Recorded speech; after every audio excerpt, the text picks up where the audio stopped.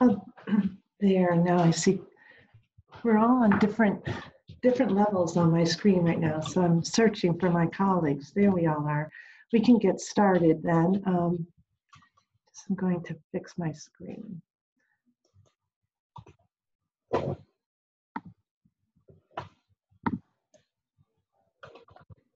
There, let's see. There.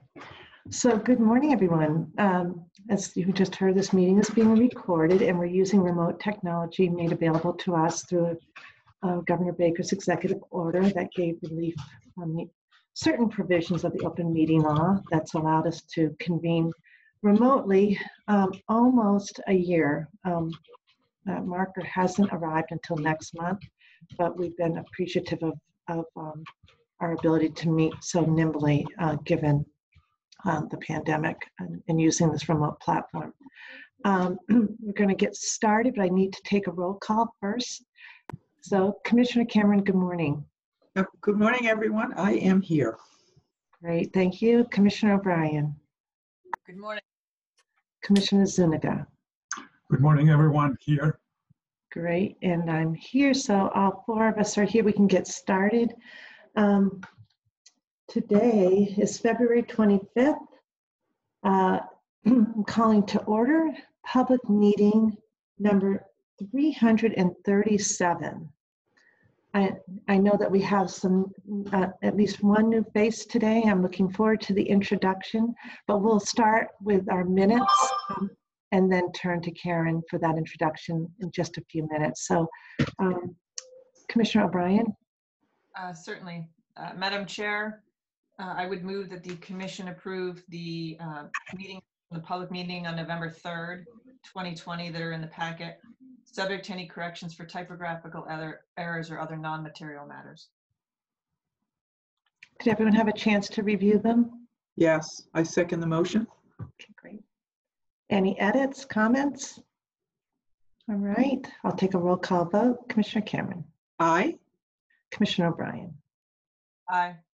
Commissioner Zuniga, Aye. I vote yes, 4-0. Tanya, thank you.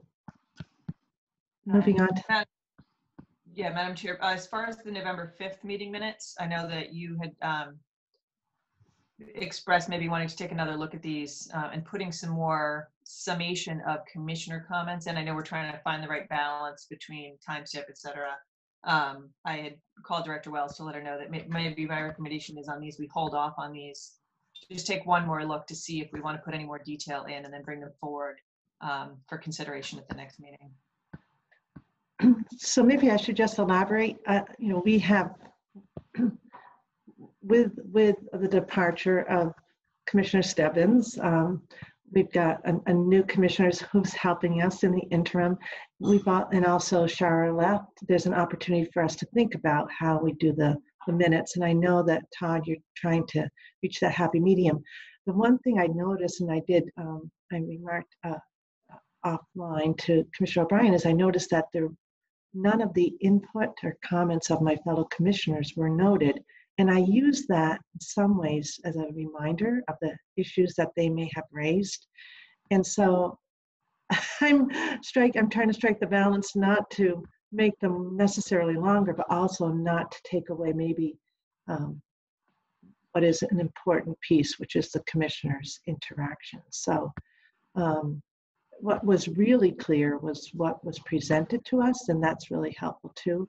So I don't know if if if others felt that way. We can certainly vote on these. I thought they were certainly accurate, but they just might not reflect the the complete context of our discussion. No, I, I think when I got your um, communication, I, I'd had sort of the similar reaction in terms of we're trying to pare it down. Maybe we went a little too far on that one. Um, so I don't have a problem at all. Maybe, you know, just talking to Todd and going through, seeing, you know, is there some way to even summarize the concept of the discussions that we as the commissioners had? Um, and then just bringing it forward in two weeks. That would be great. And, and, and again, maybe it's bullets rather than, you know, complete sentence, whatever is helpful so that the job isn't so grueling without I mean, I, I really like being able to look back, particularly on these meetings, to say, oh yeah, Commissioner Cameron raised that point, though, you know, and that was a reminder for me on how the, the discussion went. So thanks. Yeah, I, I agree. That's, that, that is an important piece because that is where we discuss the issue and decide um, how to move forward. Quite frankly, I can't remember what I said either, so it's a reminder. It it may have been brilliant, though. No doubt. Thank you, Commissioner. All righty. Um, so I, I appreciate that. And again, um, again, with the idea that I'm trying not to, to make it more, you know, more difficult. So thank you. So we'll, we'll table those. Is that the suggestion, Commissioner O'Brien? Yeah, yep. All right, then I think we can move on to our next item. Um, Director Wells. Good morning, Madam Chair and members of the commission. Uh, I, before we get into the uh, item regarding the update on the casino operations, I did have a couple of staffing updates that I wanted to give to you and to the members of the team and to the public. Uh, the first one is we are updating uh, Jill Griffin's role and her title, so I wanted to make the formal announcement of that. So congratulations to Jill. Uh, Jill had done an incredible job during the building and construction phase of the casino, the three casinos that we have in Massachusetts right now, did a tremendous amount of work on workforce development, vendor development, diversity spend uh, for the casinos. And uh, you know, as we're switching into a, a, role where we have three existing casinos, Jill and I were talking about what sort of made sense uh, for her skill set, what made sense for going forward. And so what we've done is uh, adjusted her title so she is the Director of Diversity and Legislative Affairs. And I wanted to talk a little bit about sort of that also that slight shift in the diversity role because a lot of what she was doing um, up until this point or earlier um, uh, to, in part of last year, you know, had to do with what the casinos were doing with their own uh, compliance and diversity efforts. Um, we're also looking, so we're looking to turn that inward on ourselves and really look at what we're doing for diversity hiring, diversity spend, diversity initiatives, just uh, for equity and inclusion for all our operations. So Jill has graciously agreed uh, to sort of shift sort of her role uh, and not only continuing to deal with compliance uh, with our licensees, but also work with our internal team here uh, because we have great efforts that we've made in the past with uh, diversity spend and diversity hiring, uh, but just to refocus that, refocus that energy and have a point person that looks at that type of activity across the agency. Uh, and as you're aware, we do have the Equity and Inclusion Working Group, and there is a work plan uh, for that group. So she's tasked with a lot of uh, work in that area and spearheading some of those initiatives. So I think that's very exciting. Um, the other piece that she's going to be taking on and has already started uh, in an unofficial capacity uh, is legislative monitoring and policy. Uh, she'll be working particularly with the chair in consultation with her and the commissioners, um, you know, research review, legislative tracking, legislative contacts, really working with uh, the government uh, and, and other aspects of what they're doing that affect our operations. So I wanted to thank Jill for taking on this new role, make the announcement. I'm thrilled. It's been a pleasure to work with her in these areas and it's worked out very well. So I'm very happy to continue that and just wanted to make that announcement. So I don't know if any commissioners have any comments, but just wanted to make sure that was that was publicly out there, especially since she will be the legislative contact for the commission.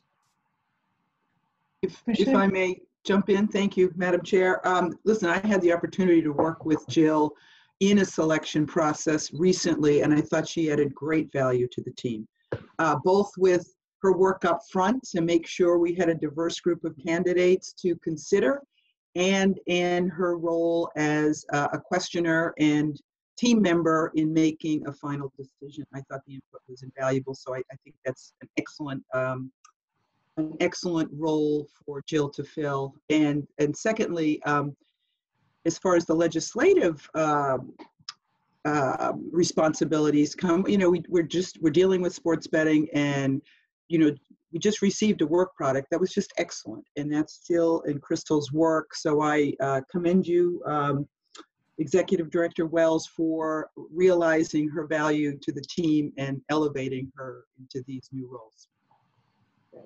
Thank you.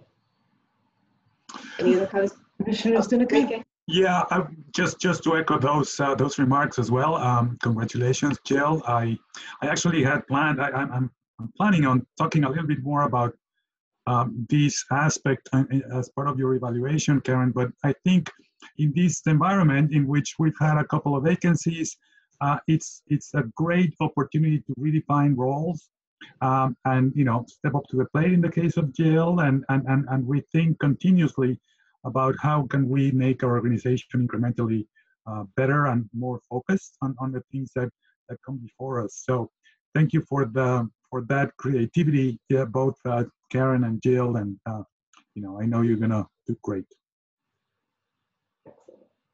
Commissioner O'Brien?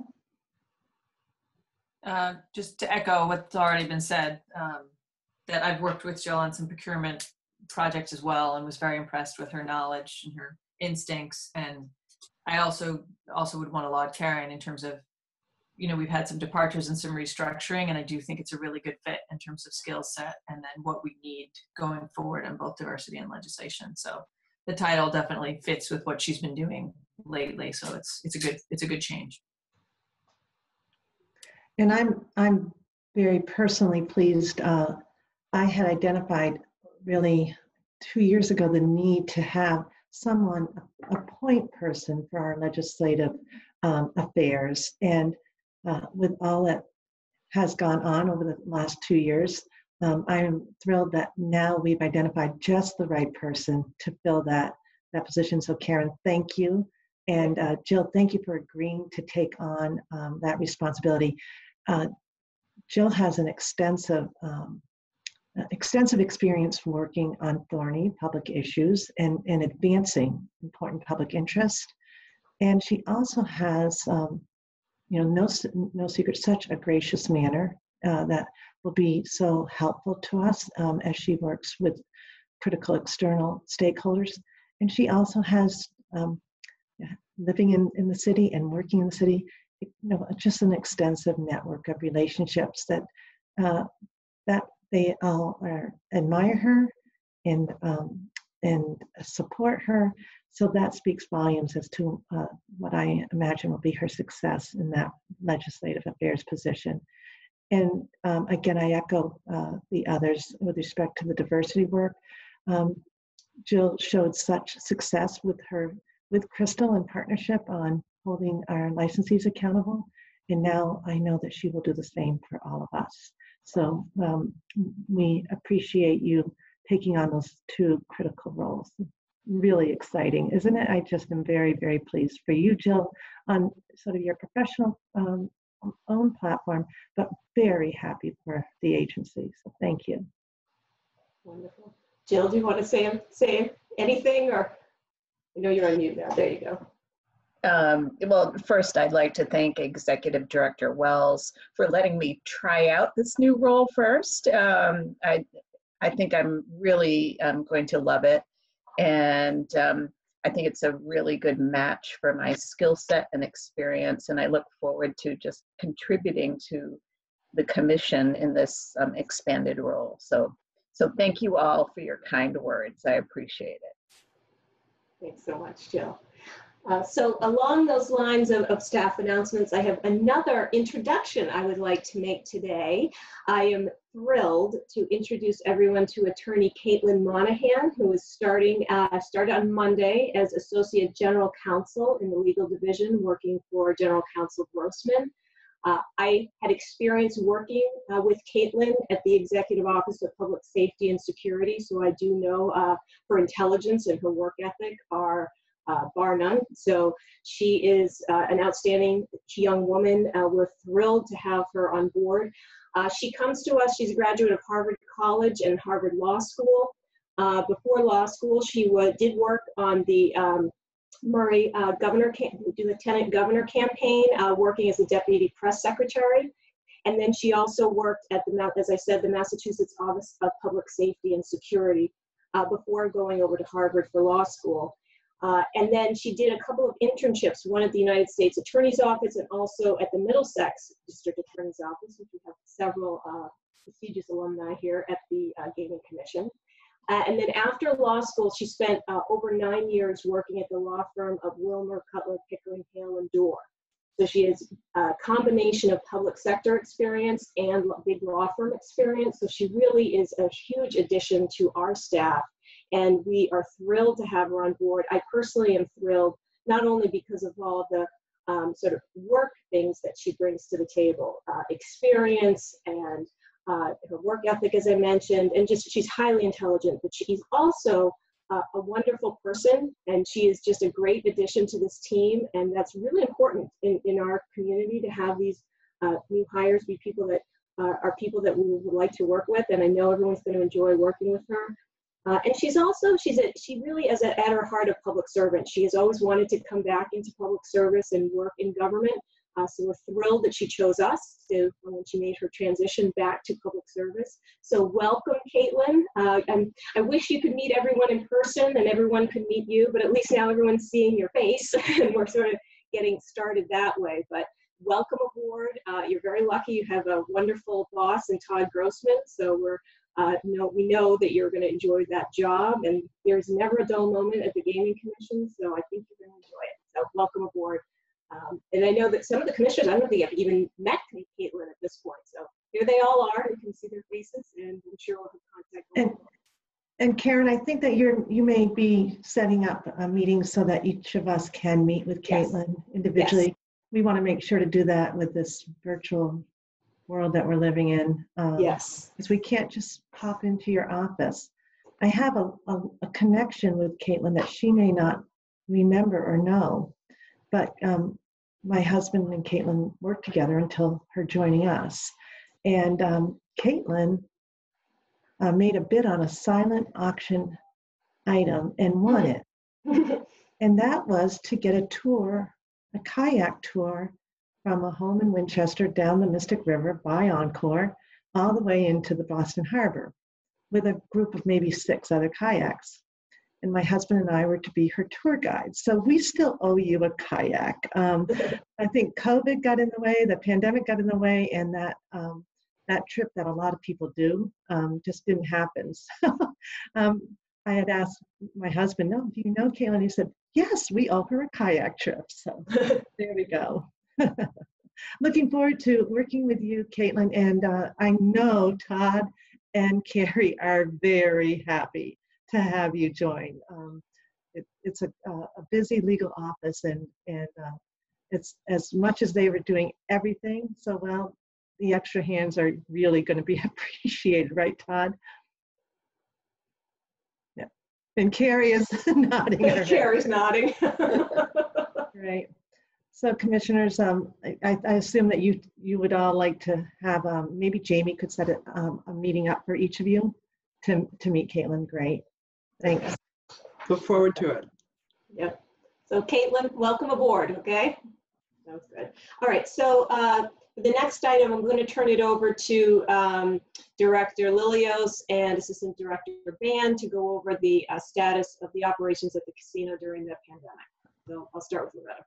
Okay, thanks, Karen. Good morning, Chair. Good morning, Commissioners. And Jill, congratulations. And Caitlin, uh, great to meet you and uh, look forward to getting to know you uh, in the days uh, and weeks and months ahead. So, uh, since the 25% uh, capacity limit was lifted on February 8th, the three licensees have been operating under the capacity limits of 40%. They continue to be open on a 24 7 basis, and all of the COVID related health and safety measures remain in place. Uh, this has meant they have been able to bring some staff back from furloughs. It has meant the reopening of the hotel at Encore and the scheduled reopening of the MGM Hotel uh, next weekend on a limited basis. Uh, they have stayed within the 40% number, and uh, Assistant Director Band will give you some details of operations.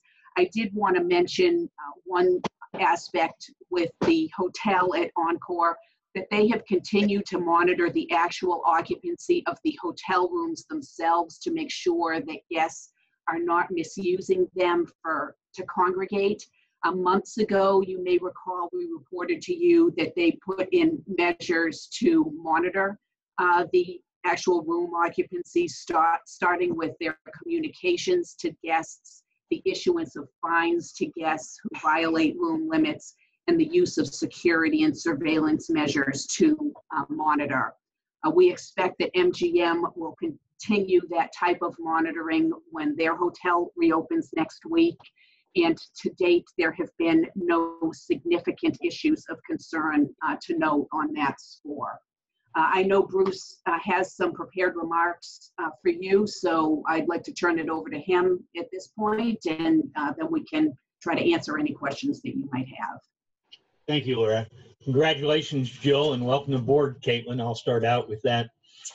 Uh, as far as the occupancy numbers, since we've gone to 40%, and since I uh, last reported last uh, during the last meeting, at MGM, they have a, a high occupancy of 1,533 and an average high occupancy of 920 daily.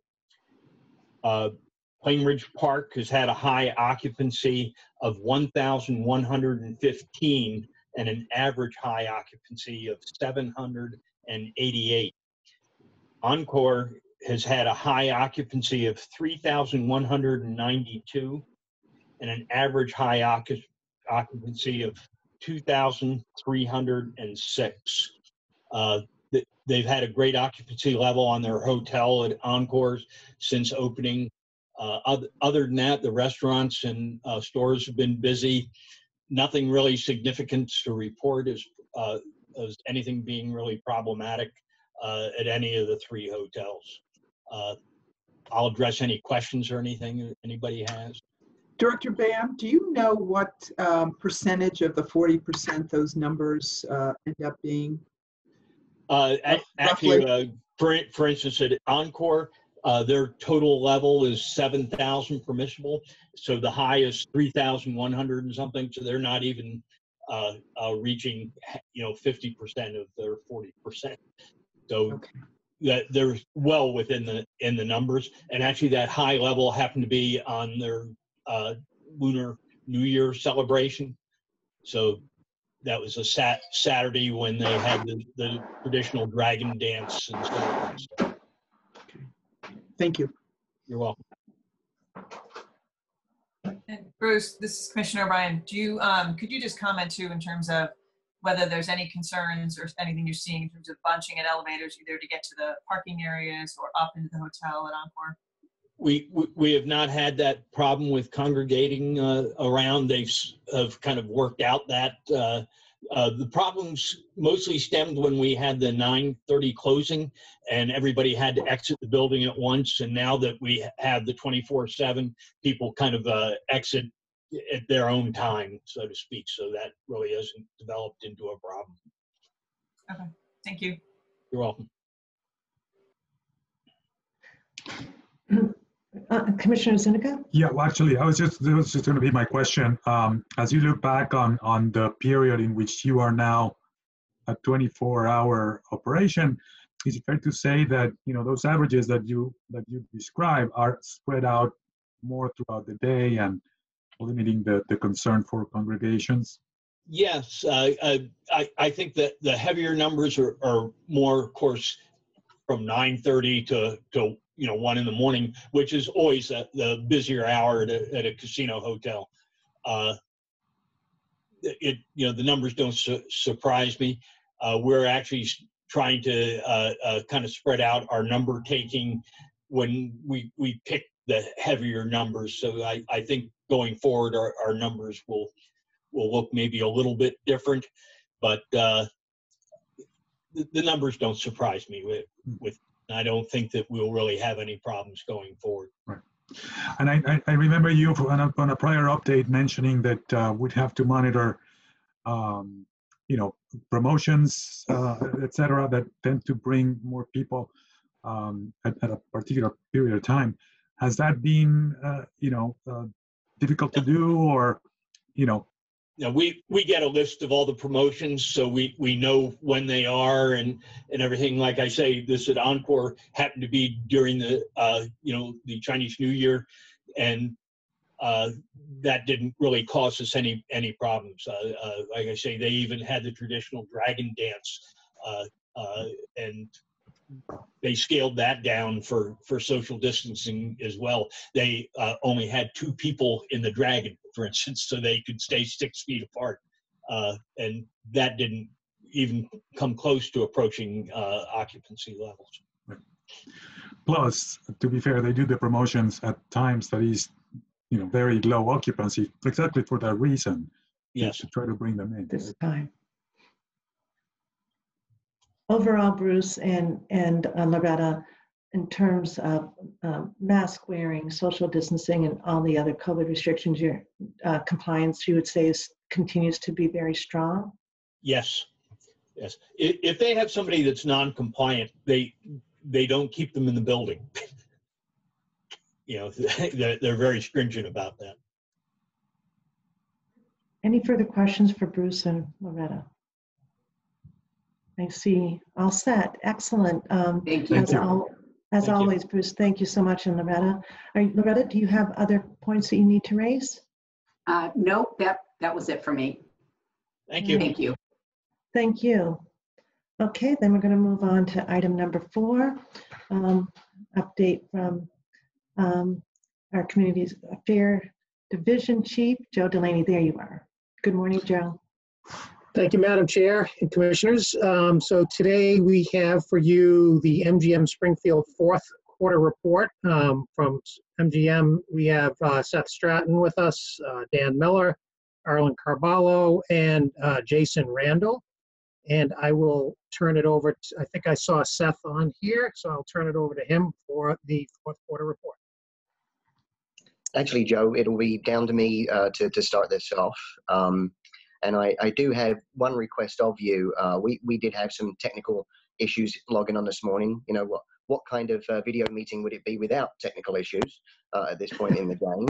Um, we, we've come in through the application on our phones. So the one thing I cannot do is run through the slides of the presentation. Uh, so may I ask you to, to bring that up at all? Look at that. Got it sitting here, sitting here waiting. Ask and thou shalt receive. Thank you, Joe. Appreciate that. Very impressive, Joe. Always planning for the, uh,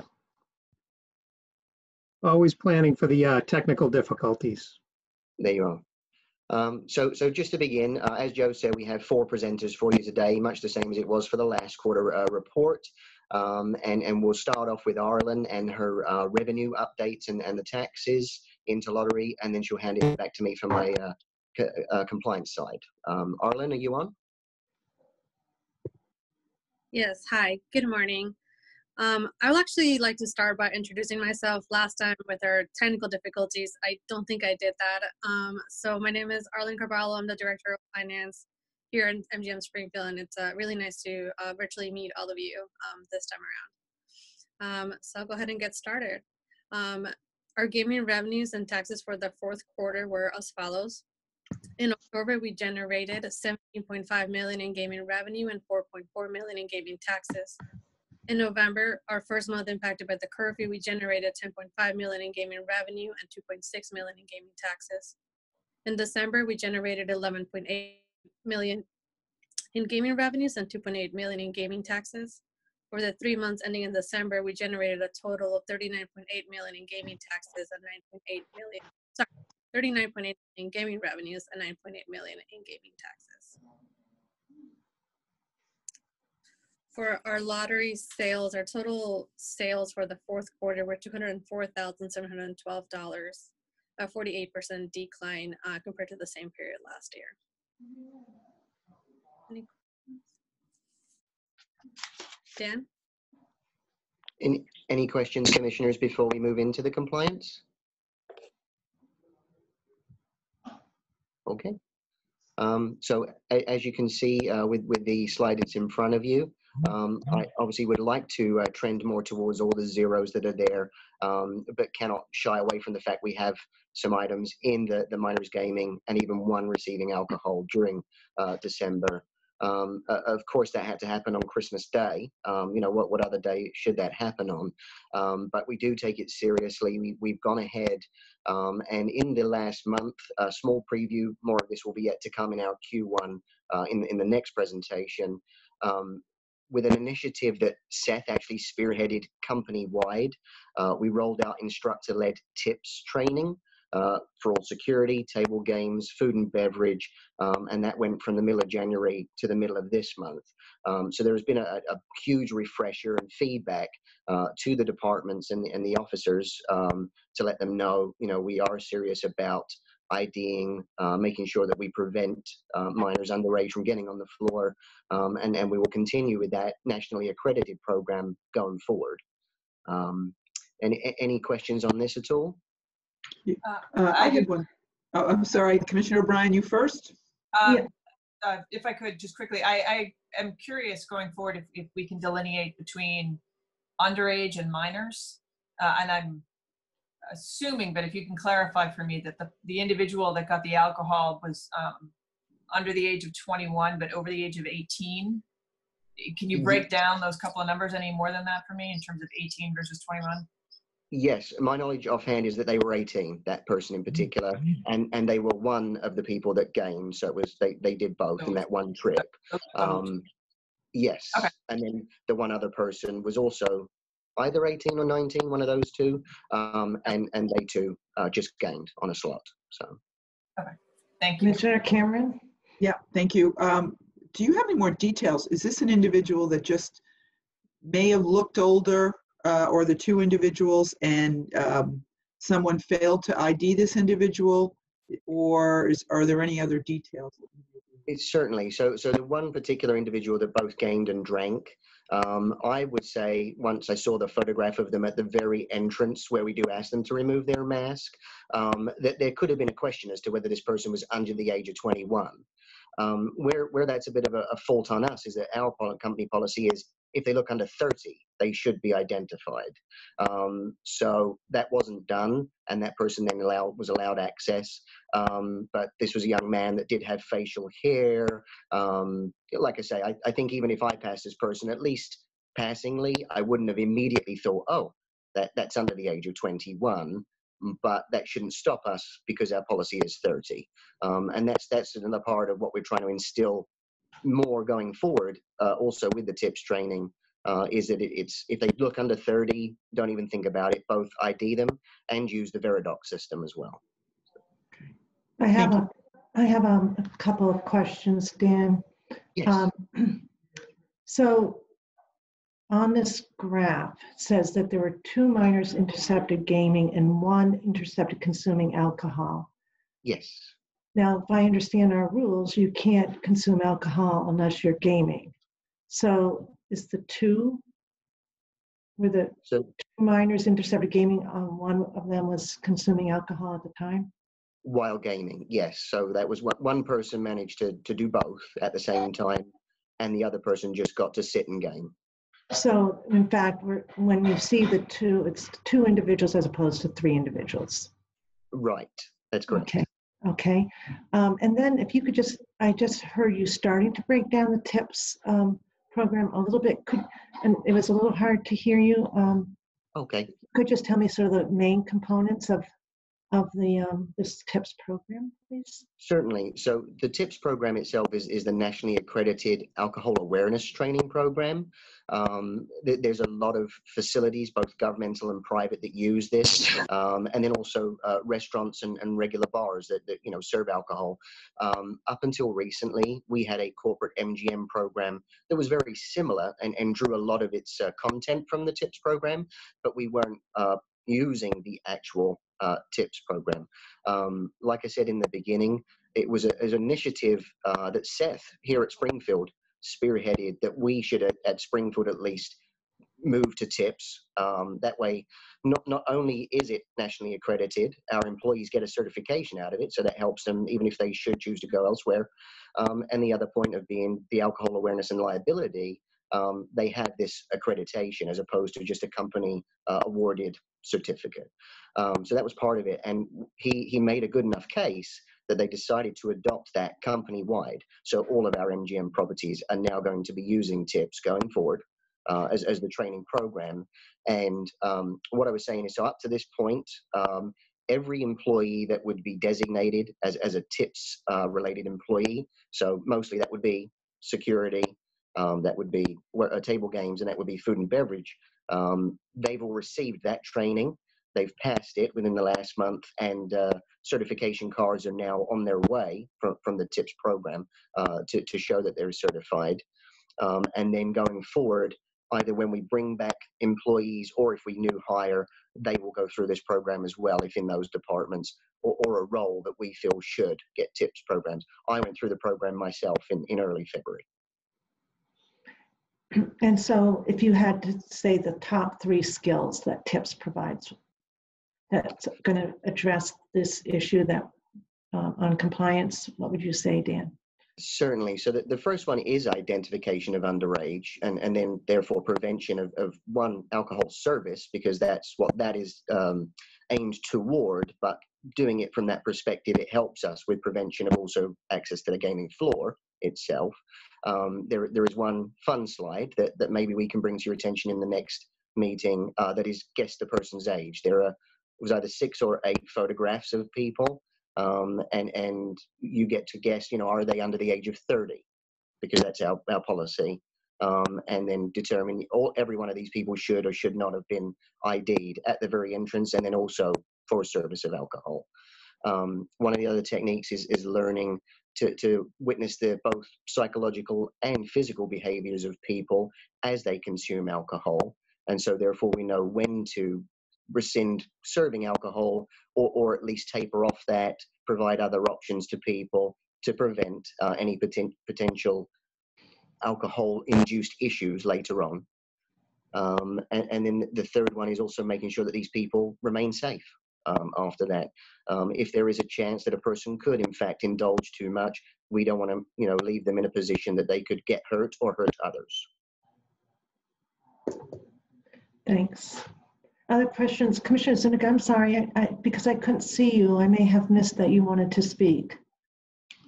No, thank you. Um, Okay. all set. Okay, thank you.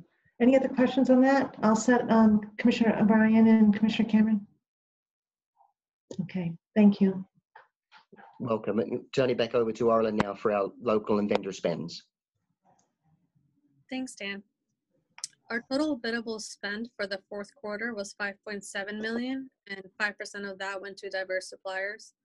I would like to highlight that we did have one of our local women-owned businesses graduate from our MGM Supplier Diversity, Diversity Mentorship Program. The program focuses on promoting relationships and inspiring diversity through the education of our suppliers.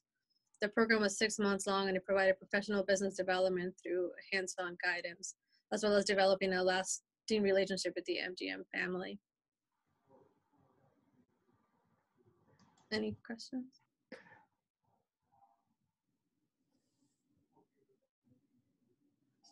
You want to move forward to the next slide? Our total spend for the fourth quarter was 6.2 million. Total spend within the Commonwealth was 5.7%, 38.5% in Springfield, 13.2% within surrounding communities and 0.4% in Western Mass. Do we have any questions about? Did everybody have a chance to look at the graphs carefully enough? You're all set? Okay, thank you. Um, Thank you.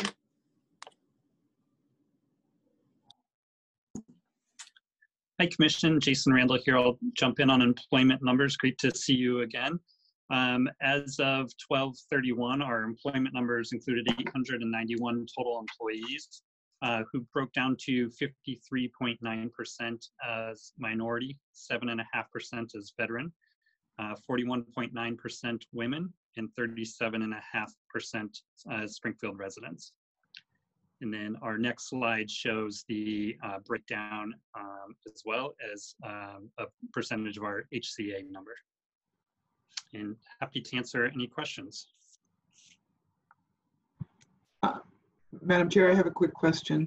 Sure, Jason, um, I believe you had been, uh, with your women, um, you had been in that 44, 45 range, and this appears to be a drop. Is that, um, do you have any idea um, why that is when it comes to rehiring folks, why there are fewer women coming back into the workplace?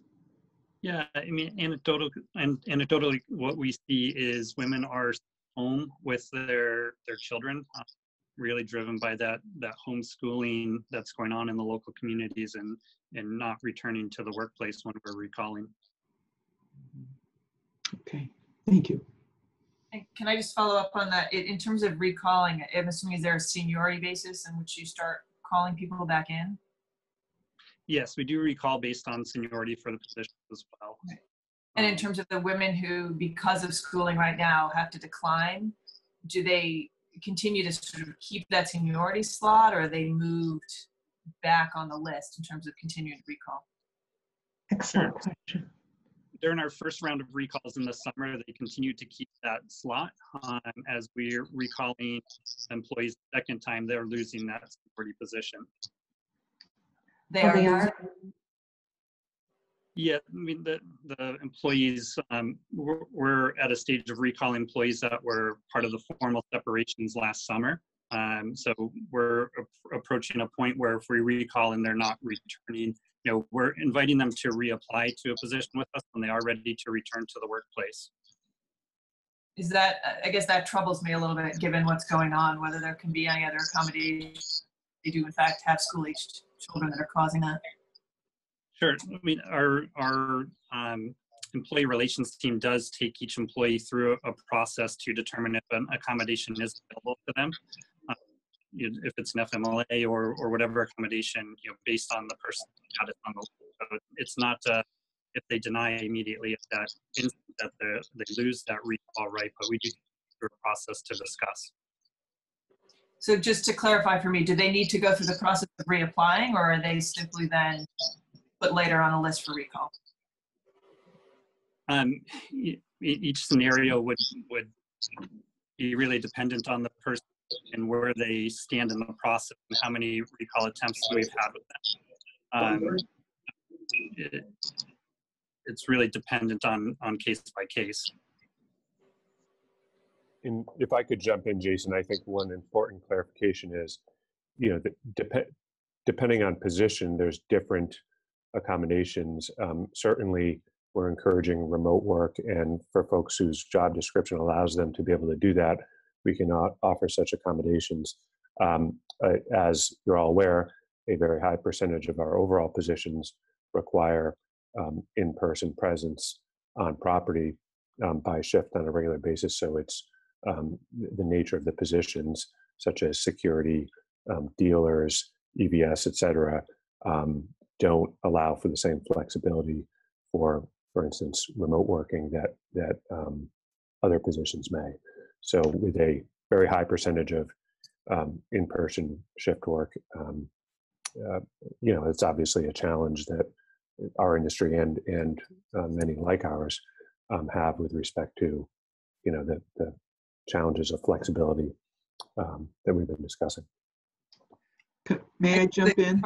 Oh, Finish, please. Oh, sorry, just, I'm sure you'll probably pick up on this, but I guess my, my sort of lingering discomfort with that is my concern that it's one thing to then be put at the end of a list and say, you know, we've given you these accommodations, you need to put the end of the list versus having to go through the hiring process again or the application process again. I'm, I'm concerned people will be dissuaded in that scenario. Um, it's just my comment on that, and then I defer to Commissioner Cameron with her question. And we can certainly take a look at that. And I, I think as a practical matter, um, someone who has, has already successfully been licensed and has been employed by us and knows the property and is trained would be a more attractive candidate uh, for sure during the rehiring process. Um, but I hear your question and concern around just that the incentive process or a disincentive if a reapplication um, process could could disincentivize someone from um, coming back. So so we can um, we can look at that. We're happy to perhaps our next presentation um, update update you on that um, uh, with additional detail on what we're seeing and what you know can be done to certainly that that women number has always been a focus of ours to try and get up to 50% and we don't want to do anything um, that would uh, make that more challenging in fact we we want to be continue to strive for success there so we'll look at that and follow up That'd be great. Yeah, Thank Commissioner That's- Cameron? Yeah, Seth, I had, I actually had the same concern, which is, I think this is not a normal hiring process, right? This is not business as usual. I think this pandemic has really changed. Um, and, and, you know, the child care, the child um, homeschooling has, has been an issue. And if there's a way that you can look at this differently than your typical, someone leaves the workforce and then they would have to reapply during COVID, I think that would be helpful, not only to the women who, right now it's a double whammy, right? They weren't able to come back because of their responsibilities, and B, they have to reapply to even come back and go to the bottom of the list. Um, I, I just think if there's a way to look at it differently as a company, because your company does care about diversity, and you, and, and you have been trying to make strides to uh, to have uh, 50% of your workforce. But this is a, such a unique situation. I'm wondering if you could take a look and you know possibly they're you know they're unable to work during this period but you understand they'll be back in the near future they were valued in team members as you call them and um, you know if, if there's a way to take a look at that seth i think it would be really helpful to you know the company and to your goals of trying to um, achieve these diversity numbers we certainly will and we will we will follow up um, before the before the next meeting, you know, offline with staff. But um, we will look at that. Um, uh, we're in agreement that you know it's an issue that we want to make sure we're addressing and not and certainly not disincentivizing success on that. So we will. Yeah, um, I thank um, my fellow commissioners for raising uh, and making these observations because um, you know, it's, it's a national story, right? The setback for women. I suspect too, it's a setback for minorities. So in your in your um, review, you if this is um, this is actually important work not only for us because of course part of the Expanded Gaming Act's um, goals is, is jobs, jobs, jobs, and and of course also employing women and minorities and vets. So it's it, it is part of our review and part of our consideration, but it's also part of an important national story, Seth. So any any insights would be really helpful, and I would ask too if you could look at the minority um, um, hires too. One one issue I just want to make sure I'm right on, um, and this might be a question for uh, Loretta if she's on, um, or Karen, and, and and Seth, you just may know it off the top of your head. If they have to reapply, but they were licensed. Does that license stay? Is there any? Karen? Yeah, it stays active. It does stay active. I wanted to make sure of that. I thought that was the case. Thank you.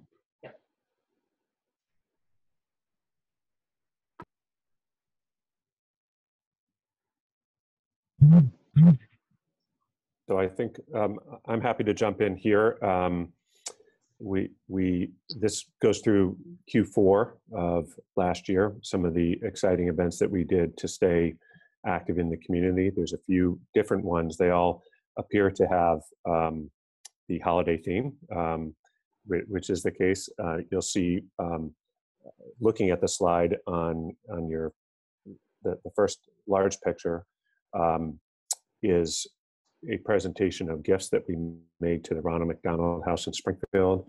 Um, as those of you are familiar with the Ronald McDonald House, their mission is to to have a, um, a safe and comfortable place for children and their families who are in the midst of medical um, experiences, um, uh, requiring them to be within the proximity of our local hospitals um, when they're there over the holidays, making that experience for them um, you know, one that is celebratory um, uh, is something uh, that Ronald McDonald House strives for, and we um, assisted in that by collecting and donating uh, a number of toys. You even see a few few bicycles.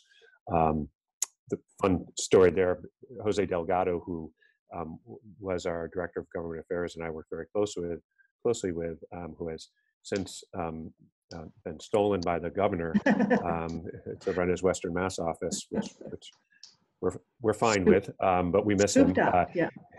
he he um, literally went to uh, local stores um, buying, trying to find bicycles, which, as you might imagine, are hard to find. Uh, I'm sure you've heard there's like a COVID effect on bicycles, and so he he drove all around Western Mass searching for bicycles and was able to find a few. Um, so that was um, exciting for us to be able to present. Um, you'll see as well the pictures of a large Christmas tree. Uh, that's the Christmas tree. Um, we moved it this year um, from our plaza to our um, porte area near the um, near the garage, uh, and we did a lighting ceremony. Um, we couldn't have a lot of folks there, um, but we invited first responders and uh, city officials um, to celebrate the beginning of the, the holiday season through that tree lighting. Uh, and then you'll also see um, the picture of um, Chris Kelly, our, our um, property president, with the um, God Bless America um, sign behind it, that and the MGM um, sign in the far right corner. Those are both at the Bright Nights uh, Forest Park uh, holiday lighting extravaganza that happens in Springfield.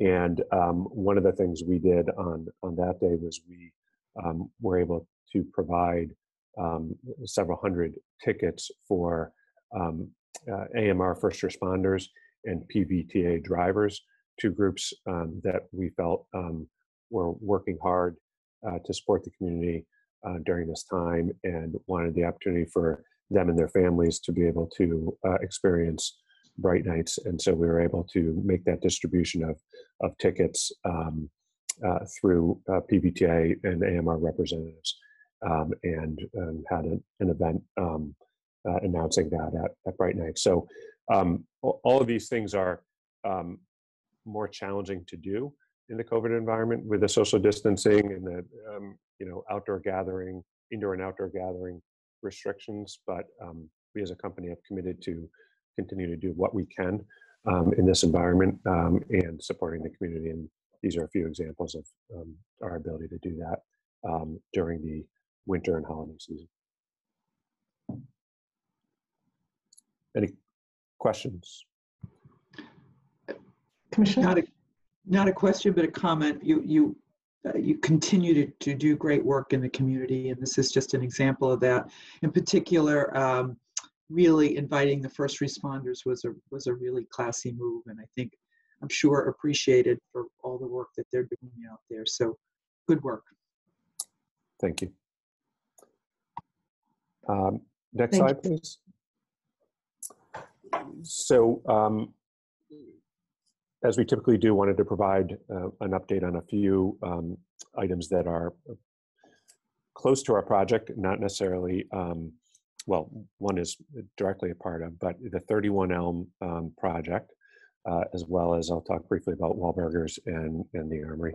So 31 Elm, um, Court former Court Square Hotel in the heart of downtown Springfield, as um, I believe all of you are aware, is um, has been a long focus of, of the company in connection with our residential development commitment.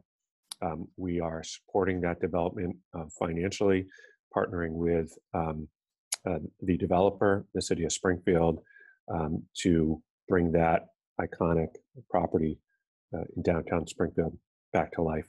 Um, as I reported in the last quarterly report, the city was um, nearing completion of its um, mitigation and um, demo and, and remediation work. Um, the city has since completed that work. Um, I believe is in the process of um, transferring, formally transferring the property to the developer. Um, parallel path, the developer is moving forward on construction drawings, pricing, and bidding. Um, this project has, although the um, the work that the city's done has moved forward, um, I think, uh, on schedule, if not slightly better than schedule.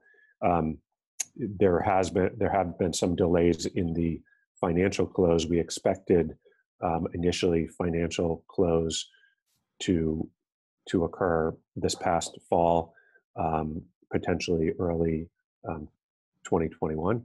It's now expected, um, from what I understand, to happen in the spring or summer of 2021. Uh, and um, I do not have a, I believe the developer, and they'd be able to speak to this more directly than us, but I, I don't know what the current, you know, full construction timeline is and expected completion. I believe as they move forward with drawings, pricing, and bidding over the next month or two, they'll have a better sense of the exact timeline of the um, construction. But um, it's uh, moving forward, no hiccups other than some COVID related um, delays. And um, Wahlburgers um, has the, the construction is completed. It's waiting. Um, the building is currently waiting um, to be activated. We're in constant communication with the Wahlburgers team. Um, they are in the process of figuring out when the right time to open for a successful opening is. Um, we um, are on track for a opening um, at some point in the spring of 2021. It's my understanding that the goal uh, of the Wahlburgers team is to be certainly be open by um, Memorial Day weekend, um, which would be you know a, a big um, uh, important um, event for and timing for the, the property to be open. So we're on track for that. Um, in terms of the armory, um, as you're aware, we're we have historically updated you on plans and programming of that facility. Um, given the COVID restrictions, there have been been no um, uh, uh, activation. There has been no activation of that building, and we are um, waiting to see what um, you know what the timing is of um, the continued phases of reopening um, through the governor's office. And once we have a better sense of when we'll be able to reactivate that space, we'll be able to focus on what programming looks like moving forward. And uh, just to add one thing in on the 31 Elm Street um, development is um, we still are holding a bond from MGM for that amount of money that they owe to that project. So that was renewed back in the fall and is good through next fall. And obviously, we will uh, maintain that bond until such time as um, that project, you know, uh, they go to, they have their closing and and transfer the property, and then MGM makes their payments. Thank you, Joe, for that. Questions um, for Seth on his development updates? Um, yes, um, yes, uh, Seth. Um, just in general, the when it comes to the um, the 31 Elm property, um, have you seen uh, um, any major changes because of uh, COVID relative to the feasibility of the project or the pace, as, aside from you know restrictions of distancing and, and, and whatnot? I'm talking, you know, financing or or um, or other major areas.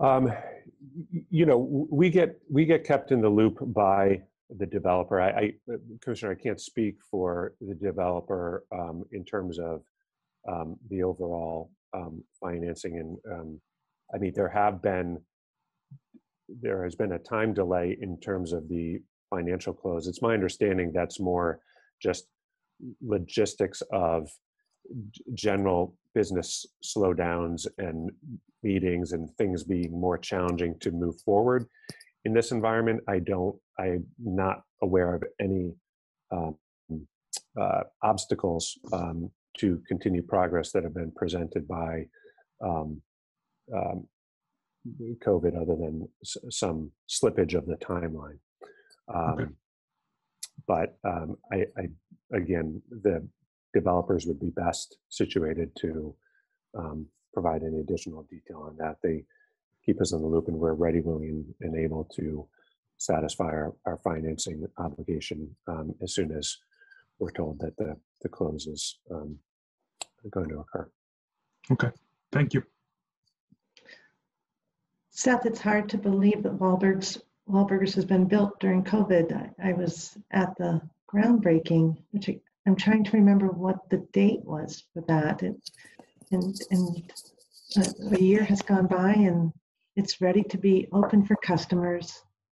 Yeah, it looks, it's beautiful inside. The, the team from Wahlburgers loves the space. Um, it's a great looking space. Um, they're excited um, about it. They're, um, you know, just as, as any um, food and beverage operator, including ourselves with our, with our um, venues that we run is, is, you know, nervous about when's the, you know, volumes, people's comfort level, when's the right time to, uh, to open, and especially with a, a grand opening, um, I imagine um, having starting out on the right foot and having that um, opening be successful is critically important for the future success. So um, we're we we've been very understanding and cooperative with Wahlburgers in terms of scheduling that for the right time and deferring to their expertise on when that opening makes the most sense because we're mutually vested in its success. So, you know, my takeaway, Seth, on this slide and on the prior slide where um, you showed the good work of um, charitable outreach, uh, something that I think all of us appreciate, um, but it's worth reiterating that uh, MGM is truly a community partner and, and um, an important component of the revitalization of Springfield and the, this slide on the development update, particularly with respect to 31 Elm, shows that um, that commitment and and the um, important component of the city's uh, vision for that revitalization.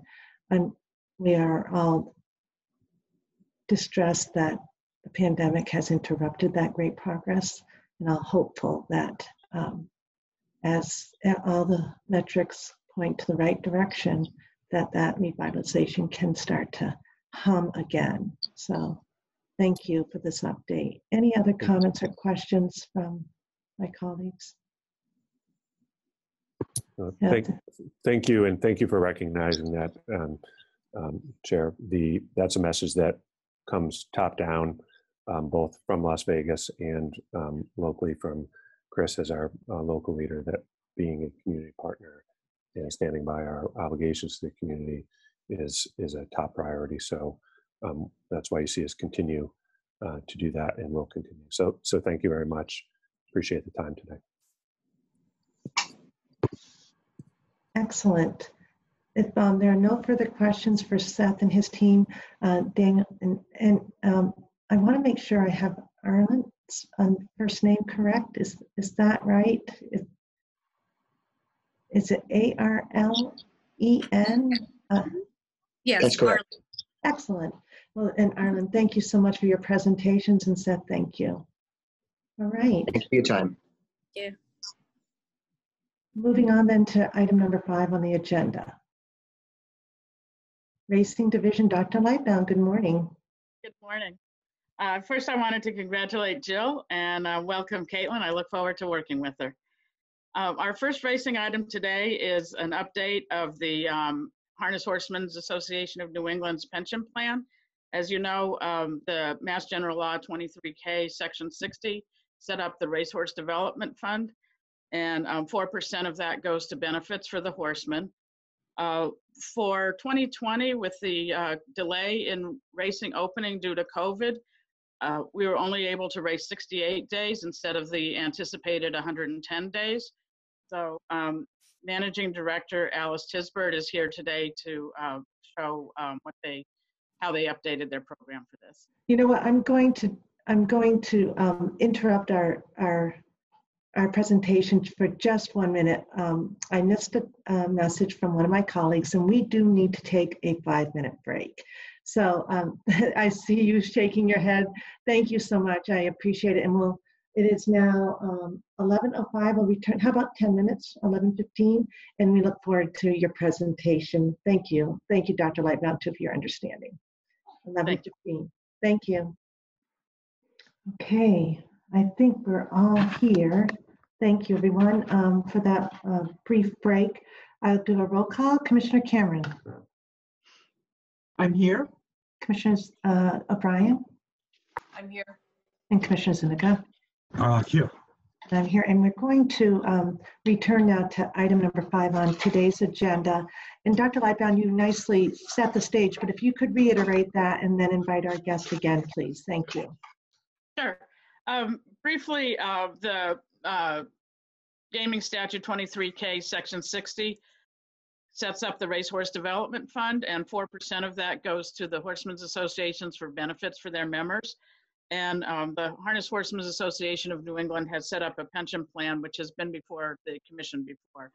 Um, due to the COVID um, delay of racing this past summer in 2020, we only were able to race 68 days instead of the 110 that were planned. So the Horsemen's Association has changed um, the requirements um, for qualifying for this plan. And um, Managing Director Alice Tisbert is to describe that for you. And I'll turn it over to uh, Director Tisbert now. Uh, Good morning, Commissioners. Thank you, and Dr. Lightbown for allowing me time to give you an update on the Harness Horsemen's Association of New England's Retirement Savings Plan, better known as the RSP. As we're all aware, and as Dr. Lightbown just stated, the COVID-19 pandemic disrupted so many aspects of life, included was the 2020 racing season. Along with the reduction in racing days, several states and racetracks imposed travel restrictions, and the RSP committee realized it was going to be difficult for an eligible participant to achieve a point or a portion thereof. With those concerns in mind, the committee recommended and the board approved the revised requirements and allowances for the 2020 racing season, which I hope you all have a copy of. The uh, revised 2020 uh, requirements, and I also included a copy of the previous requirements. So uh, the highlights and the changes basically were a waiving of the minimum monthly starts. Uh, due to the racing, uh, reduced racing days, reduction in starts needed to obtain a point or a portion thereof. No loss of invested contributions for the 2020 racing season. And for those that didn't earn a point or a portion of the point, as well as vesting year credit, would be carried over to the next season without penalty. The only requirement that did not change was the membership requirement. And as a note, uh, by making this change, it prevented 13 participants from losing their unvested contributions, which would have totaled uh, around $150,605. So um, you can see uh, needed to make this change, and we were um, very happy uh, to do it. And I welcome any questions if anybody has any. Thank you, Ms. Tisbert. Commissioner Cameron. Yes, hi, Alice, Hi, nice to see you. Good to see you Uh, too. I know how hard you worked on this plan and how successful it is, and I think that the board acted quickly in recognizing that there was a need for changes this year. The changes all sound um, um, appropriate, certainly protecting the members from losing if they were not able to participate is a really good thing. I'm sure your members are, are happy with these changes. Do you anticipate having to possibly adjust this year as well, depending on, um, depending on how quickly restrictions are, are lifted? That's a good question, Commissioner. I think I have to wait. I've talked to Dr. Lightbown to be in touch with her for whatever requirements are going to be needed. And I, we made, we saw it right up up front when we knew we had a reduction in racing, we were going to need a change. And I think we'll do the same thing. We're just going to have to watch. And we're very conscious of what it's going to take to keep everybody in the loop. And if we have to extend it, we'll do it. Mm-hmm. Great. Or if we have to make any changes, you know, in, in adjustments based on what's happening. All right. Great, thank you for that update. My pleasure. Any further questions for Dr. Lightbown or Ms. Tisbert? Thank you, Alice? commissioners. Thank you. Thank you for coming in. uh, And it's nice to see you virtually. We look forward to seeing you in real life, hopefully sooner than later. Yes, definitely. Thank you. Be you. safe, be well, everybody. Thank you. Uh, Dr. Lightbown?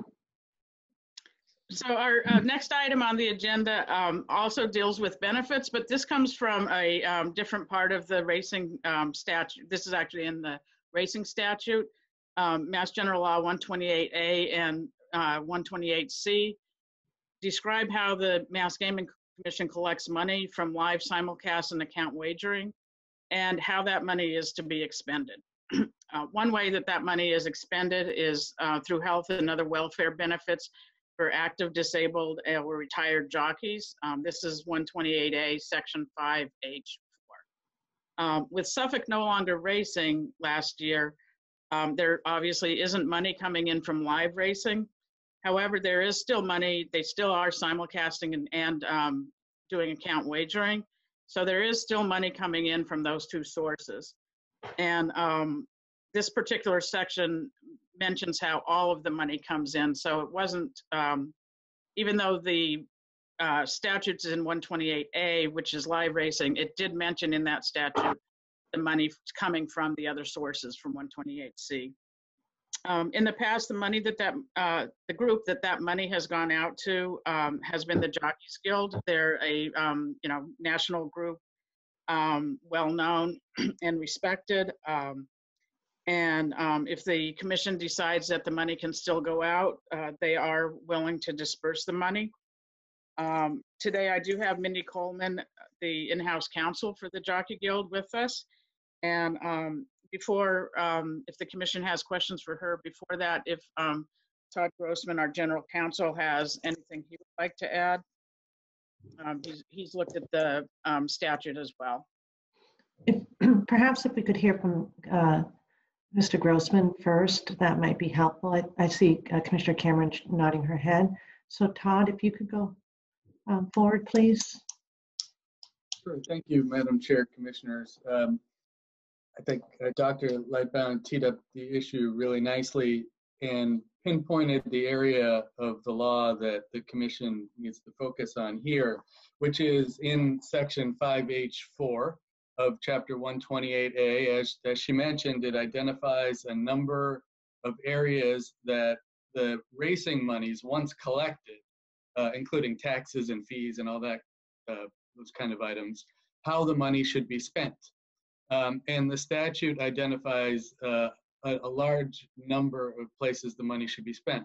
And one of them, in uh, paragraph, subparagraph four, says that $65,000 annually should be uh, given to an organization determined by the commission that represent the majority of jockeys who are licensed by the commission and regularly ride in the Commonwealth. So uh, the Jockeys Guild is not identified specifically by statute. Historically, that has been the group that has been identified for receipt of these funds. But as Dr. Lightbown mentioned, now that there is uh, no active thoroughbred racing in the Commonwealth, uh, it was an issue that we believe needed to come before the commission to determine uh, whether the Jockeys Guild still met uh, the standard in the statute uh, prior to release of those funds. So that is the really narrow issue that's before you right now, uh, whether the guild um, is still uh, in uh, or still conforms with the requirements of the statute. The statute also provides that the benefits um, once paid out, the $65,000, are to be used for the purpose of providing health and other welfare benefits to active, disabled, or retired jockeys. So it's not limited to just active jockeys. Um, it is uh, open to active, disabled, or retired jockeys. Um, so the, the statute um, has a, a, number of components uh, that you should consider in making this determination. If you are to uh, conclude that the, the guild still meets the statutory requirement, uh, the money would be released to them um, as the statute directs. If not, it would remain in the commission's account and be expended uh, otherwise consistently with section 5H. Um, so that's that's the narrow issue that's I believe is before you at the moment. Questions or, or comments, Commissioner Cameron? yes, um, just comments. Um, certainly I um, look at this and I've discussed this um, with the fact that it does talk about retired and disabled jockeys. And I am aware that there are a number of, in particular, disabled jockeys who are dependent on these funds. Um, I think that's an important factor as well. So um, I, I, when I look at this, I do look at it to include that that um, statement about active, retired, and disabled. And uh, I know the monies are there, and there is great need for those monies. We can circle back to Commissioner Cameron, but Commissioner Zuniga, Commissioner O'Brien. Commissioner Zuniga, Zuniga, you're leaning in? Yeah, Yes, thank you. Uh, Just, just to agree uh, preliminarily, I mean, I, i'd love to hear from our guest uh, if she has some, um, prepared something, but um, I, I understand the, the technical read, but, um, but I think these, uh, you know, extenuating circumstances um, of, of, of the year that we've seen, you know, um, warrant the, the attention into the the other areas like uh, the disability or retired, I don't think there was an, im- an implication that there had to be um, live racing for these monies to be uh, distributed. Thank you. Commissioner O'Brien? Um, I guess a question for you, Todd, in the first instance, in terms of statutory interpretation. Um, the language that talks about, um, in 5H, the definition, I can find it again. Um, majority of jockeys who are licensed by the commission and regularly ride in the Commonwealth. Um, does in the Commonwealth have to modify regularly ride, or can it just go back to the entirety of that phrase? The majority of jock- jockeys who are licensed by the commission. So your question, uh, Commissioner O'Brien, is, does in the, co- do the jockeys have to have, be riding in the Commonwealth? Right. Can, is the, can an interpretation be of the in the Commonwealth um, be modifying the entirety of that phrase so that represent the majority of jockeys who are licensed and regularly ride in the Commonwealth?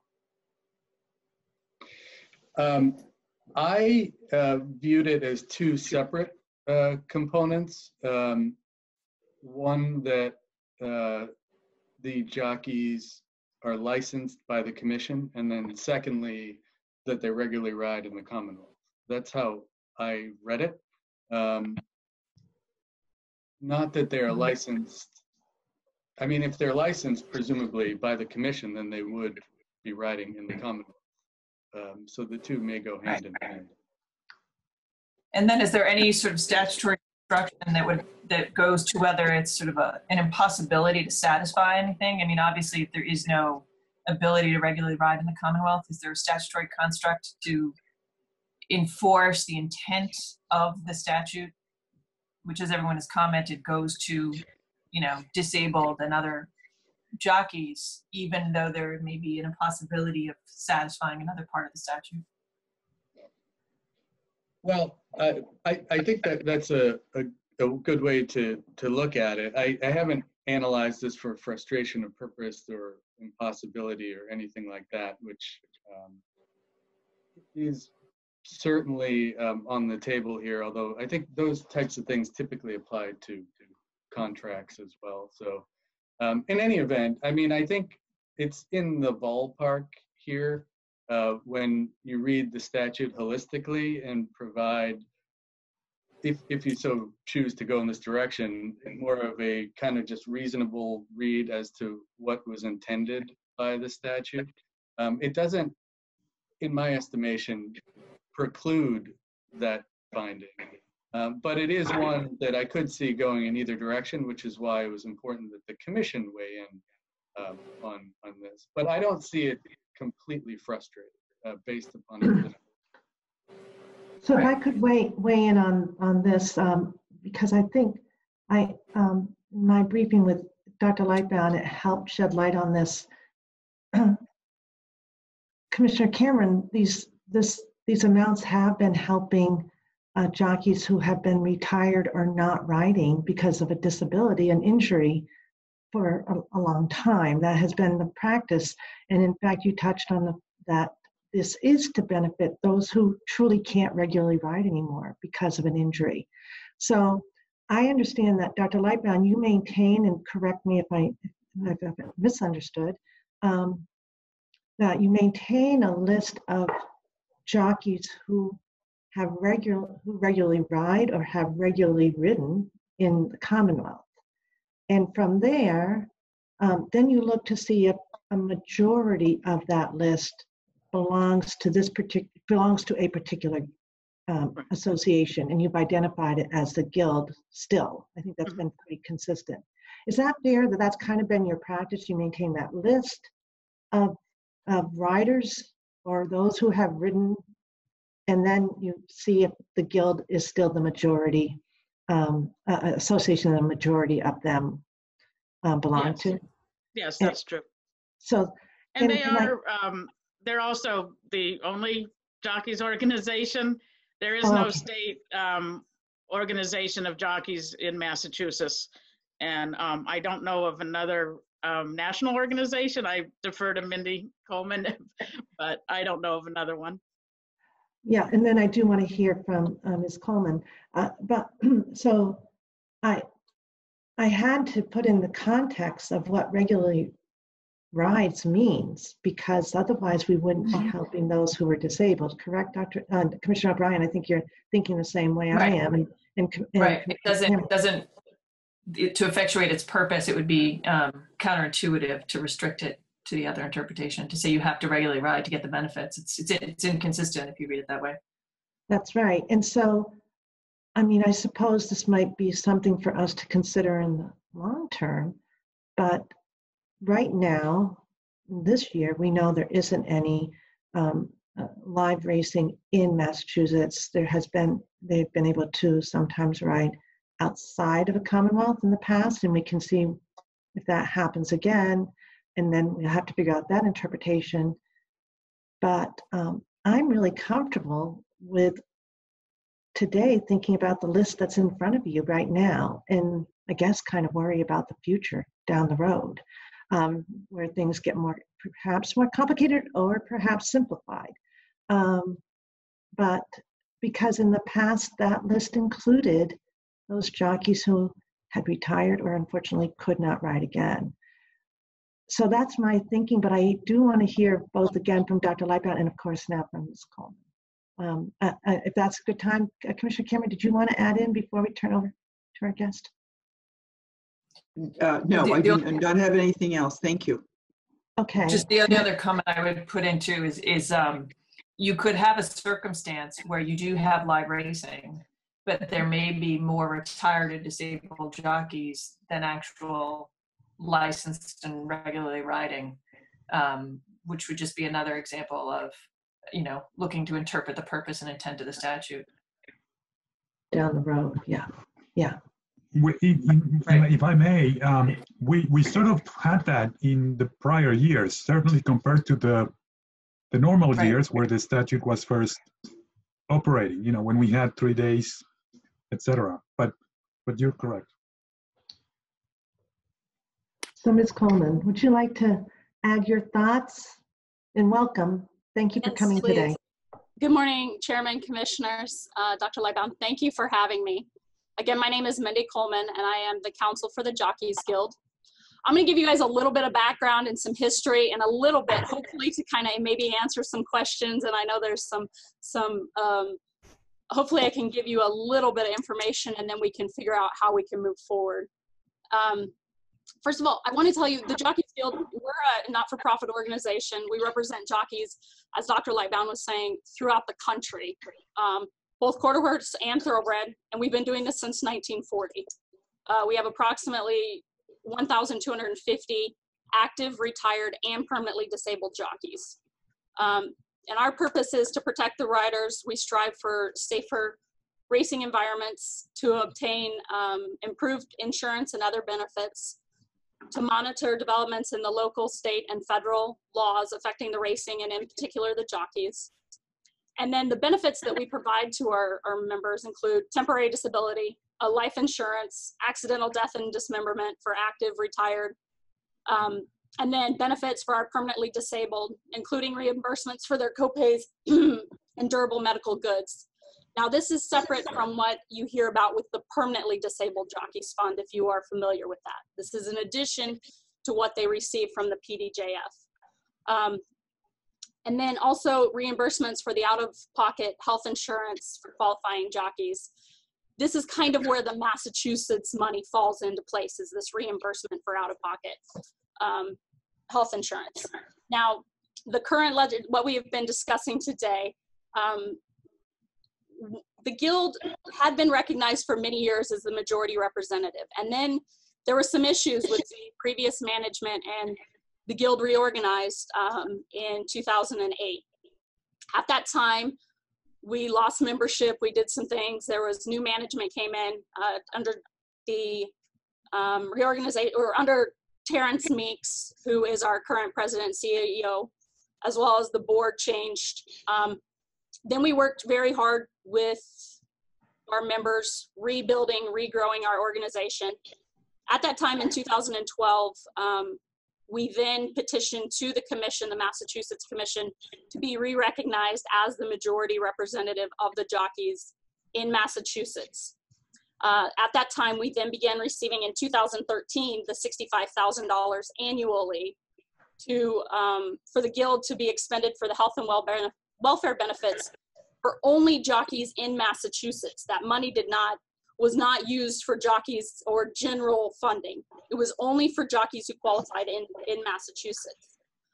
Through the input from the existing director of racing and representatives of the racetrack, the guild then established a criteria to determine who would be eligible to receive a pro rata share of the funds, including the jockeys, the jockeys who were regularly riding, the active riders, retired jockeys, and the jockeys who had become permanently disabled as a result of an on-track accident in Massachusetts.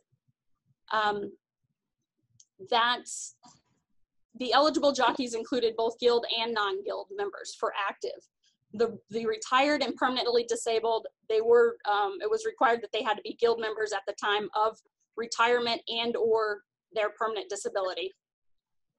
So when we have went through that and we've sent in um, annually when we've changed the, the that qualification, the, those qualifications stayed in place until there was a change in um, the reduced number of days of live racing in 2017.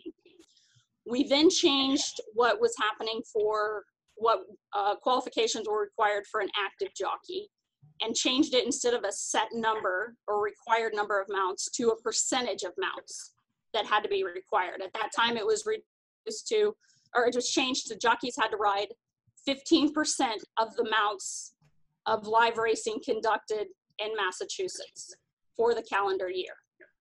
Um, we also reduced the number of mounts considered for a retired jockey to 3,000 mounts. And then there was uh, other parameters. It had to be within the last 10 years because we wanted to make sure that we were getting the true Massachusetts jockeys the people that had stayed in Massachusetts and were riding there annually or regularly and making sure that we were providing for them. Um, so over the last few years, when um, when we received those monies, it was the intention of the guild that the monies be used to reimburse the riders for their medical expenses. The jockeys had to show that if they would, had showed that they incurred medical expenses for which the money was reimbursed, it would not be necessary for the guild to issue a Form 1099 Upon the distribution, the jockeys are requested to submit any documentation for any out-of-pocket medical expense he or she has occurred in the calendar year uh, to be submitted no later than December 31st of the year of distribution. This includes any payments for healthcare premiums, any deductibles, medical expenses and or prescription expenses, dental expenses, and or temporary or long-term disability policy premiums in 2020 based on the qualifications and this was based on the monies received that were 2019's monies we received that in 2020 there were 27 massachusetts jockeys who received $2407.41 this included 19 active jockeys four retired jockeys and four permanently disabled jockeys. In light of the fact that racing had ceased that uh, live racing had ceased in massachusetts we advised the jockeys at that time, based on our interpretation of the legislation, that that we would that would be final distribution of funds until live, live racing resumed in Massachusetts. As far as uh, the definition, you know, because we were under the same impression as far as having it would be difficult to have licensed jockeys in Massachusetts because as to answer the question earlier, you're not going to have somebody licensed in Massachusetts if there's not racing. Normally, if they have an annual or a three-year license, if that license expires, if there's not racing, they wouldn't have a license to to participate as a jockey. They may be as a trainer or an owner, but again, it, it relies on racing occurring for them to have their jockey's license. So we appreciate and welcome this opportunity if we can figure out a way to do this because there are, you know, $2,407 or $2,500 is a substantial amount, especially to our active and retire, I mean, excuse me, our retired and permanently disabled jockeys. And the reason I say that is, especially for our permanently disabled jockeys, there is no guaranteed funding for our, our permanently disabled, including the PDJF and the monies that we distribute to the Guild. They are limited in the amount of money they receive from the PDJF. And it is a minimal, nominal amount in order to provide for their costs. Um, so this is something that I know that specifically our four disabled and again our four retired definitely rely on this money each year annually. So if there's anything we can do to facilitate or assist in being able to distribute this money to them, it would be greatly appreciated. I'd also like to point out um, the Guild does facilitate in, in distributing this money, but we do not um, we do not take any of the 65,000 for administrative costs in any way. It is, we take, with the 65,000 comes out and the 65,000, we are the ones that do all the qualifications, the distributions. It does take some time, again, mailing, all the accounting, everything. And, and again, not that it, it, it's sort of what we do, but we definitely, there's costs that are incurred for it and we do not take anything out because it is something that we believe is important to be able to provide to, to the jockeys.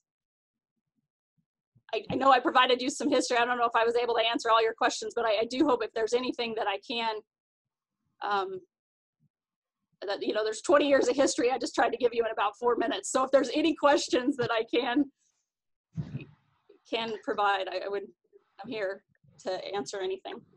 Commissioner Zuniga? Yeah, thank you. Thank you for that um, summary, Ms. Coleman. It's really helpful. Um, let me, if I if I may, uh, just drill down a little bit in, in roughly in some of the numbers you provided. You said 27 people, um, 19 of them active at the time uh, of last year when the monies was were distributed. Four retired and four permanently disabled. Um, what would happen uh, roughly um, to the 19 that were active last time uh, this time around? What would happen to those monies? What is what is your um, your read of the situation and your process? That is something that we've been trying to, and that's what I had discussed with Dr. Lightbown. I am not sure how to. We would have to reevaluate the qualifications for the active. Um, what we had done leading up to this is we looked at in, in 2019, there was a total of 65 races.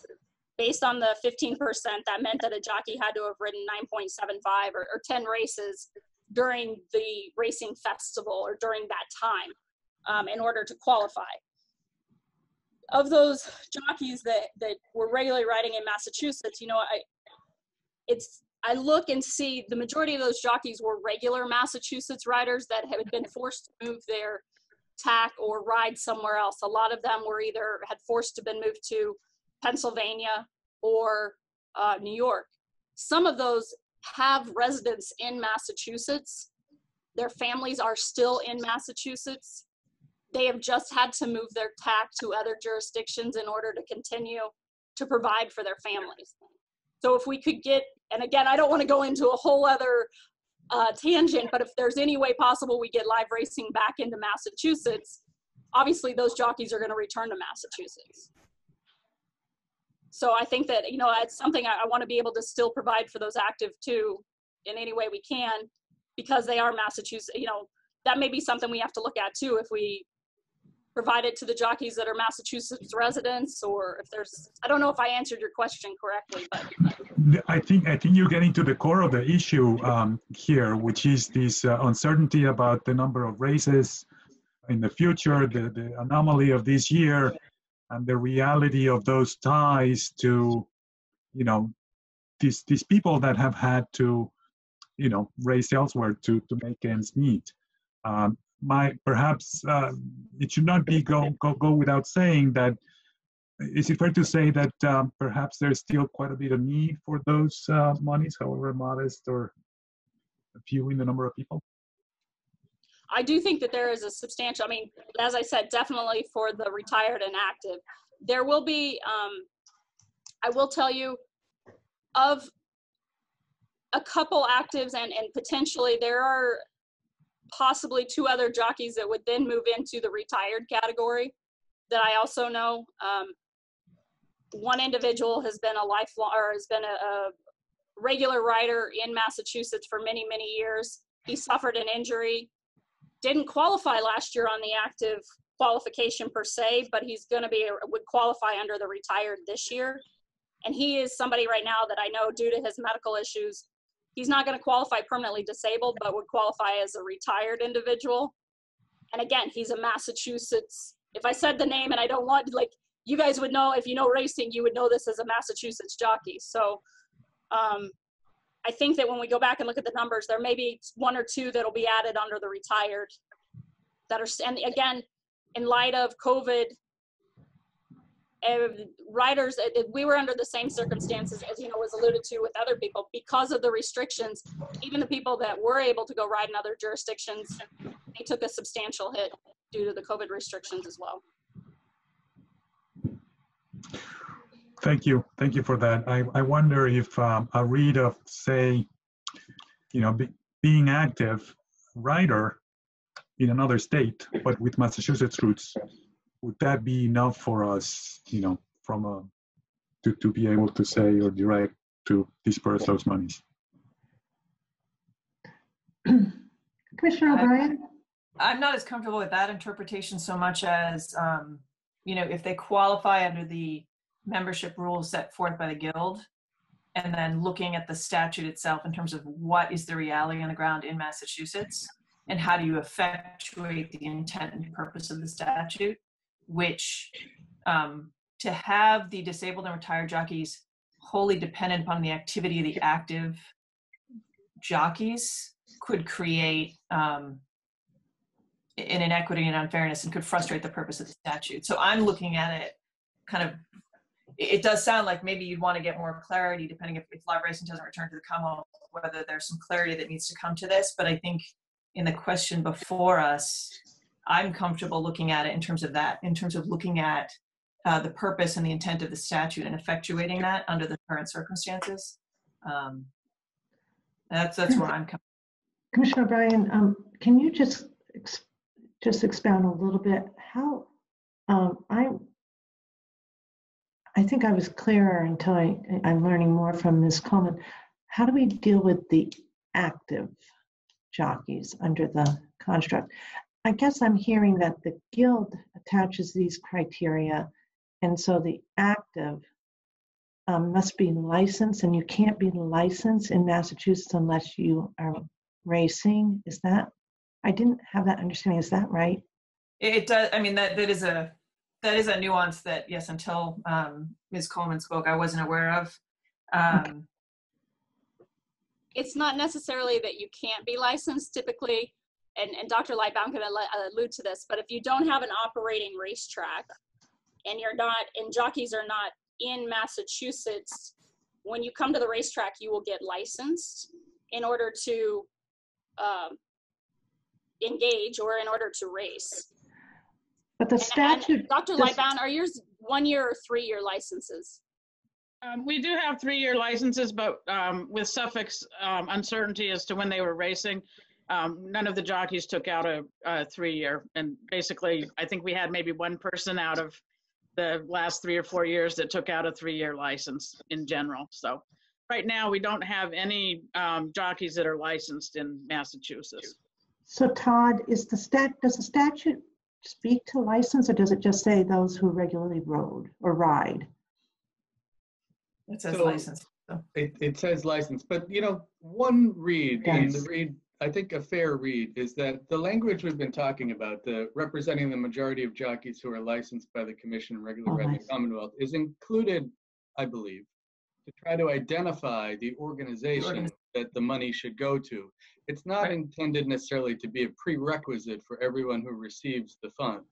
Yeah. Um, and so in this case, given the circumstances, you are able to identify the organization that was really the intended recipient of these monies, even though you could argue that given the circumstances, they may not uh, fall with neatly within the confines of the language. But um, I think you are able to identify properly the organization.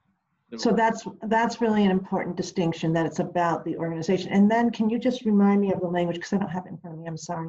Um, On the active, retired, and disabled, how, Sure, it's that um, the sixty-five thousand dollars should go to uh, the organization for the purpose of providing health and other welfare benefits to active, disabled, or retired jockeys. So I, I, I feel that that's that's helpful, but can I can I make a parenthesis here because I, I want to make sure I'm I'm understanding um, one situation, and it's a question for Ms. Coleman. Were we to disperse the monies because we all agree that that that that it's appropriate? Uh, what would the guild do relative to those active in the past? Would they hold off those monies because you also have some sort of interpretation here, or what would happen to that to that money? excellent So up until this year, as I had explained, up until the money that we received in 2020 was based on 2019's racing. We had racing in 2019. So we had qualifications for active, retired, and disabled. Those monies were distributed based on the active, retired, and- permanently disabled qualifications. When Dr. Lightbown and Mr. Meeks and I spoke two weeks ago, we said that we would have to come up with qualifications for how would we distribute based on the active riders? If it was something that we would look at based on, again, location, previous qualification, qualification if they had qualified based on 2019's uh, racing and carry it over due to the COVID exception of 2020. And then obviously the retired and permanently disabled. And then if those two other individuals would then fall under the qualifications, we would add those to the list. So those are the, um, the other thing is, is again, the qualifications were not defined in the legislation and the guild was the one, and that was the thing, it, it- there was nothing, the money just said it would come to the guild and we could use it however we wanted. But in order to be fair, we thought that it needed to be for Massachusetts jockeys specifically. And then that's when we came up with these qualifications, again, based on the jockeys that we thought usually and regularly rode in Massachusetts. Thank I you. have a question. Commissioner, Commissioner Cameron? Yeah, Counsel Coleman, it sounds like you and the board are willing to take a second look in this. And as you, you framed it as a COVID exception. Is that, am I hearing that accurately? Yes, we are. I mean, we were willing to do whatever recommendations, and we, we want to work with the gaming commission here to make that determination. I mean, we're not going to just throw off the money, but it's definitely something we would take into consideration, and we would present it to our board um, for their approval. Um, and my second question is, are there, for these active riders, are there similar, um, similar monies from other states they may be riding in that they would have, um, they would have the ability to apply for, similar to our program, or is this somewhat unique? So Massachusetts is somewhat unique. There are health benefits that are provided in New York, New Jersey, um, California, I'm missing one, and Delaware, and Pennsylvania as well. They are all set up differently and how the monies, where the monies come from, whether it's a taxation on, uh, California's, for example, is on cash tickets. New York is a taxation on the casinos, and it's a substantial amount of money that comes in, and they actually pay for a health, I mean, they have a health insurance plan that the jockeys enroll in that health insurance plan. It is not set up this way. Um, what this is more similar to is in certain jurisdictions or certain, the Jockeys Guild has a um, industry partnership agreement with certain racetracks, and that is at uh, NYRA, the Stronach Group tracks, the Churchill tracks. And in those tracks, we restrict part of the 50% of the monies that we receive under those agreements to the jockeys that ride at those racetracks, and it's under the qualifications or similar. So no, but yes, I guess is the Okay. answer to, they can, but it has to be, again, at qualifying racetracks. Right, and, and my last question is a process question.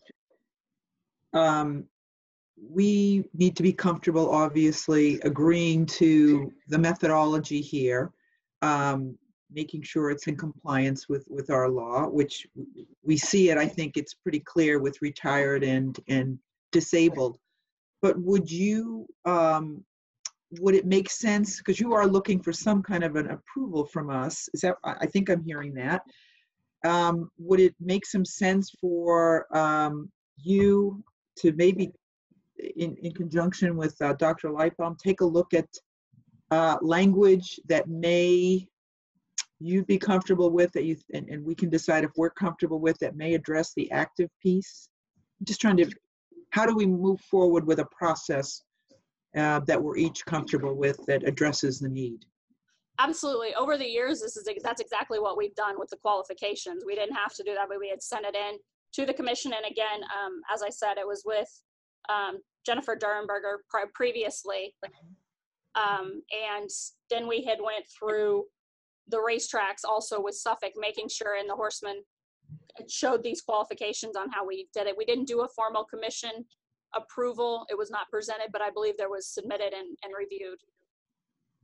So yeah, absolutely, we can, we'd be more than comfortable to show you what we have, again, for the retired and the permanently disabled.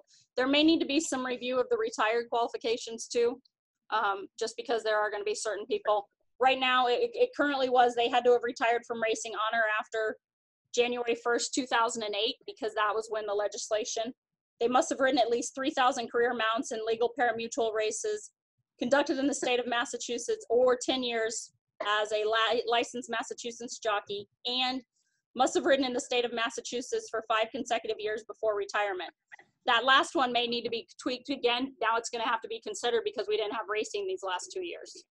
Um, for the purposes of the section, any individual who meets the aforementioned qualification shall be considered retired from racing if they've ridden fewer than 50 races at any racetrack in the United States, licensed to conduct parimutuel wagering.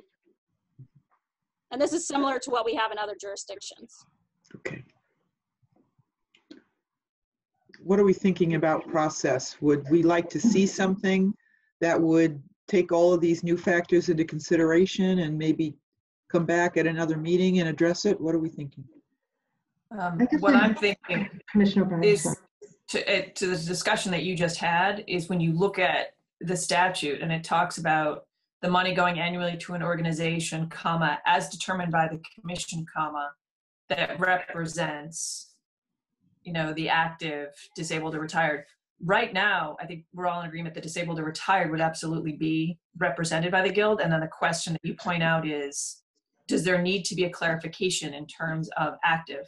And do we as a commission feel comfortable that it represents the majority with, with a connection to the Commonwealth such that the monies could also go out to the active?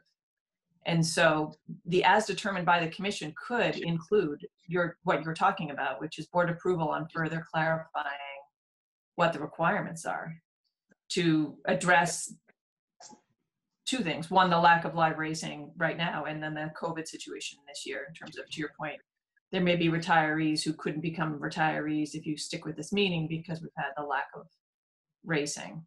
Um, for my comfort level in statutory interpretation, that would make me comfortable to then make a determination as a member of the commission that the guild represents that body of people such that 65,000 could go out consistent with both active and disabled and retired. If I may point out one of the issues, so if it's determined that the guild is the organization representing the majority of the jockeys, the monies it says to be distributed, it actually is an or. It says active, disabled, or retired or disabled jockeys. So it, not that I am trying to take away from active jockeys, but there also could be a determination because of the way we've done the 65,000. It has been pro rata share based on the number of jockeys who have qualified. So if it is determined that there is not an active eligibility, the other possibility is to do that pro rata share for the active and right, active and disabled qualifications at this point. I'm sorry, retired, excuse me. Disabled Retired and disabled until live racing resumes in the Commonwealth. Meaning until active riders return to the Commonwealth. If it is determined that the guild is represent, if, if it's determined that the guild uh, will be responsible for distributing the 65,000 or you're willing to allow that. The other option is do the pro rata share of the 65,000 to only the retired and disabled because it does say or. Mhm. Yeah. Alex, help us out here on next steps, please. Um, Dr. Liddell. Uh, it sounds like the um, commissioners might want to um, hear what, I, I guess, what the new um, qualifications would be for these different groups. And um, that can certainly, we, can work with Mindy and um, we can come back to the commission with um, what, whatever we come up with.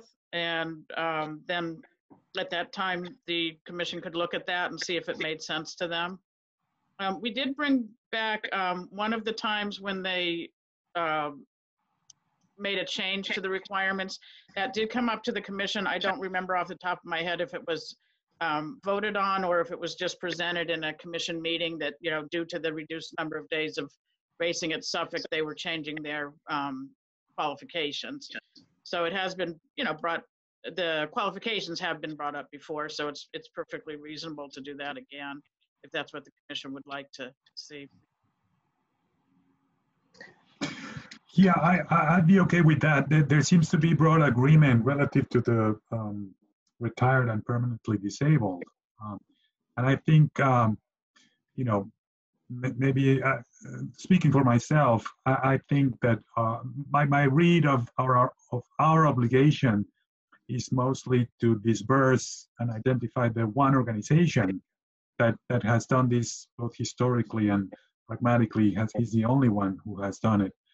Uh, I'm, I'm frankly, I'm, I'm, comfortable either way. With, uh, if this ends up going into a revised criteria that exclusively focuses on permanently and reti- uh, disabled and and, um, and retired, or a criteria that includes active by some other measure because of prior ties or current ties to, you know, to Massachusetts. I think um, the way Ms. Coleman just broadly articulated what could be that criteria, I'm comfortable we could we could get more details uh, and then and then go from there. But um, I think our obligation about the disbursement to the one organization is is is straightforward. I guess I have one concern. Um, I, I, I think we're all in agreement that we need to have some more information before we can vote because we can't disperse the money without knowing how it's going to be further dispersed. And, and Commissioner Zuniga asked that important question. And then, um, so I think we do need further information. I am concerned about delay. Um, when would we normally, um, when would the- uh, particularly the disabled and retired jockeys expect to receive their disbursement? It, it has varied a little bit over the years. Um, if there hasn't been any changes to the requirements, the money usually goes ar- out around this time to them. But there have been times when um, we were changing the um, requirements that the um, money didn't go out till like May. So, and So I, I I- certainly would hope we could come back well before that. Yes, I would ask, given particularly the difficulties of the last year, that this is expedited, right? Commissioner Cameron, you're Yeah, agreeing with that? I, I absolutely agree. And Counsel Coleman, I, it would seem to me that you already have some ideas formulated as to what may be acceptable here and what might make sense. So um, I, I- are you, are you, I'm just asking, you and Dr. Lightbown could do this in a, in a way that wouldn't take a, a long, long time? Is that accurate? Absolutely. I, I- I think it's up to the commission if you're gonna want me to consider active or not. I, I think that's up to the commission and, and that's would be based on how we would come up with those qualifications. So, and that would then determine the amount that would be distributed to each individual. Well, I, I would be interested personally in seeing language that includes active, um, uh, language that would include maybe those new folks who are, excuse me, who are um, retiring. And I don't think there has to be any changes to those who are already retired and those who are disabled. Is that? Correct. Okay, so I would be, and then at that time, when we look at that language, then we could decide, is it only disabled and retired, or is it to, to include active? And Todd, you're, you feel comfortable with, um, that we don't have to automatically exclude active. No, I don't think you do, but I think this is a good, a sound approach, though, the one. Okay, I like uh, Commissioner Cameron's suggestion too. Commissioner O'Brien, No, I, I, I think that's the way to go because while in theory, um, we don't have to, you know, exclude active, and I think given the circumstances that we should include them at this point, the further definition of what we are determining this agency represents, I think does beg the question of the role of active and the definition of active, which I think they can address right now, but you know, years forward from now, that may change in terms of how those commissions. right. um, I, I think it's, there's, it's, a- it's kind of an unusual, we're at an unusual juncture in terms of timing. And, um, and expectations probably haven't been clear to the jockeys, so I think we have an obligation to clarify. Um, And, So and, uh, and, and sooner than later. Sorry, uh, Counselor. I apologize, there was a delay. I, um, one thing I guess I have a clarification on, so my, and this is where I think maybe we want to make sure we're all clear. The definition of the active or the, where it's concerns about the active and the definition in the legislation, that is for you to determine if we are the organization that is eligible to receive the money, not for the qualifications of disbursement. So I think the commission has to determine if we are the organization first before we can determine the qualific, before the guild can determine the qualifications for disbursement. So, so back to Dr. Lightbown's list. Mhm. You have a list, if I understand correctly, of all the jockeys who, up until the closure of the Massachusetts track, were regularly riding or had been regular riders, and now they were either retired or disabled. Is, is that fair, that list stands, that you have that? Yeah, well, it was a list of all the jockeys that were licensed by us, and if the guild um, represented the majority of those jockeys. So it didn't um, take into account um, what the state of the jockeys was. So, um, and yes, in, in 2019, the majority of the jockeys that raced at um, Suffolk Downs were um, represented by the Jockey Guild. And, and you don't have to maintain your license after you retire. This is only for active. Right, yeah, and obviously, um, a permanently, um, disabled jockey wouldn't have a license Okay, either. so they don't have a license. Right. Ma- Okay. Madam Chair, could we authorize now, make a motion to authorize the Jockeys Guild as the required, um, uh, as the authorized organization, but not uh, take the second part of the motion, which would authorize the 65,000? I think it sounds like we're prepared to just make the first part of that motion, which is authorizing the guild as the, um, as the organization.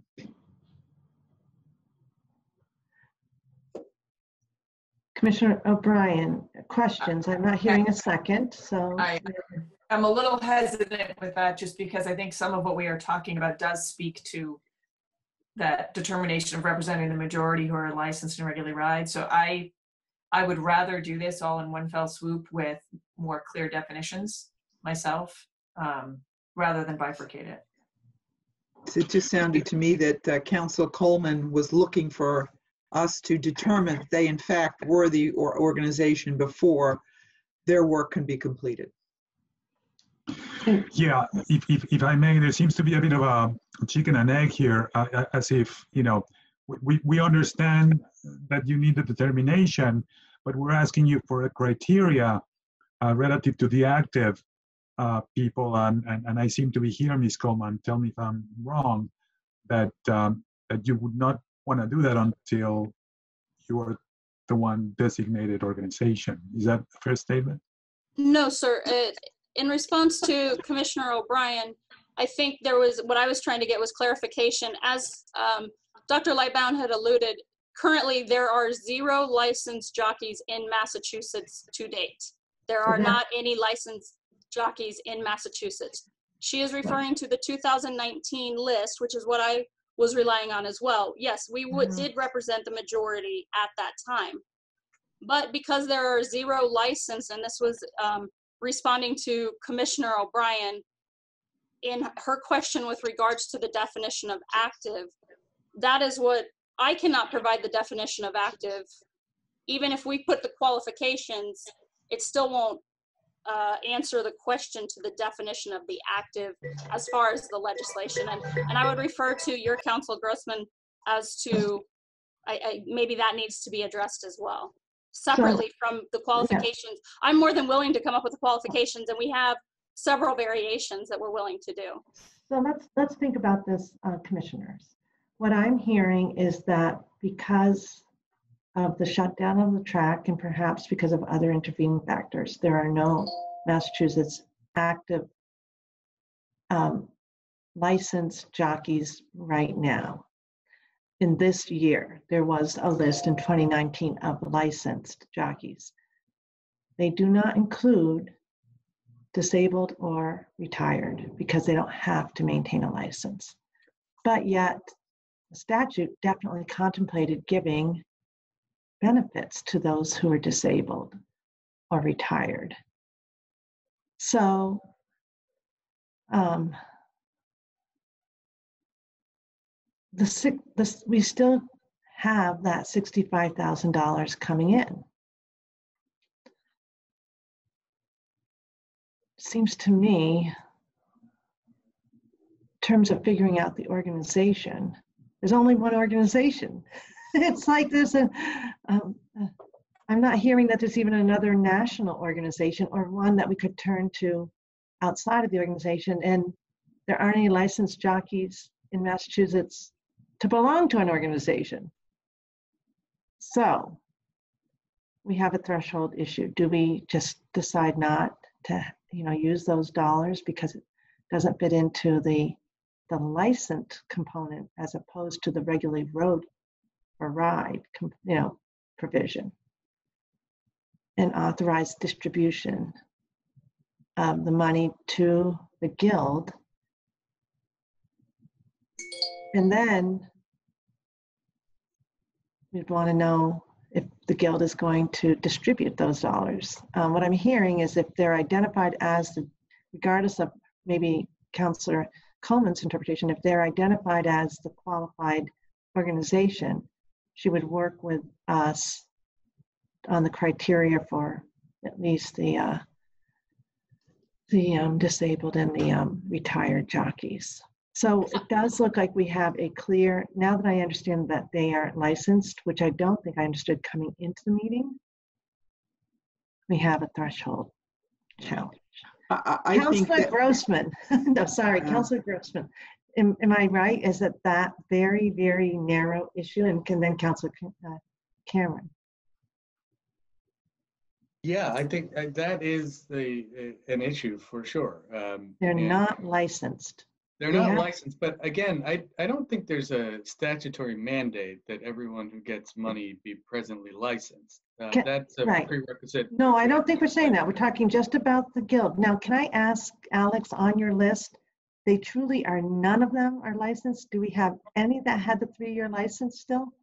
No, no. Grasping here. Sorry, we could achieve a majority with a few. Um, appreciate Commissioner it. Cameron, yeah. Yeah, I, I, I I think um, Counselor uh, Coleman's comments clarified things for me, that their decision is really criteria. Our decision is active. And I, I'm finding it a stretch to, um, to consider those who aren't licensed and haven't, don't ride in Massachusetts as active. I, I clearly see the retired and the, and the um, disabled. Yeah, but even, there's even one more threshold. I think you're, you're right, because on that criteria, I'm kind of okay with another meeting.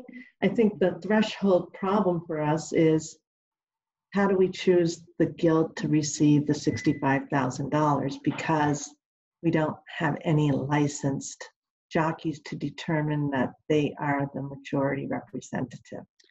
Because they still represent the disabled and the retired.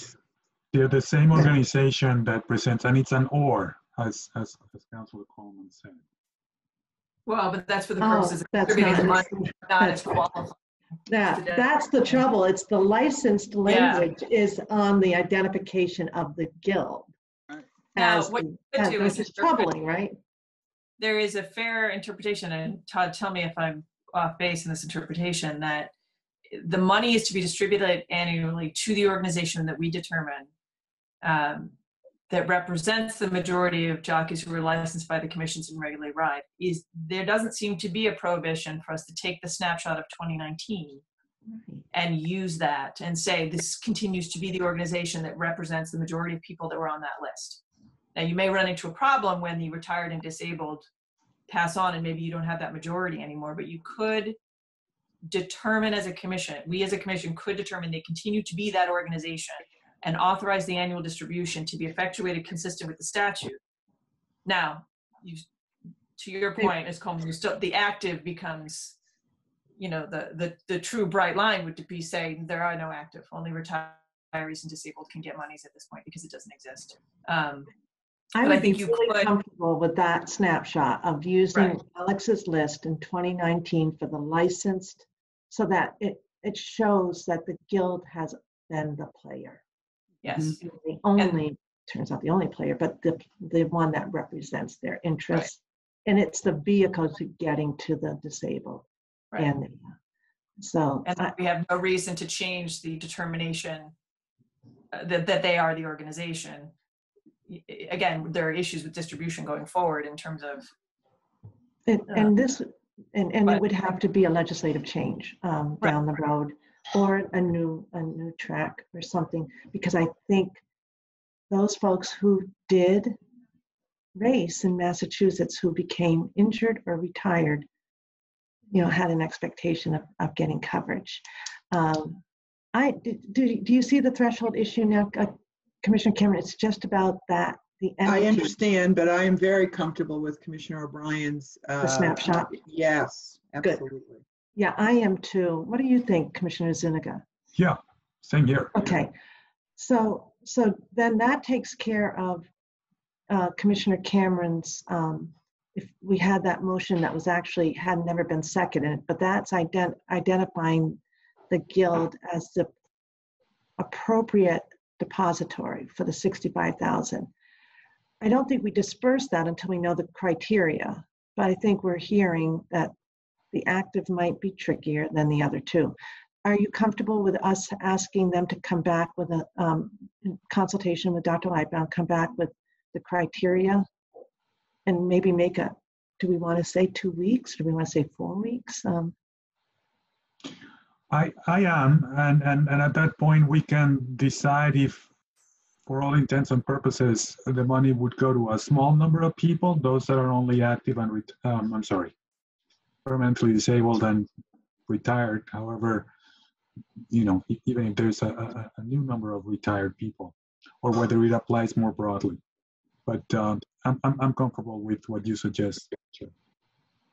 Commissioner Cameron, what do you think? Like bifurcate it? I, I- I'm trying to understand this now. So we will make the motion um, as is with the 65,000 or no? What, what are No, you the- suggesting? the- I liked what you started with. Okay, uh, so we we'll just didn't start the go any motion. further. I see. So you were just waiting for that clarification on how to get to that first part of the motion.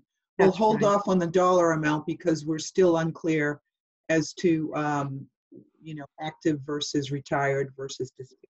And, and I think that solves C- Counselor Coleman's problem. Are, are we in fact the right entity to receive it? And then she'll go forward on the criteria with Dr. Lightbown. Yeah, I think that's excellent. And I think we're, I think it's completely reasonable, given all the circumstances, for us to rely on that 2019 snapshot as the ent, with respect to identifying the ident, uh, the uh, entity um, that represents their interests. Madam Chair, I'm happy to make that motion. Excellent, thanks. And, and, and, and we don't usually have a motion sort of hanging out there, but if you could reiterate This it. one was a little more complicated. Yes, thank you so Um, much. I move that the commission find that the Jockeys Guild meets the requirements in section 5H4 of chapter 128A as discussed here today. Second that. Any further questions, to, uh, Commissioner O'Brien? No. Okay, I'm all set too. So Commissioner Cameron, Aye. Commissioner O'Brien, Aye. Commissioner Zuniga, Aye. I vote yes. Great. Um, In terms of, of uh, uh, Dr. Lightbown, uh, kind of completing the next steps, uh, does four weeks seem reasonable? And if it could be resolved in the next two weeks, even better. Um, But for, I think, could we at least ask for no later than four weeks, uh, Dr. Lightbown? Uh, Yes, um, Mindy, um, do you think, does that sound reasonable to you as well? Absolutely. Okay, great. Probably do it in the next two And- weeks. I think we're pretty close on, like I said, the, Good. we'll just And have of pull a course, we couple could, things from the jockey we- club. and as an entity, we could be nimble too in, in between. So thank you. I, the, it's really important for the, um, you know, to, to meet expectations if this is how it's going to, if we're able to distribute those dollars. And thank you again. I was not trying to talk you out of, it. I just wanted clarification. I appreciate the opportunity and we definitely want to work with you guys to be, to be the organization. I just, I was confused and wanted to make sure I know that I couldn't provide you that quite, the clarification that Commissioner O'Brien was asking. No, no, you weren't confused at all. Uh, you, you really helped us along. Thank you so much. Thank Yeah, you for thank having you. us. Very much. Thank you. Okay, great. Uh, Dr. Lightfoot, are you all set then? I am. Thank you very much. Okay. So my um, computer has gone to sleep. Just one second. There. So um, I'm not sure where we are in terms of our, our timeline because I happen to have the other agenda up. But uh, are we comfortable now uh, going forward with, uh, we do have, I know, um, Director Ortiz on, uh, waiting. So I'd like to go forward with the responsible gaming piece now. Are, are folks comfortable? Yes. Great, and I see Teresa joining us. So moving on then to um, Director Vander Linden, please, and the responsible uh, gaming and problem gambling one. Thank you so much. Uh, Good afternoon, uh, Madam Chair and Commissioners. Um, So uh, National Problem Gambling Awareness Month is just around the corner. It starts next Monday, March 1st. Um, And each year, the Gaming Commission, uh, in its own way, um, finds a way to honor this month, um, honor its, its meaning in different ways. And this month, um, or next month is, is going to be no exception. So um, I will ask Teresa, um, who is really spearheading this effort, to describe um, what the Gaming Commission is leading and the partnerships that we've developed along the way uh, to, to recognize National Problem Gambling Awareness Month. Uh, following Teresa's um, presentation, um, we have uh, Victor Ortiz, Director of Problem Gambling Services for the Department of Public Health. Um, Victor is going to talk to us uh, um, about the uh, DPH's um, work and specifically focusing on a transition and work they're doing to advance the uh, uh, problem gambling helpline. Uh, so with that, Teresa, I'm going to just turn it right over to you. And then um, following that, uh, Victor, you can pick that up. Thank you. Sure. Thanks, Mark. Um, good morning, commissioners. I prepared a memo this morning. Would you all like me to share my screen or would you prefer I just speak through it? I, would you like um, the memo or do you want it- the screen, commissioners? Either way is fine for me because I have it open, but um, it's up to you, T- T- Teresa. I'd love to see Go the ahead. memo. There we go. There we go. We love seeing each other, but it's helpful to have the memo. Thank you so much. something else. And I'll that okay? Yeah, and, and of course, we've had the benefit of seeing it too, so thank you, Teresa. Great, you're very welcome. Um, and thank you, Director Vander Linden, for the introduction um, to Problem Gambling Awareness Month. Um, I'd also like to add that this is actually an anniversary year for us. So 2021 marks the fifth year in which the Gaming Commission is recognizing and participating in Problem Gambling Awareness Month. And as in previous years, um, the MGC will carry out most of our activities related to PGAM through the Game Sense program. Um, this is, you know, a natural sort of transition for us, given that um, Game Sense is the in-casino resource dedicated to ensuring that gambling remains fun and safe um, for all casino guests um, and staff members alike. Specific initiatives this year include weekly digitized educational quizzes and raffles, which are designed for casino staff and guests. Um, casino staff outreach via GameSense branded items and brochures. In casino digital signage. Overhead announcements at Plainridge Park Casino.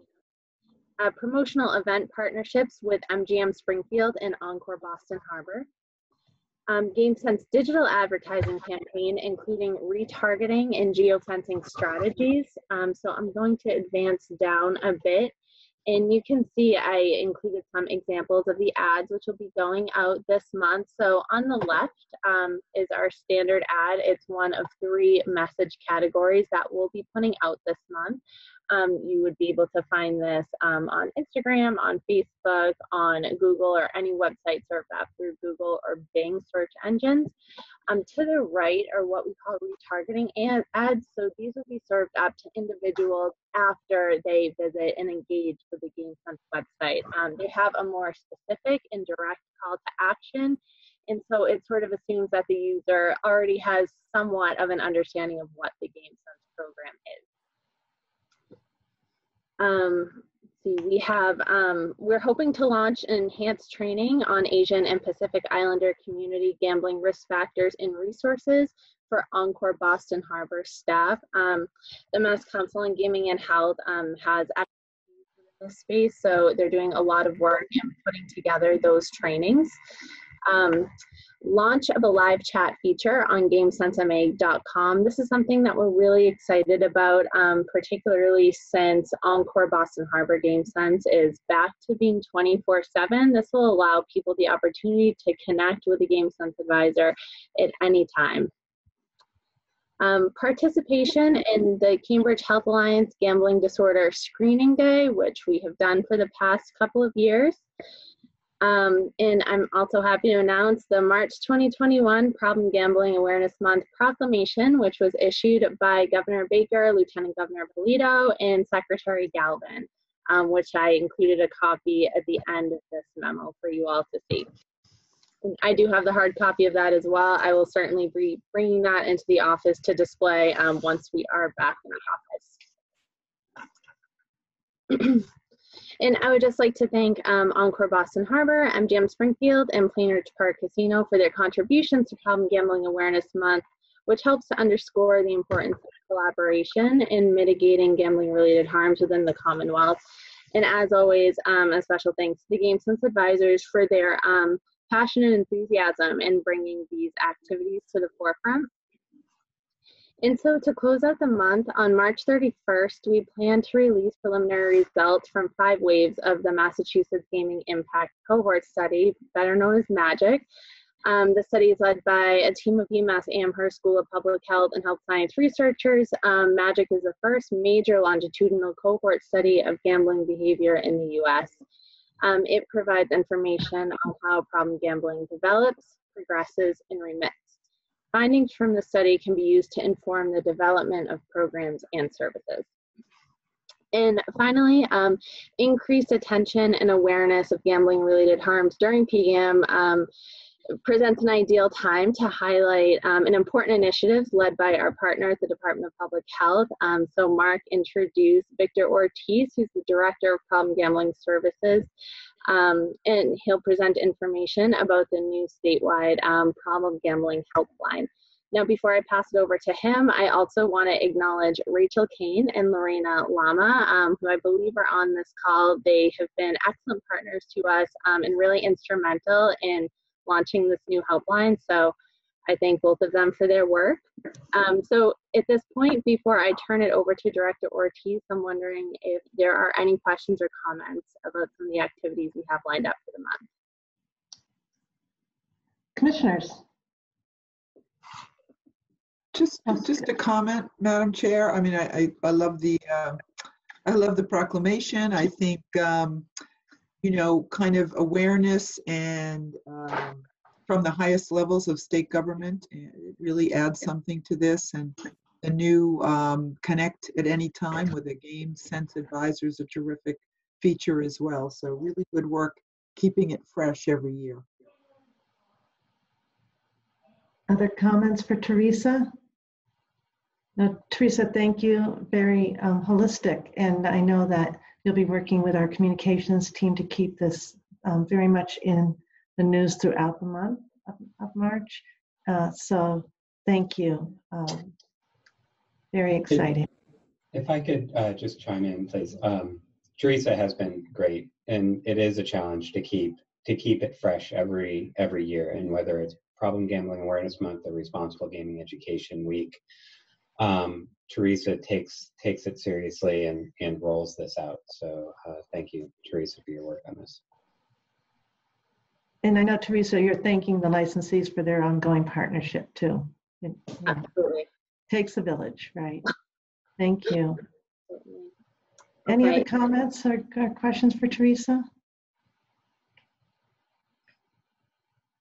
So- So, Go um, ahead. I, I stopped sharing my screen. Um, so Director Ortiz, if you want to hit the green share button at the bottom, um, you will be able to present your um, deck that way.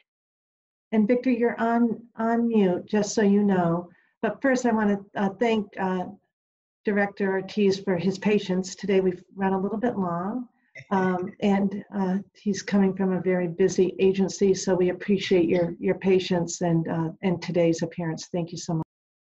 Well, let me see if I can um, know how to work this technology and uh, share my screen. Uh, just give me one moment. Yeah, so we're seeing your screen. There we go. Perfect. There you go. I'm, getting better at this. Um, uh, practice makes perfect. Good afternoon, everyone. Um, it's nice to be back, Madam Chair, Commissioners. Uh, grateful for the opportunity to present on this new, um, new and evolving um, uh, program on helpline services. And I believe I'm probably the person that's standing between you and lunch, so I'll try to be really brief and succinct. Uh, one of the things that I want to just start with, um, you know, I, I'm now um, serving as the director of the Office of Problem Gambling Services at the Department of Public Health now uh, five years. I can't believe that it's been that long. Um, and always like to start with um, our framing of who we are because I think it really sets the, the stage um, for what I'm about to share with you in regards to the helpline. At the Department of Public Health, it's it's critical to us that our vision and our mission is grounded in the belief that everyone deserves um, the, um, the the right to optimal health and well-being. Um, but we understand that although we desire that, that not everyone's journey to reach the highest um, uh, level of health is the same for everyone. And so, in order to achieve our mission and our vision, there are three pillars that you see in these blocks here that are critical to our work, that really informs our work. And we start with data.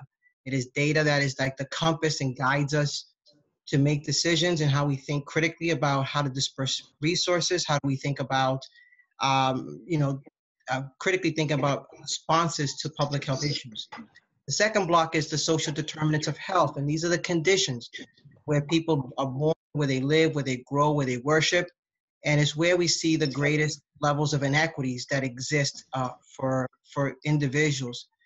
Research estimates that about 95% of individual health outcomes is rooted in these social determinants of health, and so it's important for us to think critically about our approaches and that and, and those social determinants. And lastly, is the disparities. And I believe that we have a moral and ethical uh, obligation uh, to eradicate health disparities. It's this house, we refer to this framing as the DPH house. And I like to always say publicly that the Office of Problem Gambling Services is a room in this house. And it's, it's this is the really the, the foundation that we build our programs and services for problem gambling from this house. Um, in that same spirit, um, familiarized to us all, when we think about data, we understand critically that people with substance use disorders and mental health disorders are disproportionately impacted by gambling. We also understand that people of color are also disproportionately impacted by, um, by problem gambling. And also, additionally, we understand that about over close to 97% of people who have a gambling disorder have a pre existing mental health and substance use disorder. Uh, the evidence is clear and the data has been consistent on these facts. In Massachusetts, um, as far as background, we previously funded two separate helplines one helpline for substance abuse and one for problem gambling. And after a series of looking at data, looking at evidence, we decided um, to explore this deeper. And so, based on evidence, based on data, and also an evaluation that we conducted in 2019, where we added gambling questions to the substance abuse helpline and vice versa, added substance uh, and added um, substance abuse questions to the gambling helpline made some determinations uh, that really uh, set a new set of goals for us. And that is that we wanted to integrate these services in order to improve alignment, efficiency, caller's experience, and effectiveness. So it is in that same spirit with those goals in mind, after doing a rigorous sort of review of the evidence, the data, that we set forward on this on this process to integrate the helplines. And again, the key here was to think about enhancing and optimizing the caller experience, maximize the cost effectiveness, and expand our reach. Two things that I want to mention on, on these sort of goals. One, we determined that um, it was costing us for the problem gambling helpline about $400 per call previously on average, where the substance abuse helpline was costing us about $100 per call. Uh, so one then can, can then make assume that with the integration, there will be significant cost savings that we can deploy to other areas and expand um, the services in regards to expanding reach, you'll see here that one of the things that we wanted to make sure we were getting and receiving on the problem gambling helpline somewhere around four, um, around somewhere about 500 calls per year, per, you know, uh, on average. Um, with that being said, the outcome of these integration and the advantages results in the following.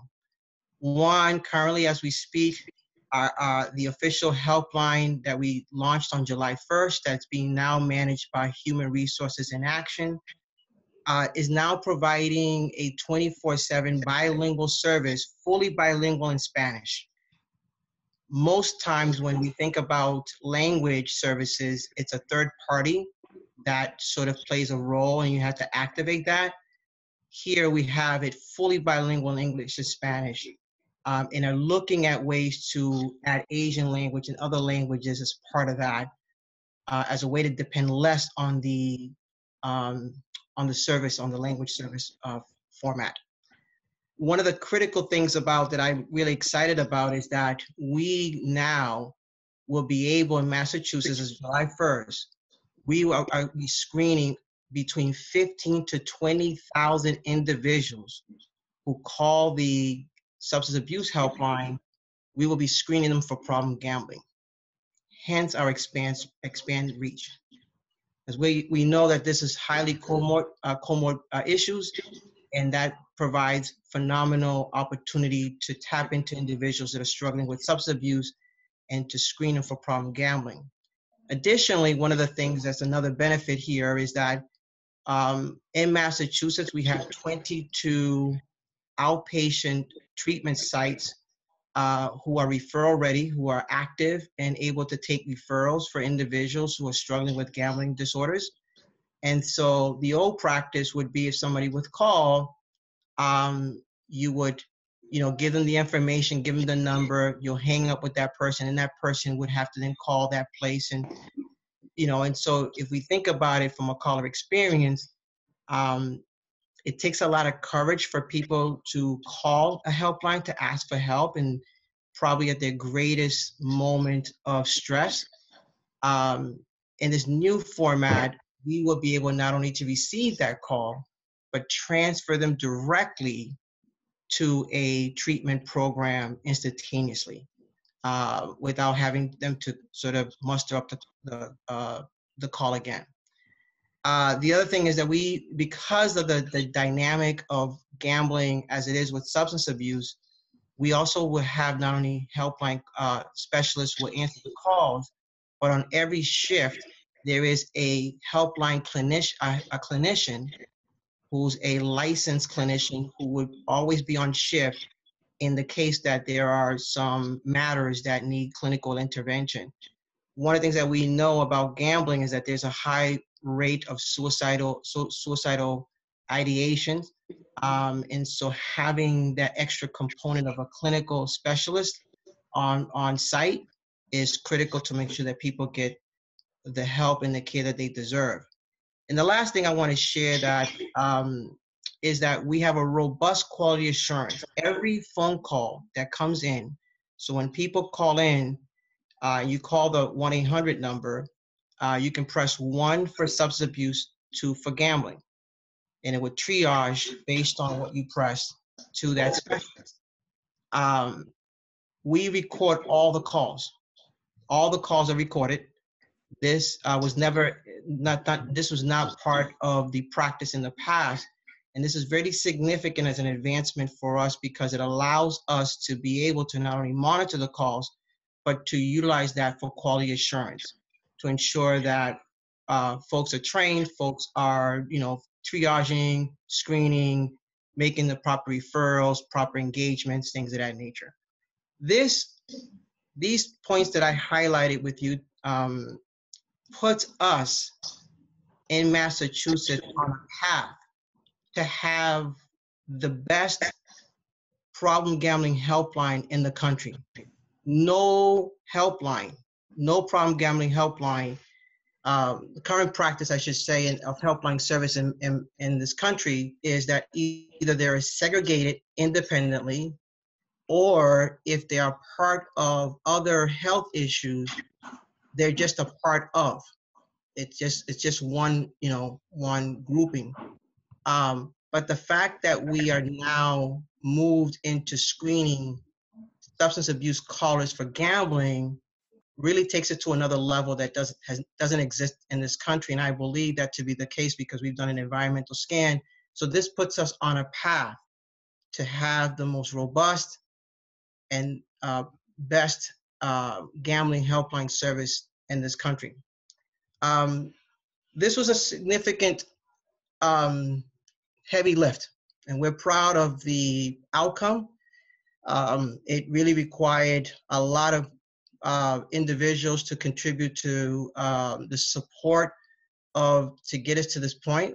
Um, we are actively engaged in a robust transitional plan that started with uh, both working with the with with the Mass Gaming Commission, but also with the lottery, uh, and transitioning the numbers that exist on variety of different points of contact, whether they're websites, lottery tickets, and kiosks, making those transitions. And so we want to say that we're like 80% there.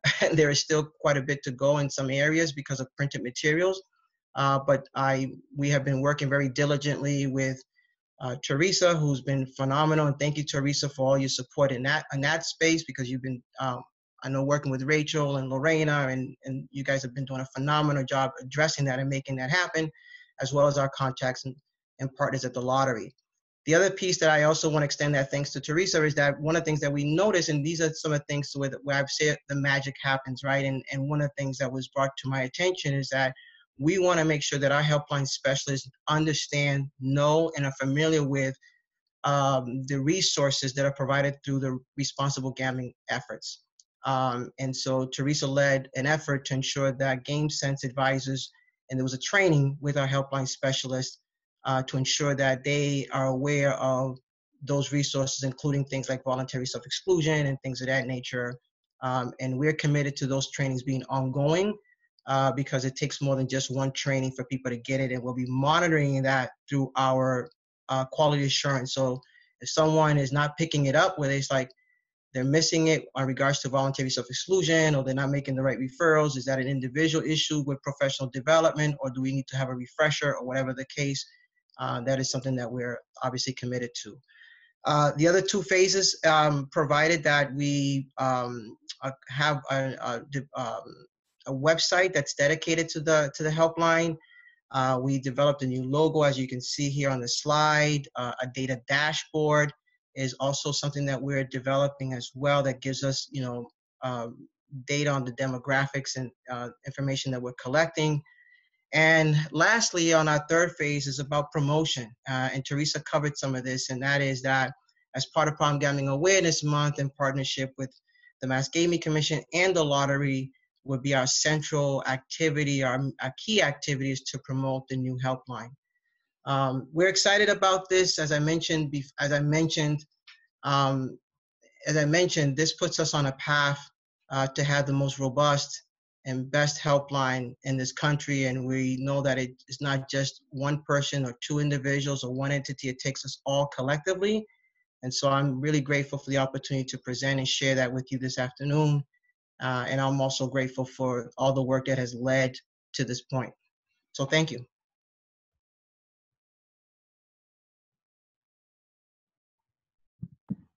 Thank you, um, Victor. And there you are, Teresa if we take down the um, screen, we can, it's easier to predict.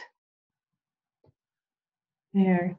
Now we've had, we've heard both presentations. Commissioners, comments, questions. Commissioner Cameron. Yeah, um, Director Ortiz, very nice to see you. Thanks for coming in to present to us. This does sound exciting. Um, what I see, and I think is a really good point, is whether it be the website or the hotline, both have the name problem gaming. So the user experience is seamless with this new transition. Is that correct?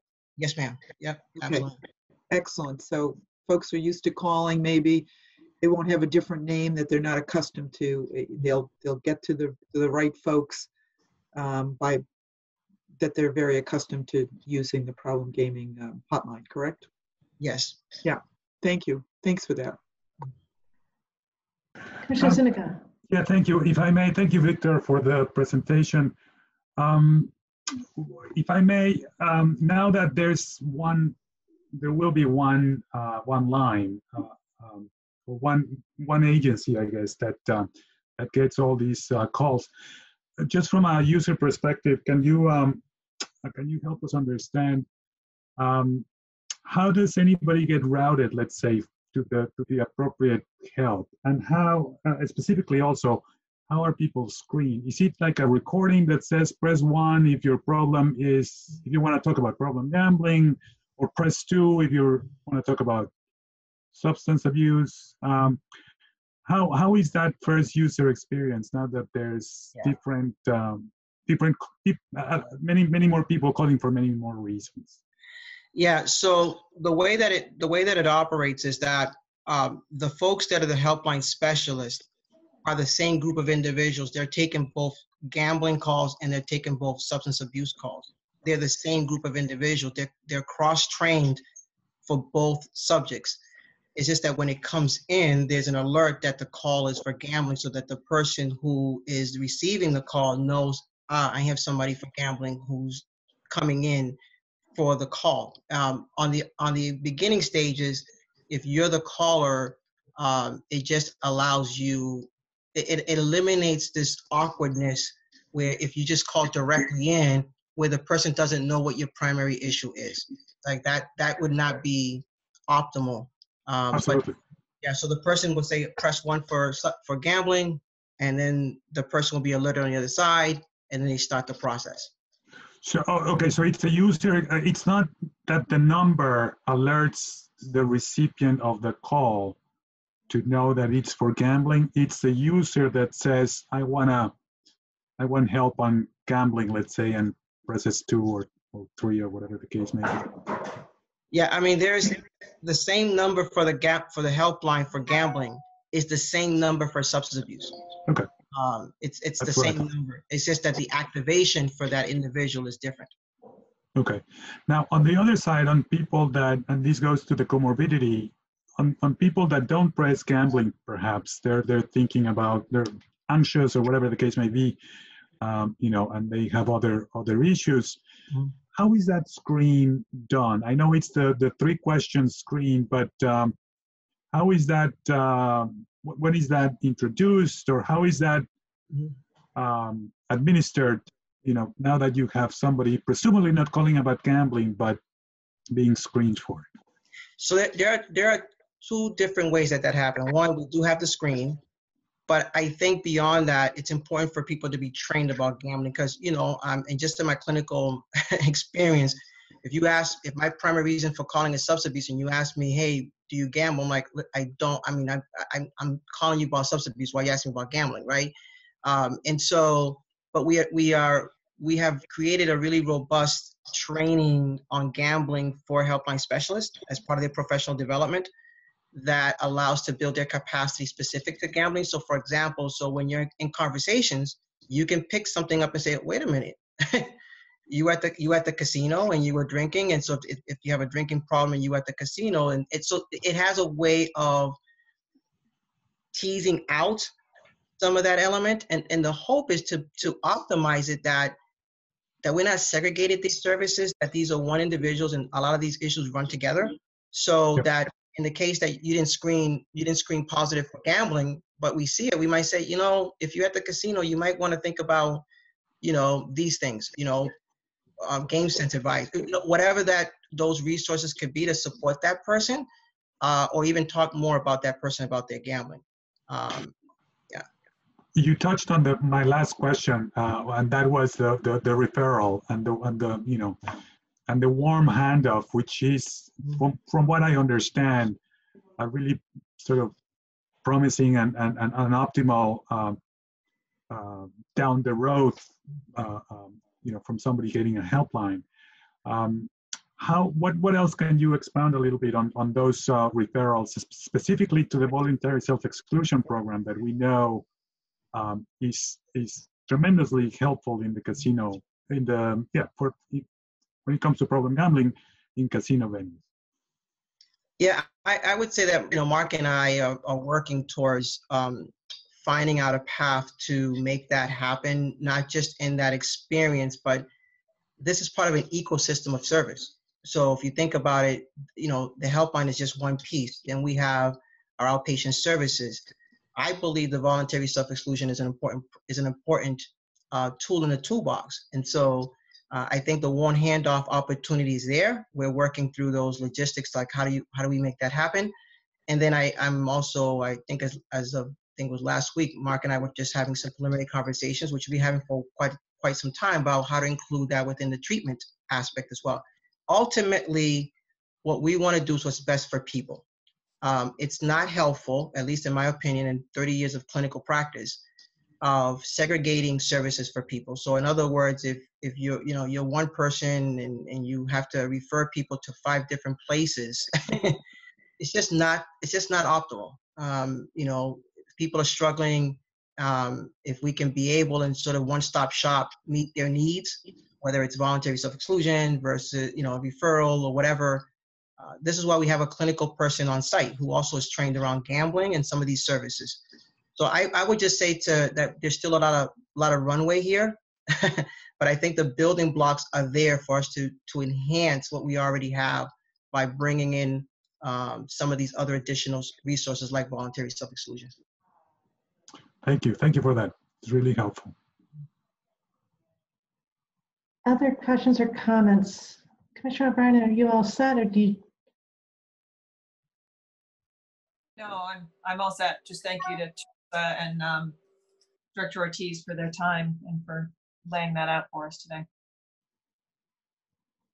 I'm really pleased with um, uh, the, the, despite all the challenges of, of a pandemic, which has really um, been this has really taken over the Department of Public Health and, and commands its attention appropriately and, and so many of its resources that the level of collaboration between our agency and yours, I'm so pleased with it. Um, and you've been able to you know, tend to this uh, transition, which it took place, this, this project took place um, pursuant to a competitive procurement. And, uh, um, and, you know, you've, you've accessed important resources from us, Victor, uh, using um, Teresa's expertise on training and, and uh, our, our division's expertise. So we appreciate it very much. And I know the licensees are all working hard to implement this. So again, complete collaboration among um, a lot of important players. So thank you. Well, we thank you, uh, Madam Chair, for your support, um, and we appreciate that. I think um, there's um, we think there's this is just the beginning stages of what we have in front of us in regards to collaboration. And I know that I speak on behalf of the department that we're also grateful to your leadership and support and, and the Gaming Commission and working together to to really accomplish what the legislation asked us to do, which is to mitigate harm. And that's what we are responsible for doing. And I'm glad that we are all working together to make that happen. Excellent, thank you. Commissioners, are you all set? We can let um, Victor go for his lunch. Um, Thank you. Appreciate it. Uh, Stay well, stay well. Um, Now, I know that we're a little bit off our schedule, uh, a lot of important work accomplished, but we do have, um, we had planned on the evaluation in advance of lunch. I must say, I think I could probably use a break. Um, And Commissioner O'Brien, you're, you're nodding your head. Okay, everybody agrees. So um, it's, it's one o'clock. Uh, Should we, is a half an hour sufficient or do you need more time? Half an hour? Commissioner? That work for you, Commissioner O'Brien, with school age kids? Okay, excellent. So uh, um, Karen, I don't know if I see Karen right now. Um, I presume, Is that good for you? Uh, Does that work for you? uh, to That's come fine, back in half an hour? Yep. Okay, then uh, to the team members, we will, um, we will take a break. Uh, Tanya, thank you for your ongoing support and work. Commissioner, uh, Grossman, thank you, and we'll reconvene at 1:30. Thanks, everyone. Okay, I see all, all four of us. So we'll take a roll call. Again, we're reconvening um, meeting 337, the Massachusetts Gaming Commission, and roll call, Commissioner Kim. Uh, Good afternoon, I'm here. Commissioner O'Brien, I am here. and Commissioner Zuniga. Here. So all four are present. Uh, We can get started. Tanya, you're all set. And I presume Austin's all set. So we'll get started. And we are, um, after a busy morning, um, again, with a full array of subject matters, we are now turning to one of our um, responsibilities to um, perform a, an annual evaluation of our executive director. So uh, Commissioner O'Brien, if you'd like to lead the discussion, please. Certainly. Um, I know Karen has been, you know, waiting with bated breath for this. half an hour morning.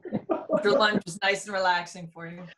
Right. Um, um, I I would be shocked if I, if you're not going to hear the same thing from a lot of the commissioners. Obviously, we've not spoken to each other about your evaluation. I know the individual ones were provided to you.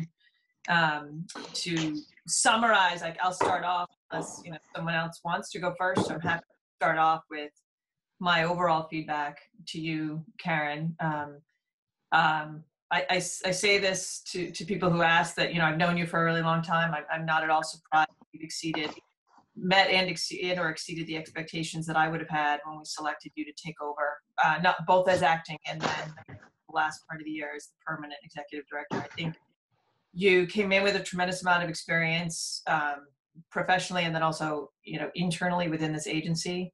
You had a tremendous amount of support and respect and trust from the staff which I think helped you tremendously. Um, but you also stepped in at a, at a very critical time. And you, you stepped in, and within months, were faced with, you know, an unprecedented pandemic and shutdown and transition to remote. Um, and the staff was invaluable in helping with that, but you were, you know, sort of at the head of the helm for staff. And I think your ability to transition this agency at that time uh, very much sums up what you have what you've done in terms of your leadership and stepping in um, whether it was you know acting or shifting into the the role on a permanent basis um, i know that i uh, personally had conversations with you very shortly after you were put on as acting with certain things that um, came to your attention weren't resolved and it was really not something that for sort of morale of the agency should have left left unattended and i was very pleased to see you have um, you know, smaller groups of staff and, and one or more commissioners to help and, and address those things. I know some things have had to wait given the pandemic, but you've been pretty good about calendaring things and circling back. Uh, and, you know, we can speak to the end about your priorities, but I know you give a nod to one of those factors um, in terms of salary, um, equities, and that sort of thing at the end of your evaluation. Um, I would say that one of the things that has been consistent said to me about you, and again, doesn't surprise me, was um, unsolicited how staff would come and give positive feedback and support for you, both as IEB director and you know when you were in the running, and now that you've been in the position of executive director, and that you are um, respectful across the board, both internally and externally, and that you um, you identify yourself as a good lister, and I would agree with that that I think that one of the things that has enabled you to be successful is your willingness to um, listen to everyone and then use your judgment and then go forward from there because the reality is you're not going to everyone and there are times when um, the listening is over and then the decision making has to happen and we have to go forward. Um, i definitely think um, in terms of an area of improvement would be um, delegating to make sure that you have the time to do what you need as executive director keeping all of now four and you know soon to be hopefully five of us up to speed on what's going on and apprised of what's going on. Um, you're making the transition away from director of ieb and i trust that that will be easier for you to do as the year goes on because these upper level vacancies have now been filled which i think you know, maybe impeded the ability to do that earlier on. But I think you've got good people in place, having moved some internal candidates around and promoted from within and brought some really good external hires in. Um, but I, I just want to say, again, not surprised, but I think you've done an excellent job this year. Um, I think the areas of improvement are, you know, typical for anybody who would need areas of improvement. And I think, again, I, I trust and hope that what we give you in support and what the new leadership team you have with you gives you and support will enable you to continue to be successful. Great. Thank you. There we go. There we go. Just, I just want to point out that there's about 275 people gathered today at this public meeting. I'm joking. I'm joking. It's, Yeah. um, um, no, the number is well, well short of that. I just want, wanted to uh, point out that you got through one fourth of your evaluation.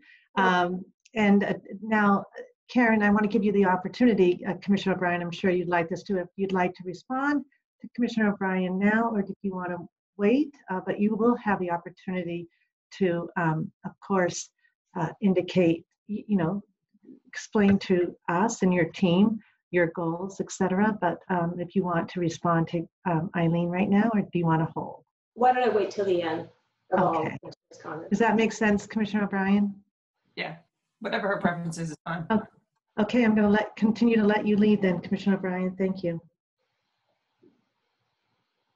I think uh, Commissioner Cameron was queued up, ready to go, so I will defer to Commissioner Cameron. Queued up and ready to go. I like it. Thank you. Thank you, Commissioner O'Brien. Thank you, Executive Director uh, Wells, for the opportunity. Actually, this was a pleasure to uh, read your self-assessment and then uh, comment and give an assessment, uh, you know, with that. Sometimes they're not a pleasure to do. This one certainly was. Um, like Commissioner O'Brien, I've known you for many years now. You've worked with this commission. Um, you were one of the very early folks um, in the position as the um, as the director of IEB, and um, one of the things I've learned over the years is past performance is usually a very good indicator, predictor of, of future performance. And in this case, I can say that certainly holds true. You did an excellent job, uh, in my opinion, as the IEB director. And this year, in this just very challenging year, um, I think you performed well under stress, under fire, and uh, we are all the, the uh, beneficiaries of that. In particular, though, I'm always concerned about the staff. And uh, like Commissioner O'Brien, unsolicited, we, we had the benefit um, of the, over the last several months of meeting with all of the directors and their key staff members to talk about what their challenges are, um, what their progress is, projects they may be working on. And I have to say, unsolicited, um, each and every director, team member talked about your leadership and how that helped them through their challenges in this year of a pandemic.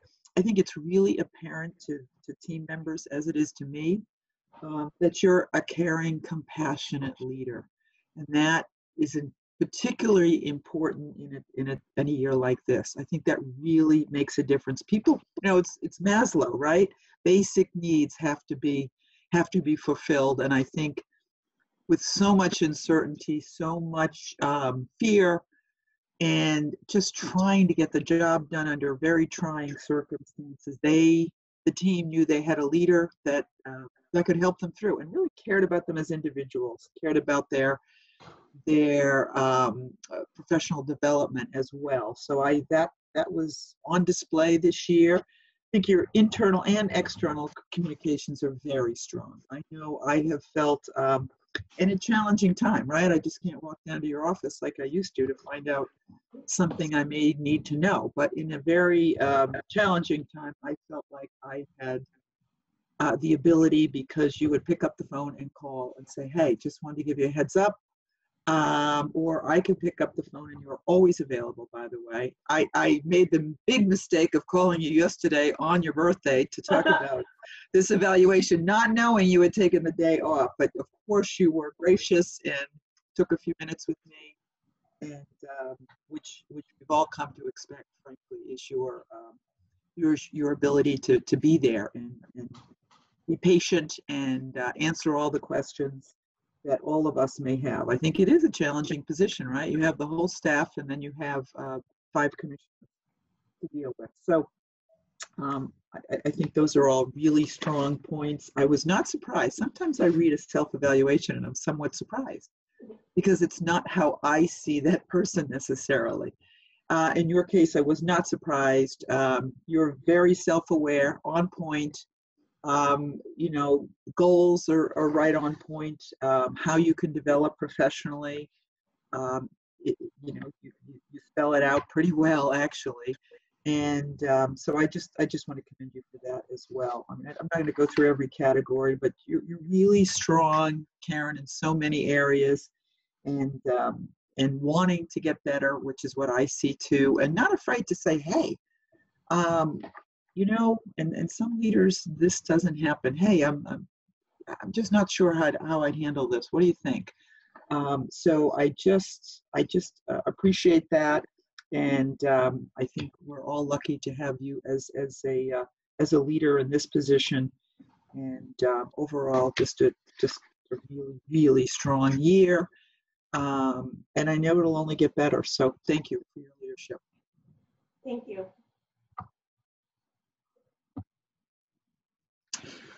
I'll be happy to follow suit if that's okay. Um, and I think there's clearly a consensus, uh, a, a, theme, if you will, emerging very quickly, which I'm not surprised of either, as, as my prior colleagues were alluding to. Um, let me let me start with the bottom line, and I think uh, you know simply you've done a fantastic job. Um, I'll talk a little bit more about the context uh, that's that's clearly in front of us, and that is this last year that, by many measures, has been one of the most challenging of the gaming commission, and that's that's probably true for um, many of us in in prior roles, uh, just given all the uncertainty of the pandemic uh, uh, and, but but then but the reality of having to continue with a, a number of things that we that we do normally. Um, to be more specific, uh, uh you know, this last year, as we look back, uh, uh, a pandemic that forced a quick transition to working remotely, but but went smoothly. Um, an environment of casino closures and reopening with significant restrictions, which meant a lot of um, uh, flexibility needed, a lot of logistical challenges in terms of operations. Um, and, and I should mention this as well, the reality of having to do, to be more judicious, more judicious than before perhaps, relative to regulatory costs and manage resources uh, perhaps as lean, as efficiently as possible, because there was this reality of the casinos being closed and with decreased revenues that clearly seep through what we do. So in other words, adjust quickly to a new, new environment with admittedly less resources, but keep doing what has always been expected of you and the organization. And that's probably the, the, the, most important context to take stock of in this year and, and, and you know, and, and think about how difficult it, it has been. Uh, it's, it's been getting better, um, but it's an important context as we do, as we do this evaluation, and, and, and it's unlike any other ones that we've done uh, before.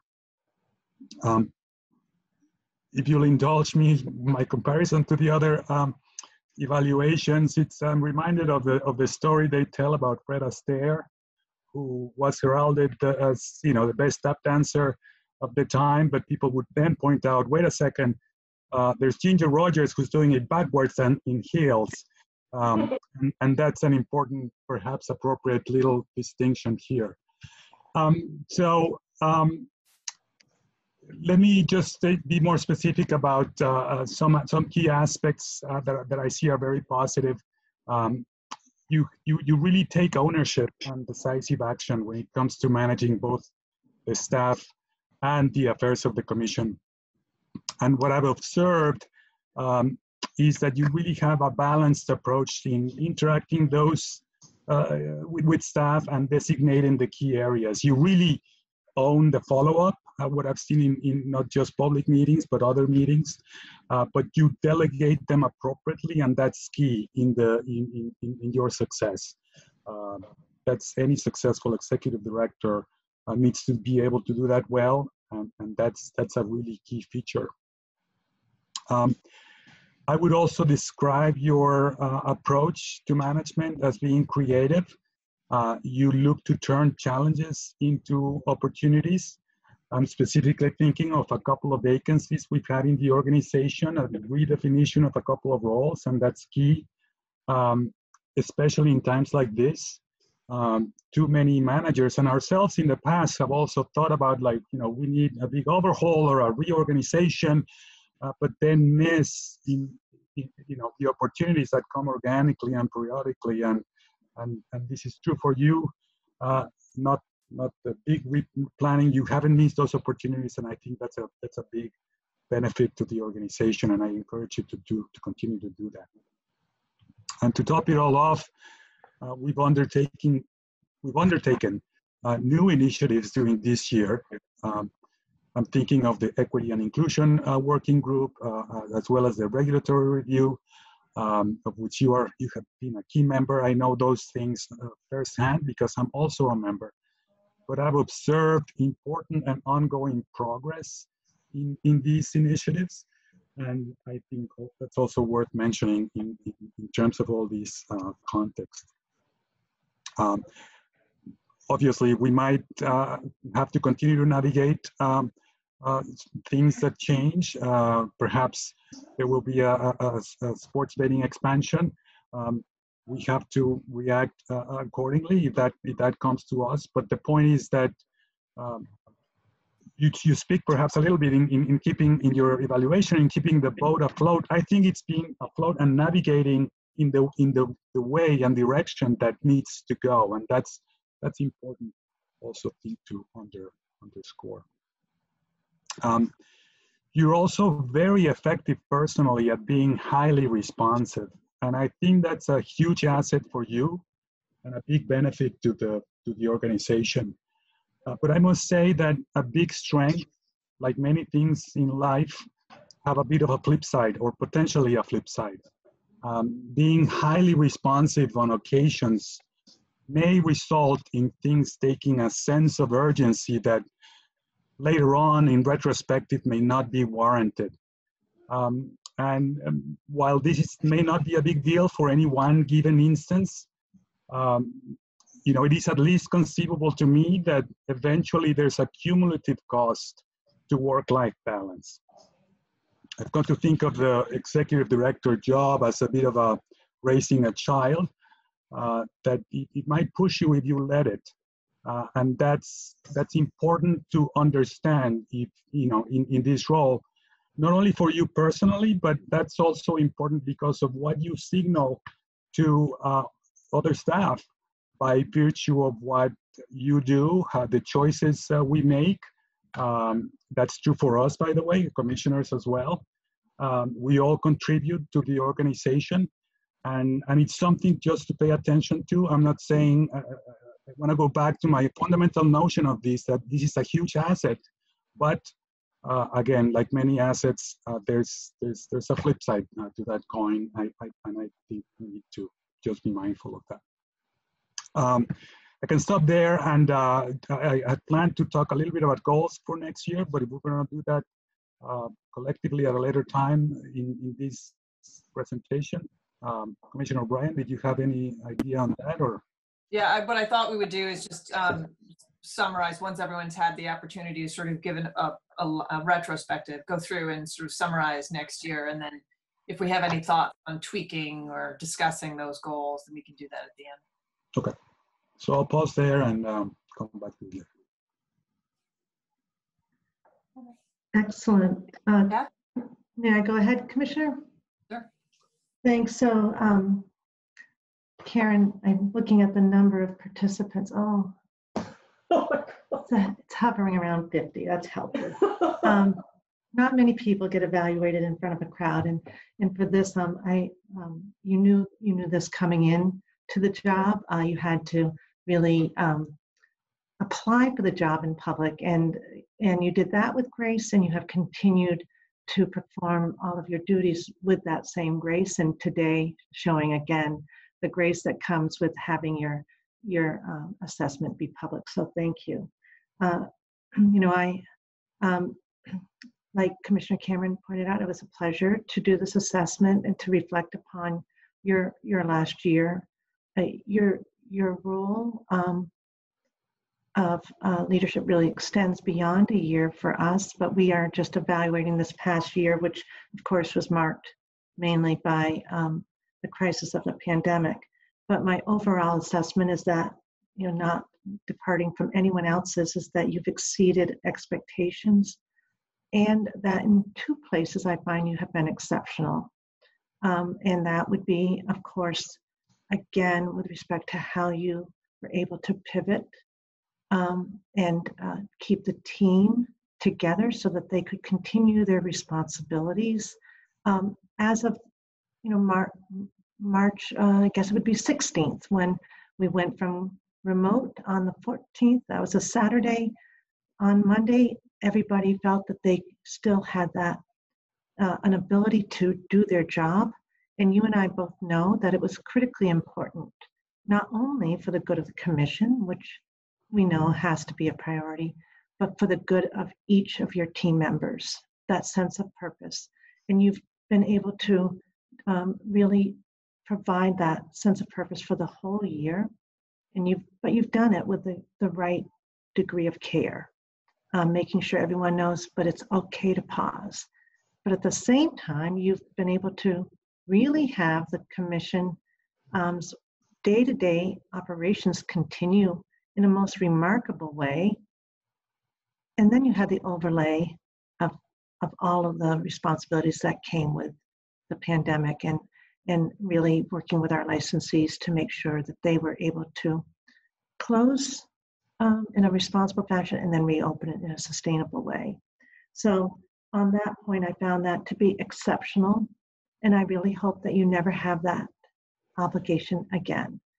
Um, fingers crossed. The second, the second would be, um, you know, during the course of the year, we were we were faced with an, a lot of difficult national conversations, and um, it became clear, from my perspective, that with respect to racial inequities, that that had to be a priority for the organization, and um, you know, you were part of the working group that Commissioner Zuniga alluded to. We were very lucky that that group um, worked very cohesively so that the results could come out in really timely fashion for the entire commission's um, review and consideration of the five action point plan. And we put you in charge of that. And I feel that you have been exceptional in understanding the import of that work that you embrace the Commission's um, really ratification of the importance of making um, inclusion and diversity and, and making sure that we don't inadvertently uh, impact uh, in a negative fashion people of color. You, you immediately embraced it and you put it to work. And you've used your team members to do that work. Yeah, and you've um, I, I feel that across the board in many quiet places, I'm seeing that um, awareness at work. I note that the gaming agents have a news a new newsletter, and how wonderful it was to see that it started with a discussion around Black History Month. Uh, so that doesn't come by just chance. That's a culture shift and a culture awareness. And for that, I think you've been exceptional. And I know that that's an, a priority for the commissioners, but I know it's a priority for you going forward. And we all know um, it's ongoing work. So uh, those two areas I felt were particularly noteworthy, and I know Commissioner Zuniga also referenced that good work. In terms of your interpersonal skills, including communication, you're just you have exceeded expectations. Um, I note that I I value your listening skills immensely. I also note that there are times when I would like you to sometimes intervene or add in just a tad sooner because your observations and your awareness and your resolution skills are so helpful. So if you ever find us looking around going, oh, yikes, um, you know, please uh, uh, um, add in, and I and and that's not in any way compete with your respect, the respectfulness that you offer everyone.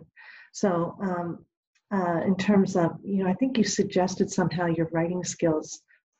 Your, your we, I value your writing skills, your um, public speaking skills. They're all outstanding, very accessible, and we are very lucky that you are so comfortable as a communicator in terms of your interpersonal skills, your your team says it to us.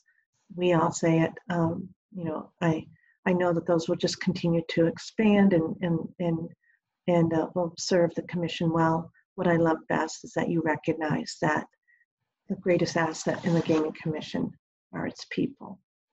Um, I really uh, could go on and on um, because it's always fun to talk about all the positive um, items, but we, we do probably need to get to your thoughts and your goals.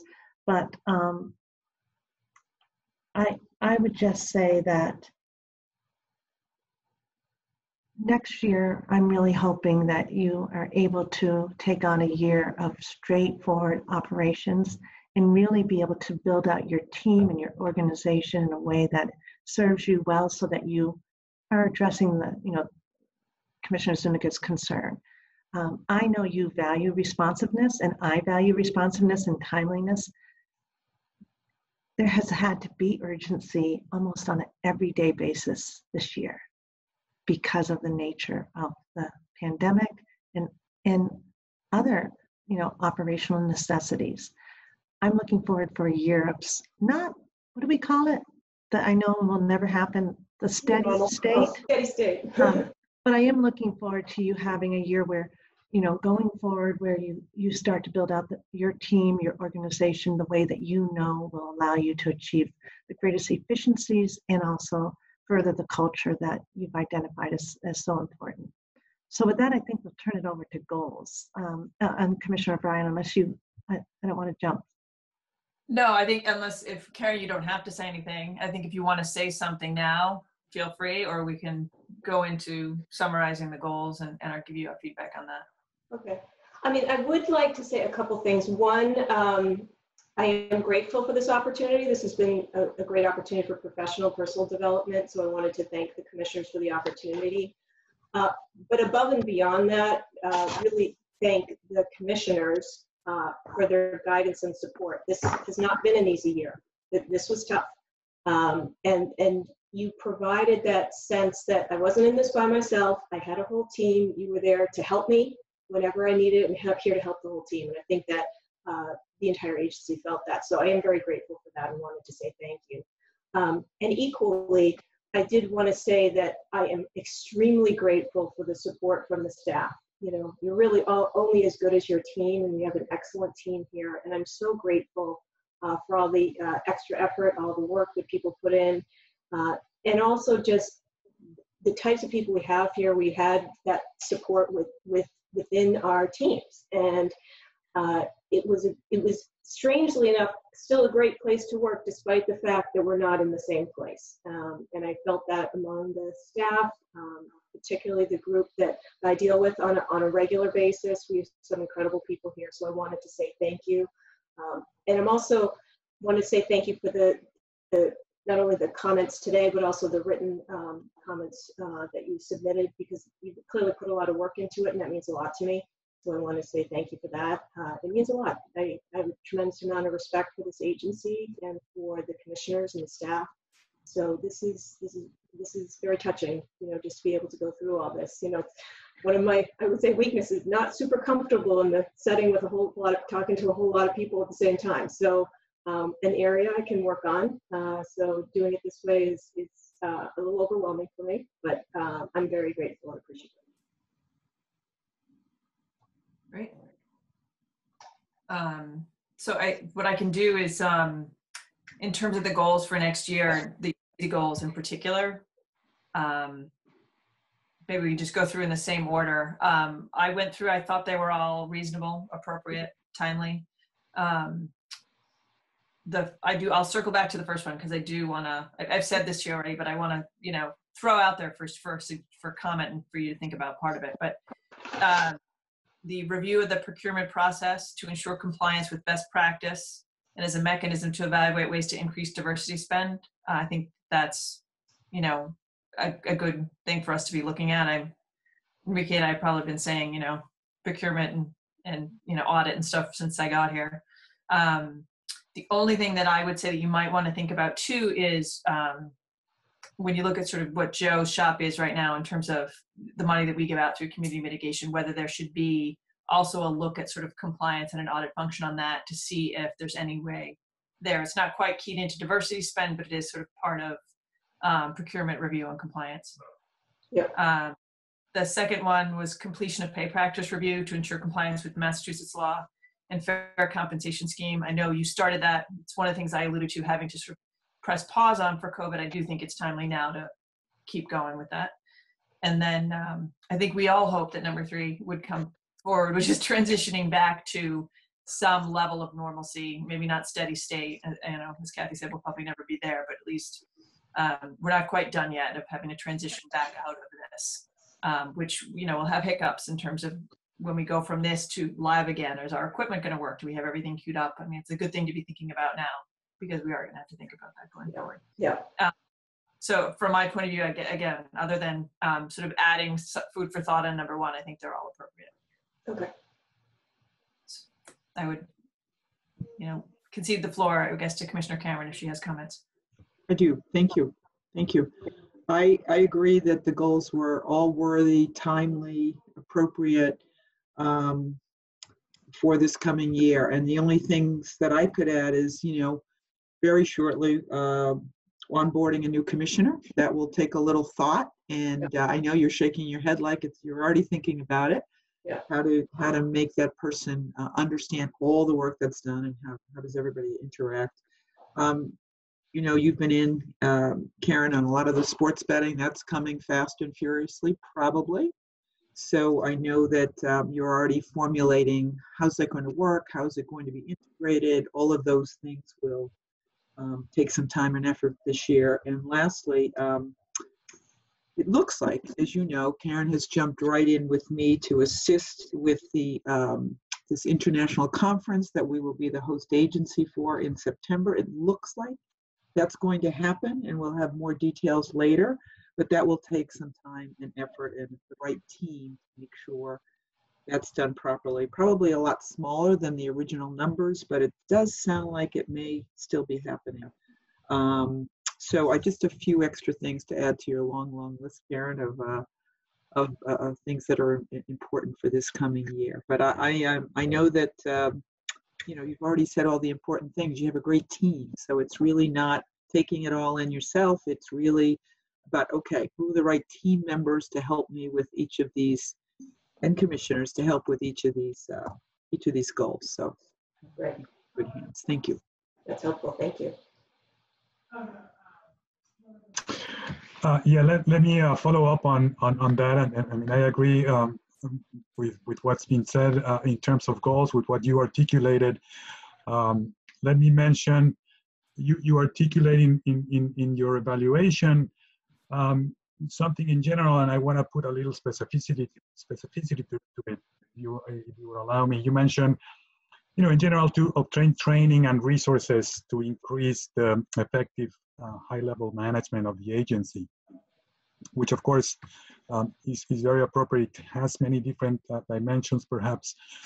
But let me suggest the people process uh, as this area in my mind needs to be thought as a priority given the context that we have been operating under. I think um, uh, and again, it's it's it's going to get better eventually, but we're not necessarily not meeting in person uh, today, which uh, which would be nice, and you know, and and and who knows when that that's going to be restored.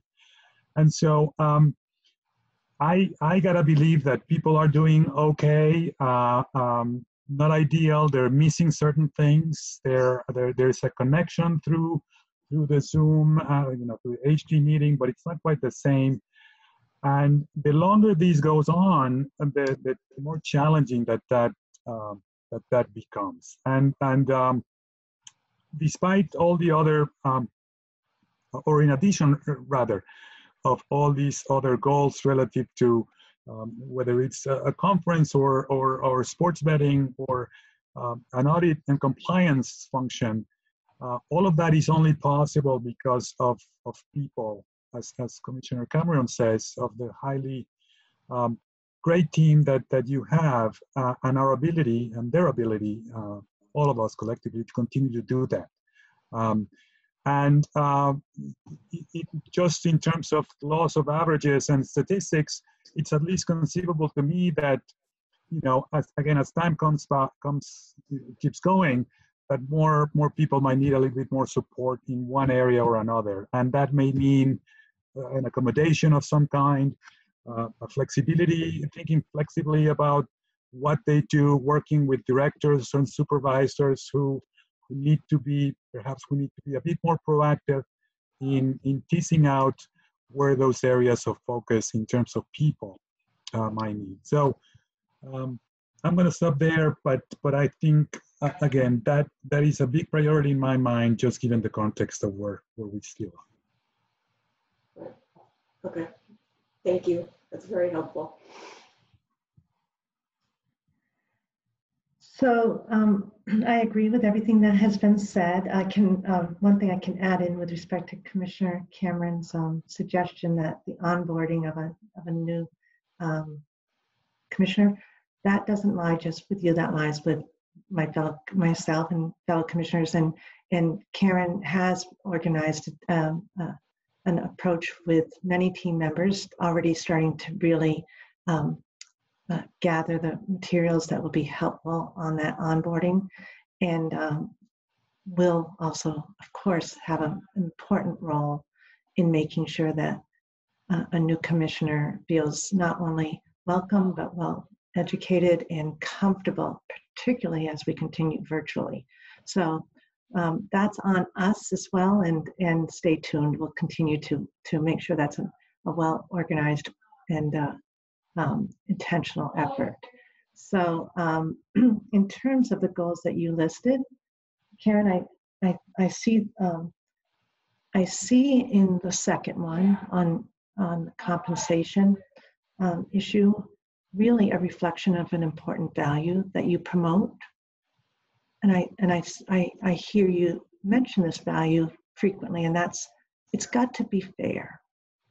And and you you take that fairness value and you apply that not just in this compensation, um, you know, with respect to compensation issue, but across the board. And that value is one that I think is so important for the morale and health and culture of the organization. So um, I, I, I, am pleased that that second goal is, is articulated here. And I know fundamentally um, it's driven by your, your need to make sure that there's a fair structure in place. Um, in terms of procurement, I do think that we've identified that procurement is an area where um, compliance is, is so important. Um, we expect compliance, full compliance of our licensees. We can expect no less of ourselves. And so procurement is one of those, um, one of the agency's functions that does come with risk and responsibility, particularly as we add the overlay of our need to make sure um, that we are aware of diversity and inclusiveness. Um, so I, I like that you've identified that pro procurement as one of those organizational musts. Um, and I also know that you are prioritizing compliance. And you know, once the agency kind of just ensures that those day-to-day public um, operations are fully compliant, then um, it, it's it's just for you sort of just makes your machine so well greased. So procurement is a great one to identify. And then of course we all hope for the, the transition uh, back and we know that what that will be isn't really clear yet. And I know that you are aware that that brings anxiety and also some sort of sense of uh, perhaps newness to the um, organ- uh, to the team members in the organization so I know that you're staying tuned for that and you're prepared to to lead that. Um, and I and I know that again, you're going to lead that with that sense of fairness in mind. Um, you know, perhaps again, uh, taking into consideration what Commissioner Zuniga said, that that health and, and well-being component, and uh, also the requirement that continuing work obligations get fulfilled but in the way that works best for your vision. So I think all three are, are great. If I could have a druther, um, you know, I would have said these, maybe there'd be one kind of global um, goal that you might have. And those are those goals that, you know, when you're, when your team is taking care of everything, you sort of have that, this is made up. Who has that quiet time to just think? But if you did, right, um, you know, what is your, um, what is your you know strategy for maybe three years or five years in terms of the objectives where would you like to, to go with the organization commissioner cameron's identified some areas where we might see some new responsibilities uh, there are there are going to be new responsibilities we can't even think of right now um, but uh, your your strategic plan if you will and i use those words very carefully because sometimes strategic planning brings on such a global um, you know, the notion of such global intensity that it can be all consuming. But there's something that I'm trying to identify that's short of that, that's for you, Karen, in your planning, um, that will help you. And, and I think you attach the, your values, um, as well as, of course, the agency's values. So that would just have been as an aside on goals if there was, you know, sort of three achievable this year and then sort of the longer term goal. Say if you could, if you could identify, you know, maybe a few global objectives with three or four um, tactics. And some of these might be tactics that you identified today. So um, I, I, uh, I think you have all of those in your head. Um, and it's you identified three really good ones, uh, and I'm glad that it was three and and and not not more because we'd be talking about all of them. But I have such confidence in in your ability to to really figure out what's best for the organization short term and then as we move forward. Thank you. No, the, the feedback's really helpful. Um, you know, and I'm also open for any of the commissioners as time goes on, any other goals or anything that comes up during the course of the year. You know, I, I tend to be a task oriented person. So if there's something the commission wants to do, assign it and then uh, I'll implement it. So um, that that's certainly something we can discuss along with myself and the staff working on so that forward thinking and what we're looking to do for uh, the next year and the years ahead. The one thing I, I want to add, and it's for my fellow commissioners too, because we don't get a chance to just talk um, because of the open meeting law. Um, Karen, I have appreciated so much your responsiveness to me. Um, if you you have understood that I came in the first year kind of a point of, of a different type of intensity and crisis, and then moved into COVID, and I've had to do a lot of learning through you and a lot of conversations, and you have been so accessible to me. With that comes a burden, I know, because there are normally five of us and now four of us. I think you have, um, I, I can't speak for the other commissioners. We don't get to chat with each other about this, but I know that um, you understand and, and are very attuned to the need to keep us apprised. Um, I don't always know what you've apprised the other, the other commissioners of, but I feel that um, very, very comfortable each time we've come into a decision making uh, situation that I've been um, briefed thoroughly by the team. It doesn't necessarily mean that we are all in agreement with recommendations. I feel like it, that you've organized your team to be able to inform us so that we can make the decisions we need to make as commissioners. And that's difficult, that's not easy. Um, and, and I think because of that, I feel that the commissioners are able to really be productive in this public, this, this difficult public arena. So I want to thank you, and I and I have to, you know, personally extend my thanks for being so generous with your time. Um, and and and I know sometimes I more than spontaneous um, feedback. So with that, I, I want to say very much thank you. And, you know, every day for me, I continue to, to be so much more and more comfortable with my understanding of, of the organization. So that's because of your, your willingness to really answer my questions and be responsive. So for that, I'm very grateful. All right. Is there, is there anything else anyone needs from me? I mean, the feedback on the goals is really helpful to me. Uh, any other either questions for me or things um, I can be doing, uh, particularly in the course of the next year? In particular, okay. Eileen, um, are we are we planning on continuing for maybe like a uh, to get on par? Do we do this again in December or do we?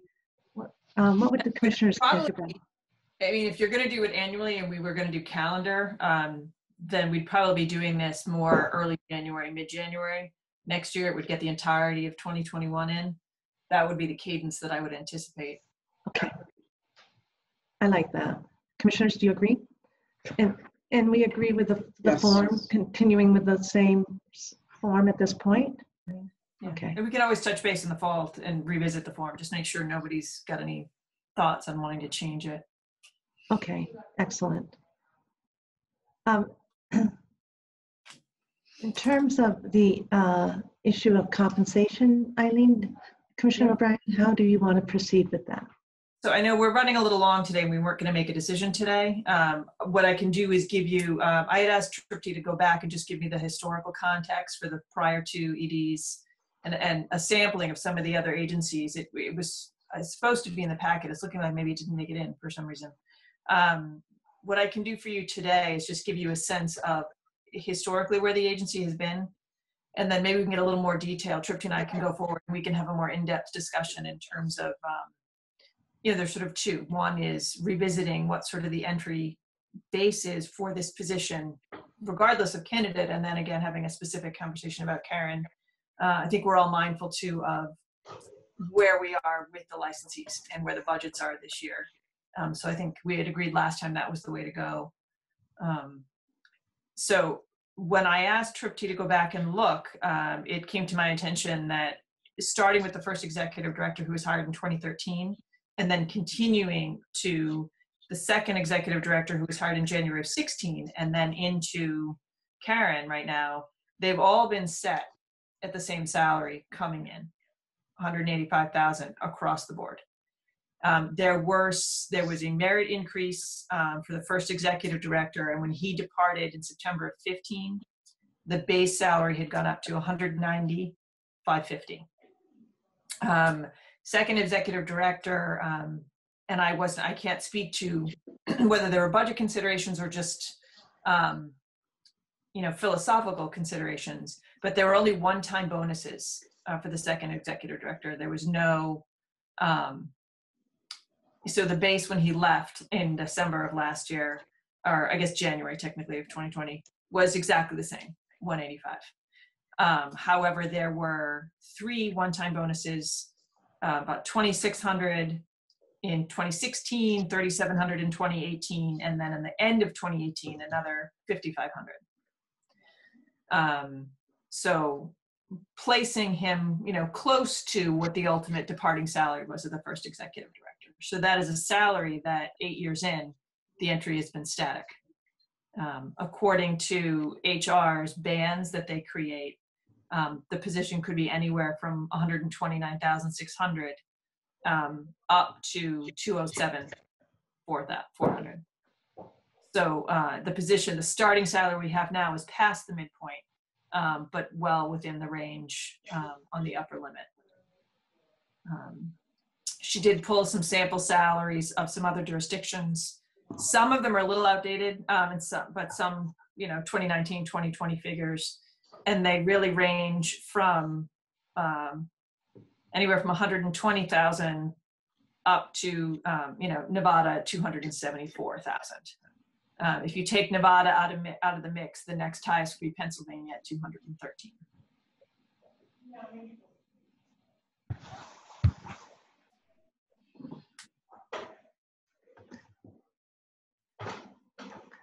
So do we want to table this discussion and then um, revisit compensation in, um, at our next meeting and reflect upon this information? What would you suggest, Commissioner O'Brien? I think we had talked about, we'd gone kind of a couple different ways. I think we landed on that approach at the last agenda setting meeting. Um, that we would, you know, think about these numbers and then I know Tripti may have some more information about I don't know whether she's gotten any other numbers in the interim since I asked her to pull this together. Um, but where we are conceptually, um, and then also putting that in the realm of realistically budget wise, where are we in terms of um, revenue and the reality of reopening and what that means in terms of, you know, making potential adjustments to the position itself. And then relative to Karen, where do we think she should be and or when that should be, any change should be implemented. Commissioner Cameron? I think that's appropriate to table that until we look at if there's if there's any um, other numbers out there and just having having time to be thoughtful about it. Commissioner Zuniga? Yeah, um, um, uh, that's very helpful summary, by the way, um, Commissioner O'Brien. But um, and and at that future time, hopefully not too long from now, um, I could also offer my take on some of the historical, you know, some of the Mhm. reasons it was perhaps a mix of uh, philosophical and context, as you point out, um, relative to the decisions to do one-time stuff, uh, perhaps one or two years every time, versus uh, increasing the base, because that was also part of the context at the time. But I think it's it's important to um, to come back to this discussion shortly, um, you know, perhaps at, a, at the next or the following commission meeting. And then what I can do is just make sure that um, the short memo Tripti did is disseminated to everyone just as a touch point. And then obviously each comparative agency's got its different structure and issues and size, sort of thing, to put all those numbers in perspective. But I think it'll be helpful.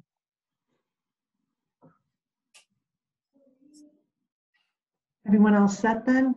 I guess um, we don't vote. I guess we applaud.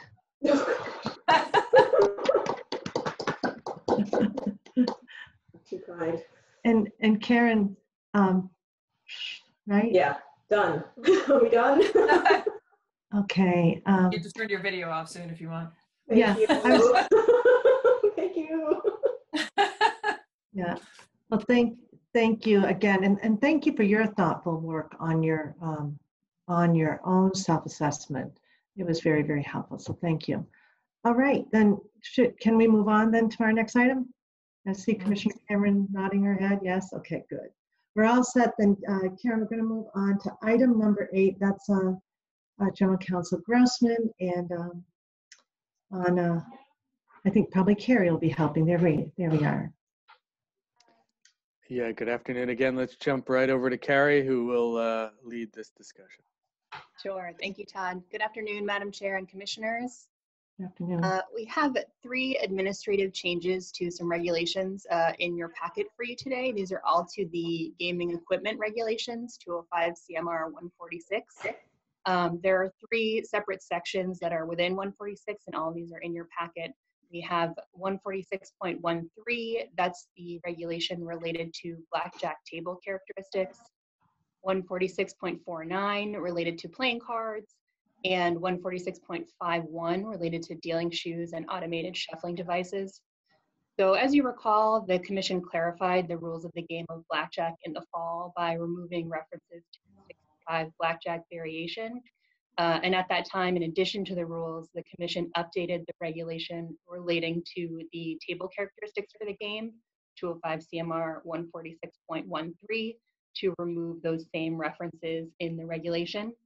Um, when we brought that regulation to you, uh, we made one oversight, um, and we found two additional references in other sections of 146, these two that I've mentioned, um, that refer to the six to five blackjack variation. So we brought these drafts to you today um, just to clear up those technical changes to make sure that the references are gone as that variation doesn't exist in the rules anymore.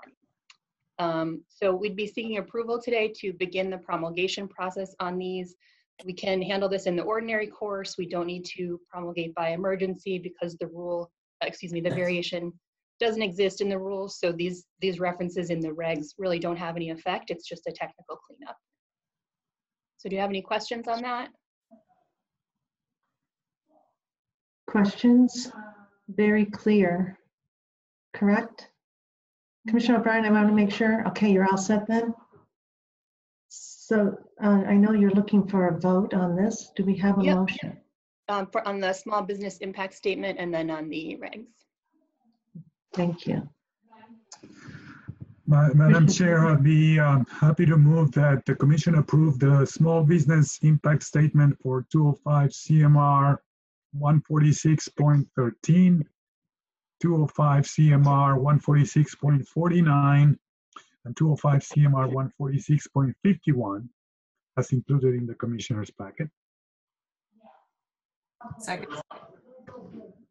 Okay, any, any questions? All right, Commissioner Cameron, Aye. Commissioner O'Brien, Aye. Commissioner Zuniga. Aye.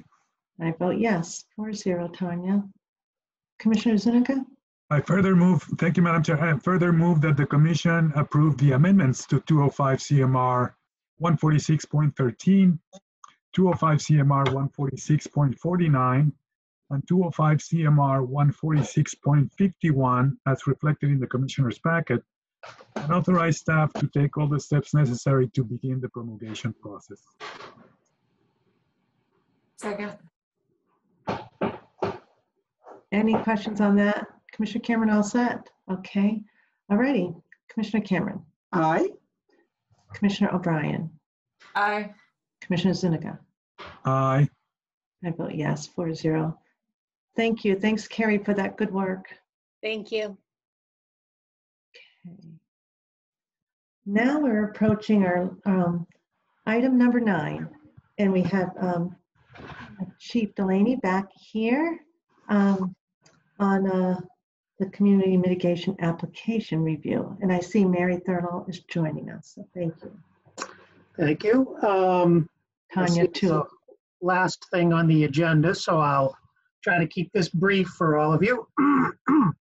Um, So in your packets, um, you have a memo dated February 19th that gives, that gives a um, description of all of the, uh, the grant applications that we received um, in this round. But um, just as a, a brief summary, um, you know, back in November, we issued our final guidelines, mitigation fund guidelines, and went out to um, get requests for responses um, for the Community Mitigation Fund, and those came in on February 1. So um, just so you recollect, in 20, for 2021, we established a spending target of $12.5 million for the mitigation fund, 6 million for Region A, 6 million for Region B, and a half a million for the Category 2 facility. Uh, we also set aside some money for the Tribal Gaming Technical Assistance Grant and for the Emergency Mitigation Grants, but those won't, those don't come against the 12 and a half million target. Um, so that 12 and a half million target remains.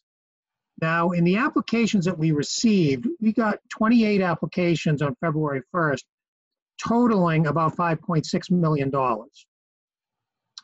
Now, you'll see that, both of the, the number of the grants and the dollar figure are down pretty significantly from last year. We had about 30 grant applications, I think, that totaled a little over $13 million in ask last year. Now, granted, we didn't give out that number of grants and that amount of money, um, but it is it is a little bit concerning that the number of grant requests is, is down so significantly. And we're trying to sort of put our finger on why that might be. Um, and, and you know, and there's a, there's a bunch of possibilities there. Part of it could just be due to COVID. You know, that, that these communities don't have the bandwidth to be doing applications right now, or just you know may not even be really that interested in it. They have far more hyper local kind of things to deal with. Um, that certainly could be the case. Um, you know, the um, um, you know, um, one of the things we, we talked about also was that, you know, we are also encouraging everyone to try to spend down their old money that they had. So last year when we went through the grant applications, we had communities that were asking for another round of funding and they hadn't spent their old money yet. So we're saying to some of them, like, you know, put the brakes, tap the brakes here a little bit and maybe hold off on applying until you spend down some of that money. We can't just keep giving grants and having them sort of build up. So that's another possible reason. And then the other the other reason that has been ongoing is that um, sometimes these communities have difficulty making that nexus to an impact of the casino. And we've talked about this, I think, at, at some length with all of the commissioners over time. You know, the, the way that the um, the law was set up, it says that that these funds have to be used to offset the costs associated with the construction or operation of the casino. And in some cases, it's hard to make that direct connection. You know, I think we know we I think we can all say with a pretty high degree of certainty if there's a huge increase in traffic on an intersection, we know that there's a cost associated with that with bigger traffic tie-ups, more gas being burned, worse pollution. There's a whole lot of things that go along with that. Although it's kind of hard to put your finger on the exact cost, we know there is a cost and everybody can sort of you know connect those dots. On some of these other projects, it's a little less um, finite, the, uh, the connection. So, you know, some of the things we've been thinking about and, and, and talking about is, you know, is there a way that we can maybe try to expand the eligibility for some of these uh, grants to include, um, you know, trying to take advantage of the presence of the casino, trying to leverage that to improve things in their town. Now, like an example would be, um, you know, if a town was saying, hey, we know that there's, you know, 10,000 people a day are showing up at the MGM or the Encore Casino, whatever the whatever the magic number is. That's just a, you know, a fictional number. How do we attract them to our community? You know, could we fix up our downtown somewhat? You know, could we do some streetscape work? Could we do this? Could we do that to make it more attractive for people to come to our town? So we can attract more businesses and more restaurants and maybe get some of these folks to come to our town. You know, under our current rules, that's not really doable, even though it would be a great use of use of that money. So um, just want to throw that out there as food for thought. And and uh, Chair and I have had some conversations about this, and you know it would take a legislative change to allow some of that, some of those kinds of things to happen. But it might be worth starting that discussion. Now, look, I'm not saying that um, you know the, the sky is falling because our applications are down this year. Um, you know they could jump right back up next year. I don't, you know, who knows. Um, but I think we do need to think about a little bit more long term about the, the fund and and how how we're going to try to best utilize these funds for the communities in and around the casinos. So um, I'm not going to go into obviously into the, um, the specific applications that we received. Those are all in your memo. One of the things we did this year um, was we did ask all of our applicants to give us a brief description of their projects so that uh, which they did, which makes it a lot easier for us to put these memos together for you, um, and also helps us with some of our, you know, when we do um, uh, some public outreach on these things, it gives us a little more succinct uh, description. So I think you can read those at your leisure, and um, I guess with that, I mean that's that's generally the summary of where we are. Uh, the next few months, you know, March we'll be reviewing all of the applications and meeting with the review team. April is where we do sort of the outreach to the uh, applicants if we have specific questions um, regarding the applications. May is where we do our final evaluations. Um, and then June, we typically come to the commission for our, for our great big uh, community mitigation fund meeting uh, where we go through these. Um, Mary has a great idea that, um, we, that as a group we need to talk about since money is really not an, a particular issue this year, we thought we might be able to even just break these up by category and bring them to commission to the commission more piecemeal rather than having this, you know, giant marathon session. I want to talk about that with the review team and see what everybody thinks about that, and then bring that to the commission as a possibility. You know, for instance, next week we're reviewing workforce applications. If we can get with those folks and get our questions answered, maybe we could come in April to, to just do workforce and get that out of the way. Um, you know, maybe we can do transportation another day and so on. Um, so that's a thought that we have uh, going forward.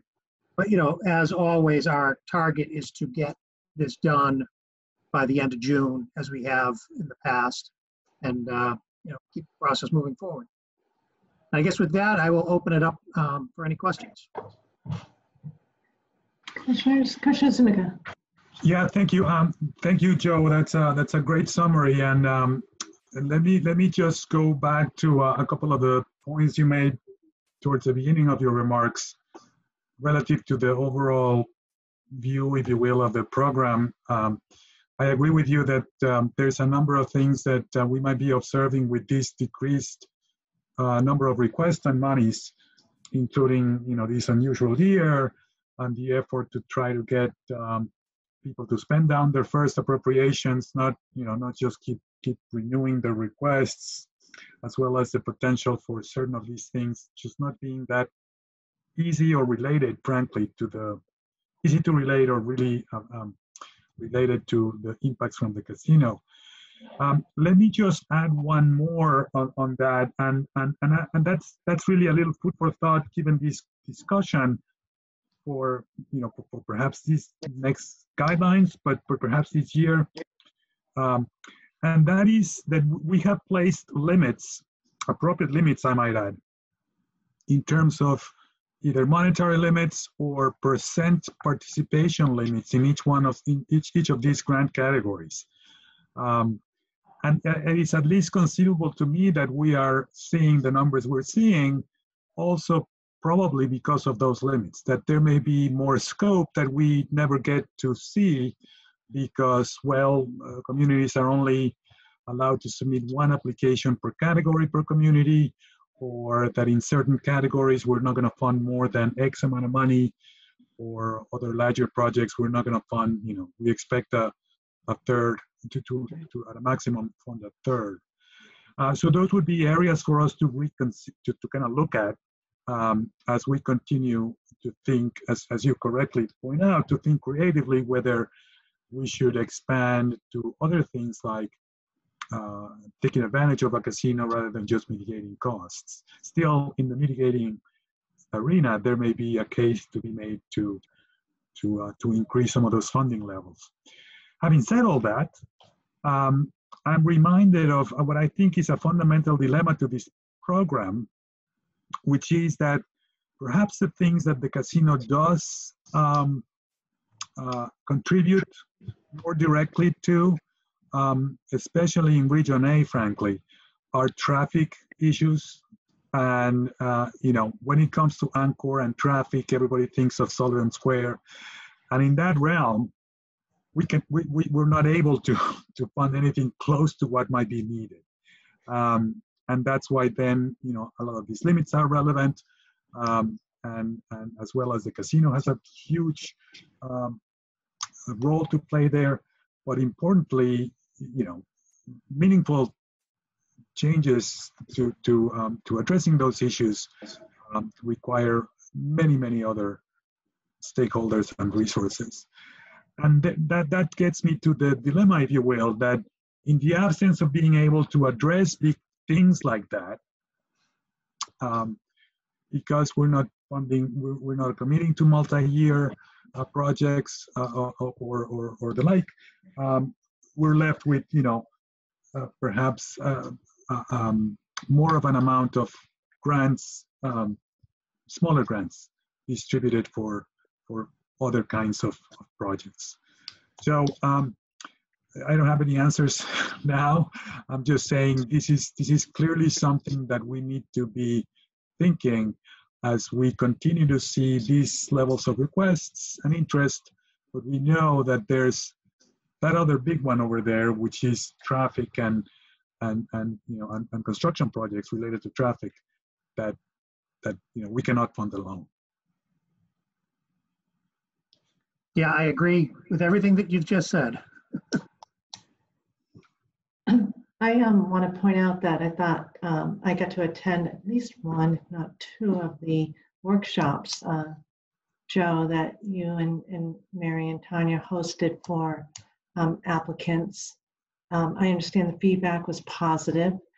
Um, really important outreach to to give guidance to to make sure that there's not um, friction on the application side. Um, I'm I'm wondering, as one you alluded to the discussions I've had with you around whether there could be some further clarification from the legislature as to their intent um, you know, you look at the language and it does say offset costs associated with construction or operational casino. You know, in, some ways, where um, opportunity costs are also there. You know, where where you talk about leverage. If if they don't have the means to take advantage of of um, you know the, to to as you say perhaps beautify their streets or add some kind of a, um, a, a, park or something that could be a feature to attract uh, tourists who are, who are um, going to the casinos, then there's an opportunity cost. We don't ever want to be cute with our statutory interpretation, uh, but I think that um, as we explore the what Commissioner Zuniga just outlined, the opportunity, you know, make sure that we're not we're not um, erecting unnecessary barriers, right? at the same time, um, you know, is there an opportunity to see if, if there's a way to mitigate the loss of, of um, opportunity because of just lack of funding? So, um, you know, something for maybe uh, us to think about with our new legislative director um, uh, going forward. um, I think I had one other point. I don't want to lose it. Um, and it had to, oh, I know. It had to do with the guidelines, and I'm, and forgive me, I, again, I'm having a hard time remembering the sequence, but would there, to, to Commissioner Zuniga's point, if we were establishing barriers, is there an opportunity for us to have maybe a, a public comment um, period where we we um, invite? Uh, I know that you do this on you know in your small groups and you get input from um, your local committees. But I wondered if we if there's an opportunity down the road to do like a you know a, a public forum to see where communities um, if they're aware of the program and then if there are in fact barriers that they're either the the lack of just even the getting to the application to your point earlier uh, joe or if it's you know what we can never come up with that extra you know two-thirds of the of the budget. It's just too much of a barrier. I don't know if that's been thought about just a big roundtable public forum in the past but i i think i i would benefit from it as a commissioner who doesn't work closely on the review process something to think about. Yeah, we, you know, we do open up the guidelines for public comment. Um, but, you know, quite frankly, I, you know, the next time we see public comment might be the first time.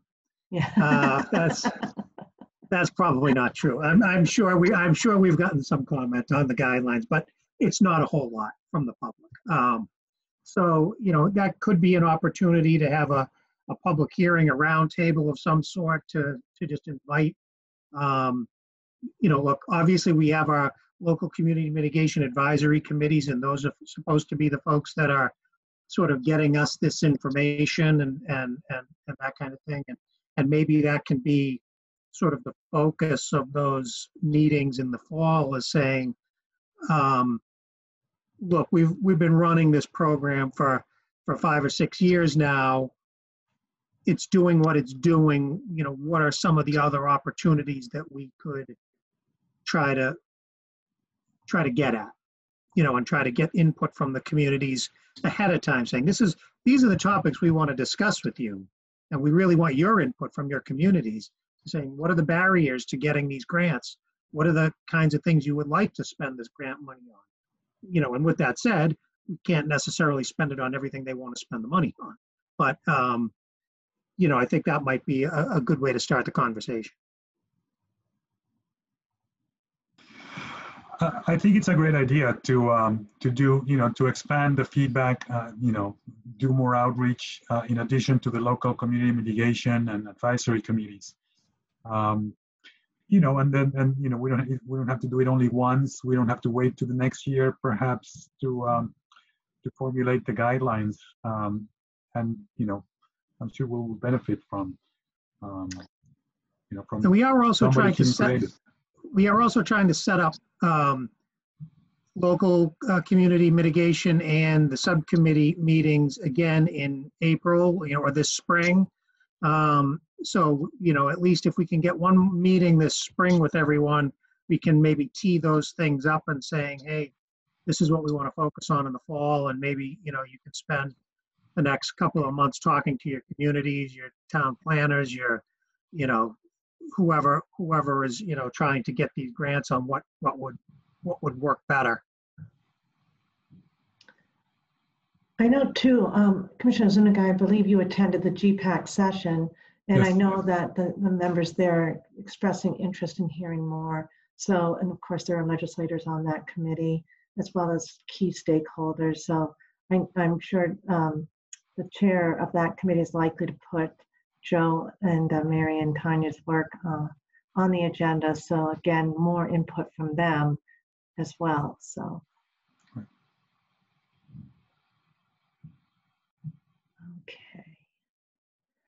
Anything um, I- on, on this um, item A, anything further? You- And everybody's had the chance to, or if you haven't, to go through the list. We've got now a working list of the applications. Thank you so much uh, to Mary and Tanya and Joe for that. And that was included in the packet. All right, should we move on to item B? Are, are we all set for that? Okay. thank Can, you. can I summarize perhaps what may have been just a tacit or implicit agreement? Um, If we come back with, um, if Joe and Mary come back with uh, perhaps recommendations by category, um, rather than one or two marathon sessions as, as in the past to do this review, I, I personally think it would be, um, would be more preferable. You know, I have to say that I really love marathon sessions. We've noticed. So Joe, with that, no, um, I think it's a brilliant idea. Mary gets full credit for it, I think, right, Joe? Um, Absolutely. Yeah, with Commissioners uh, O'Brien and Commissioner Cameron, do you want the marathon session or the one that's efficient and short and targeted? Good way to describe it. Uh, No, I think it makes a lot of sense, and I just want to thank Joe and the team for, you know, not being in that status quo mode, always thinking of ways to improve the program. So it's noted and, and appreciated, so thank you. And let's not put too fine a point on it. Some of this may be a little marathon-y. Still, It's like a half marathon. though. yeah. The, the book is this big, Right. so, right? Um, Thank you. Um, I think that really is a great idea. So um, with that, we'll just, uh, as we go through our agenda setting, we'll, we'll work with you to, to whatever works best for how you want to present to us. We look forward to it. Great. Okay, so moving on to the city of Medford. Um, let me give you a little bit of background on this. Um, Medford got transportation planning grants from us back in 2016 and 2017. And, you know, 2016 was the first year that we did these things. We got kind of applications that were all over the board. People had lots of great ideas, didn't necessarily know quite how to implement them. Um, you know, we, we were all sort of learning as we went along. Um, so over time, uh, you know, some of these grants have have kind of laid fallow a little bit, and and the spending hasn't necessarily gotten done in them um, as as we had hoped. Um, but talking about that first Medford grant, we gave them a grant award for up to two hundred and sixty thousand dollars. The first piece of it was to hire a transportation planner and also to hire a transportation consultant to help them out. And then the third piece of it was they, they got a federal earmark to do a study on water transportation options on the Mystic and Malden rivers. And the money that we were giving them was going to be matching funds that they needed to get that grant going. So what ended up happening, you know, originally this transportation planner, um, you know, one of the things that Encore was required to do was give a million dollars to MassDOT to do a study on the long-term impacts at Wellington Circle, or I should say, for a long-term solution to Wellington Circle. And that money was given to uh, MassDOT, and um, uh, only very recently have they sort of cut that loose to, to, to start that study. And MAPC is involved, and the whole whole bunch of people involved, including the cities.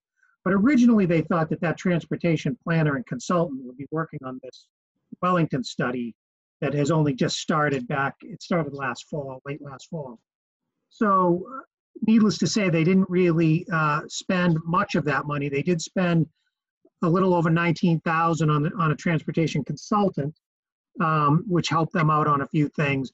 One of the problems that they had with hiring of the transportation planner was sort of the requirement that this person spend all of their time on gaming related uh, work and the fact that they would have to certify to that and you know the the city was saying we, we can't really hire someone and guarantee that all of their time is going to be spent on gaming related stuff so anyways long story longer um, they didn't they weren't able to hire the transportation planner and they only spent a portion of their money on the um, transportation consultant.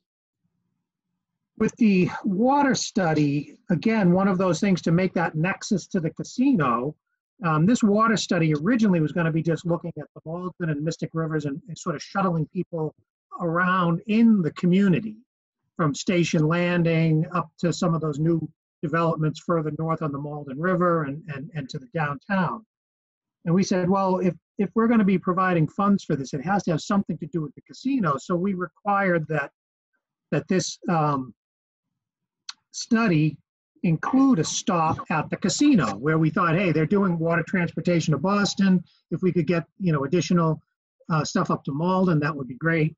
Well, apparently, you know, the scope of this work had been settled, and when they went back to, I, I can't remember which agency it was who was doing this, uh, which federal agency, um, they didn't want to see the scope changed and so on. And you know, and since that time, there's been changes in administration in the community, and essentially, this really isn't high on their priority list. And you know, quite frankly, I think we were a little dubious going in that this would result really in a whole new ferry system that would that would provide a you know sort of a cost-effective way of getting back and forth to the casino. Um, but hey, well, we were willing to give it a shot as long as there was a connection to the casino. So really on that first grant of 260,000, there's a little over almost 241,000 left in that grant that was unspent. Um, a second grant was given to Medford to do uh, a study of the South Medford con connector and to hire a contract planner. Um, the $20,000 for the contract planner was never, that person was not hired. So there's a $20,000 um, balance in that grant. So what, what, um, what Medford is asking for is to, for that um, total amount, which is a little over almost $261,000, um, to be put towards a, a different grant that um, is underway. So um, in 2019, we gave Medford a grant to, to do a, um, the planning and design of a, a boardwalk that would pass underneath Route 28 along the Mystic River, creating a connection between a couple of bike paths. And let, just bear with me for a moment. I think um, this, uh, I'm going to share just a uh, map of the area so you can see what we're talking about here and, and, and why this connection is really uh, fabulous. So what they're proposing right here is Route 28, the Fells Way. Um, and this boardwalk is going to go out actually over the water, underneath the bridge and over. And you can see the network of paths on both sides of that. So right now, if somebody wants to cross over, they have to come up, walk down the sidewalk, cross over at a set of lights over six lanes of roadway, um, or cross illegally here over four lanes of roadway, a very busy roadway. So now you'll see on the other side of the river, this is exactly what they did on the other side of the river. Here is, this is essentially what they want to do. This side, oops. Oh. That's not, is a you know, I got a photo here of the boardwalk. There we go. This photo is a little bit dark, but you can see there is a bike path on the other side out over the river. And essentially what they want to do is mirror that on the other side. Now, the other thing you'll notice here, so you see all the bike, the paths through here, paths through here we just funded last year with one of our construction grants closing this piece of bike path along the Malden River. And closing this in would basically mean you have a direct connection that goes all the way here, Malden River, connecting over into here and taking you right to the casino. So, you know, we, we really love this project. Obviously, we funded the, the initial study of this, which was $200,000. Now, what we did, um, and in your packet, there's some cost estimates and other things. What, what they would do with these funds is um, be able to get this, and with another, they, they, they've applied for a grant from the Mass Trails Project. And that would be able to bring this project to 100% design.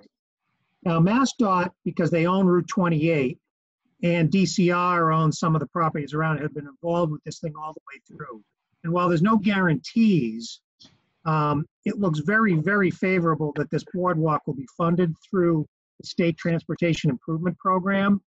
So again, this is that sort of opportunity to leverage gaming commission funds to get other state funds to build the thing. So, you know, chances are they won't be coming back to us to build this. They'll be going to, to MassDOT. So, you know, we look at this as, you know, those other studies, you know, the transport, the, the water study is probably not going to happen. So we think it's perfectly appropriate to reallocate these funds to this 2019 project. It'll get it all the way through 100% design um, and uh, ready for construction. And, um, you know, they're applying already with MassDOT. And, you know, all indications are that this project should be eligible and will probably get state funding to build it. So our recommendation, and we do need a motion on this. I realize that we didn't uh, prepare a motion for you, but we're recommending that the $260,806.80 be reallocated to the Wellington from the 2016 and 17 grants to be reallocated to the Wellington Route 28 underpass project. And with that, I will open up for any questions. Um, Not a question, just a comment that I, I couldn't agree more with the recommendation. Um, I think you lay out all the reasons why, uh, why I think it- this would be a good reallocation of funds. Especially if you, in the context of your initial presentation, um, which touched on, uh, you know, our early uh, lessons and our, our desire to get some of these early funding um, that uh, unspent monies uh, resolved. So this is a, a, a great opportunity to actually uh, getting uh, leveraging, as you say, by, by, by funding this project to making something, um, see something happen. I, I agree, appropriate use for the money. Very thorough. Commissioner O'Brien?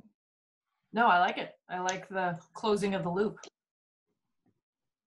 I like the little yellow person going along. I like that too.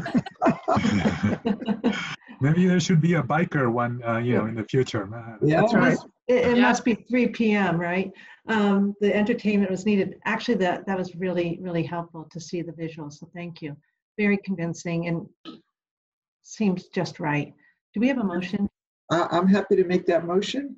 I move that the balance of the funds totaling 260,806 and 80 cents previously granted to the city of Medford for transportation planning in 2016 and 17 be reallocated to the 2019 grant for the Wellington Route 28 underpass project as described in the materials in the commissioner's packet and as discussed today, and further authorize staff to execute the amendment to the applicable, applicable grant instruments to reflect the change as necessary. Second. Thank you. Any further questions for Joe? E- Excellent pivot, I feel. Um, So thank you. Um, Everyone's all set then? Commissioner Cameron? Aye. Commissioner O'Brien? Aye. Commissioner Zuniga? Aye.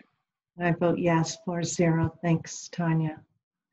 All right. Um, Hey, before we go to the next item, I just, uh, I, I had thought I had seen it, but I wasn't sure where, but uh, Jamie just sent an email reminding us that uh, Commissioner O'Brien summarized the history on compensation, and it is in our materials. I wasn't sure if it come through an email to me, but it is on page 45 of the material. So, you know, for going forward for our next session, when we do address the ED's compensation, it's right there.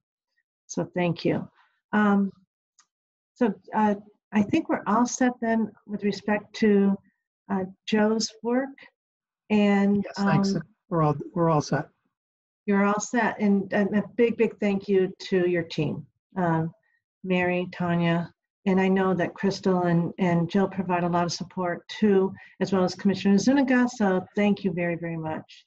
Um, we'll move on then to the, the last item on the agenda, uh, commissioner updates. Does anybody have one?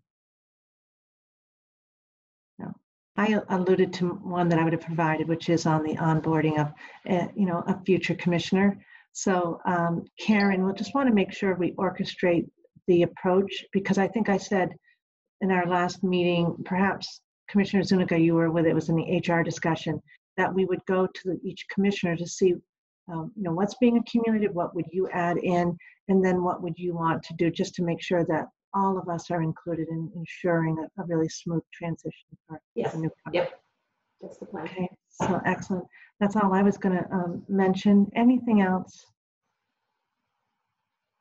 Todd, how are you doing? All righty. Unflappable.